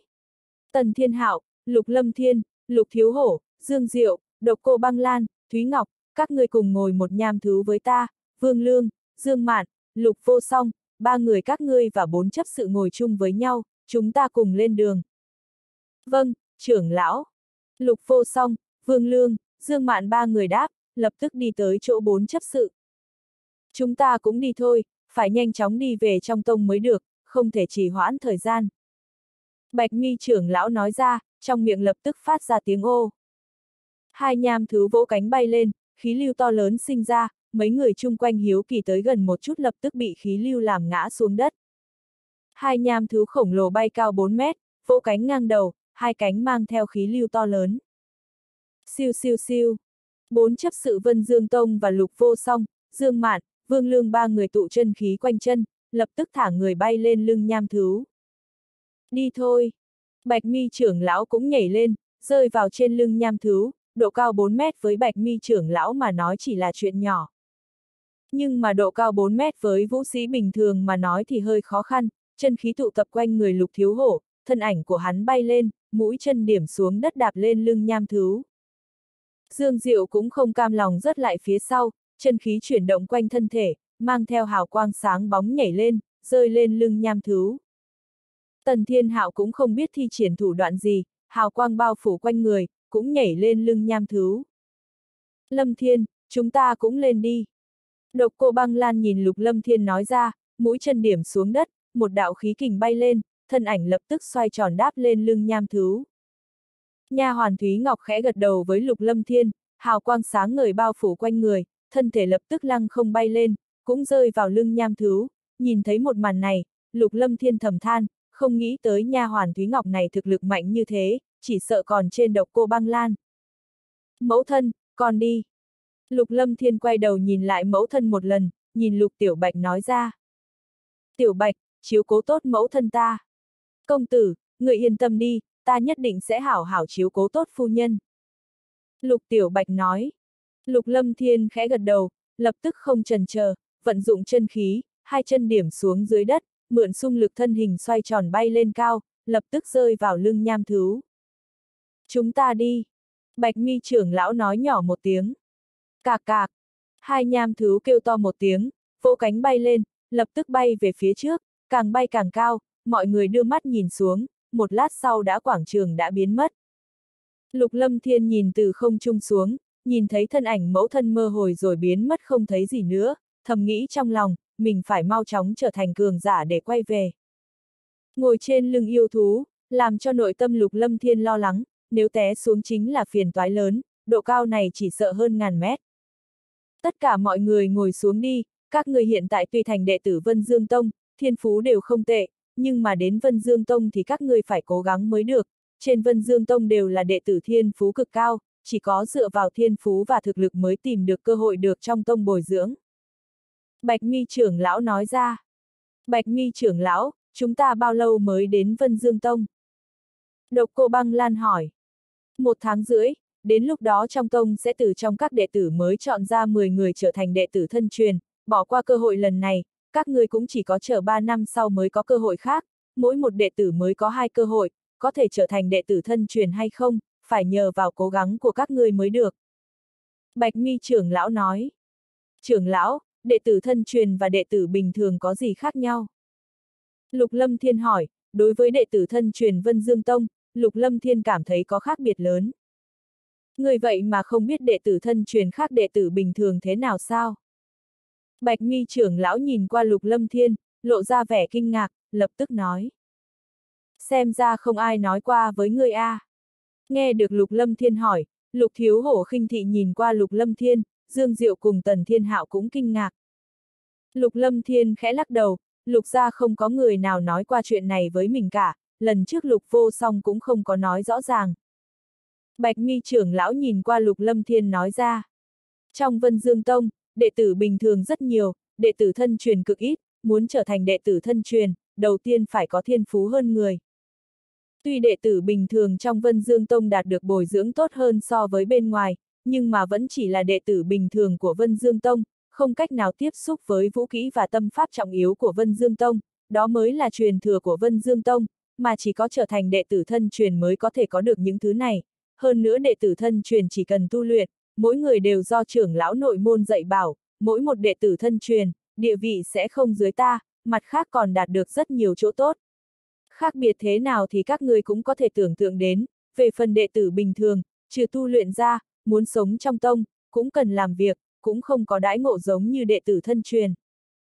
Đệ tử thân truyền mới có thể có được truyền thừa chính thức của Vân Dương Tông.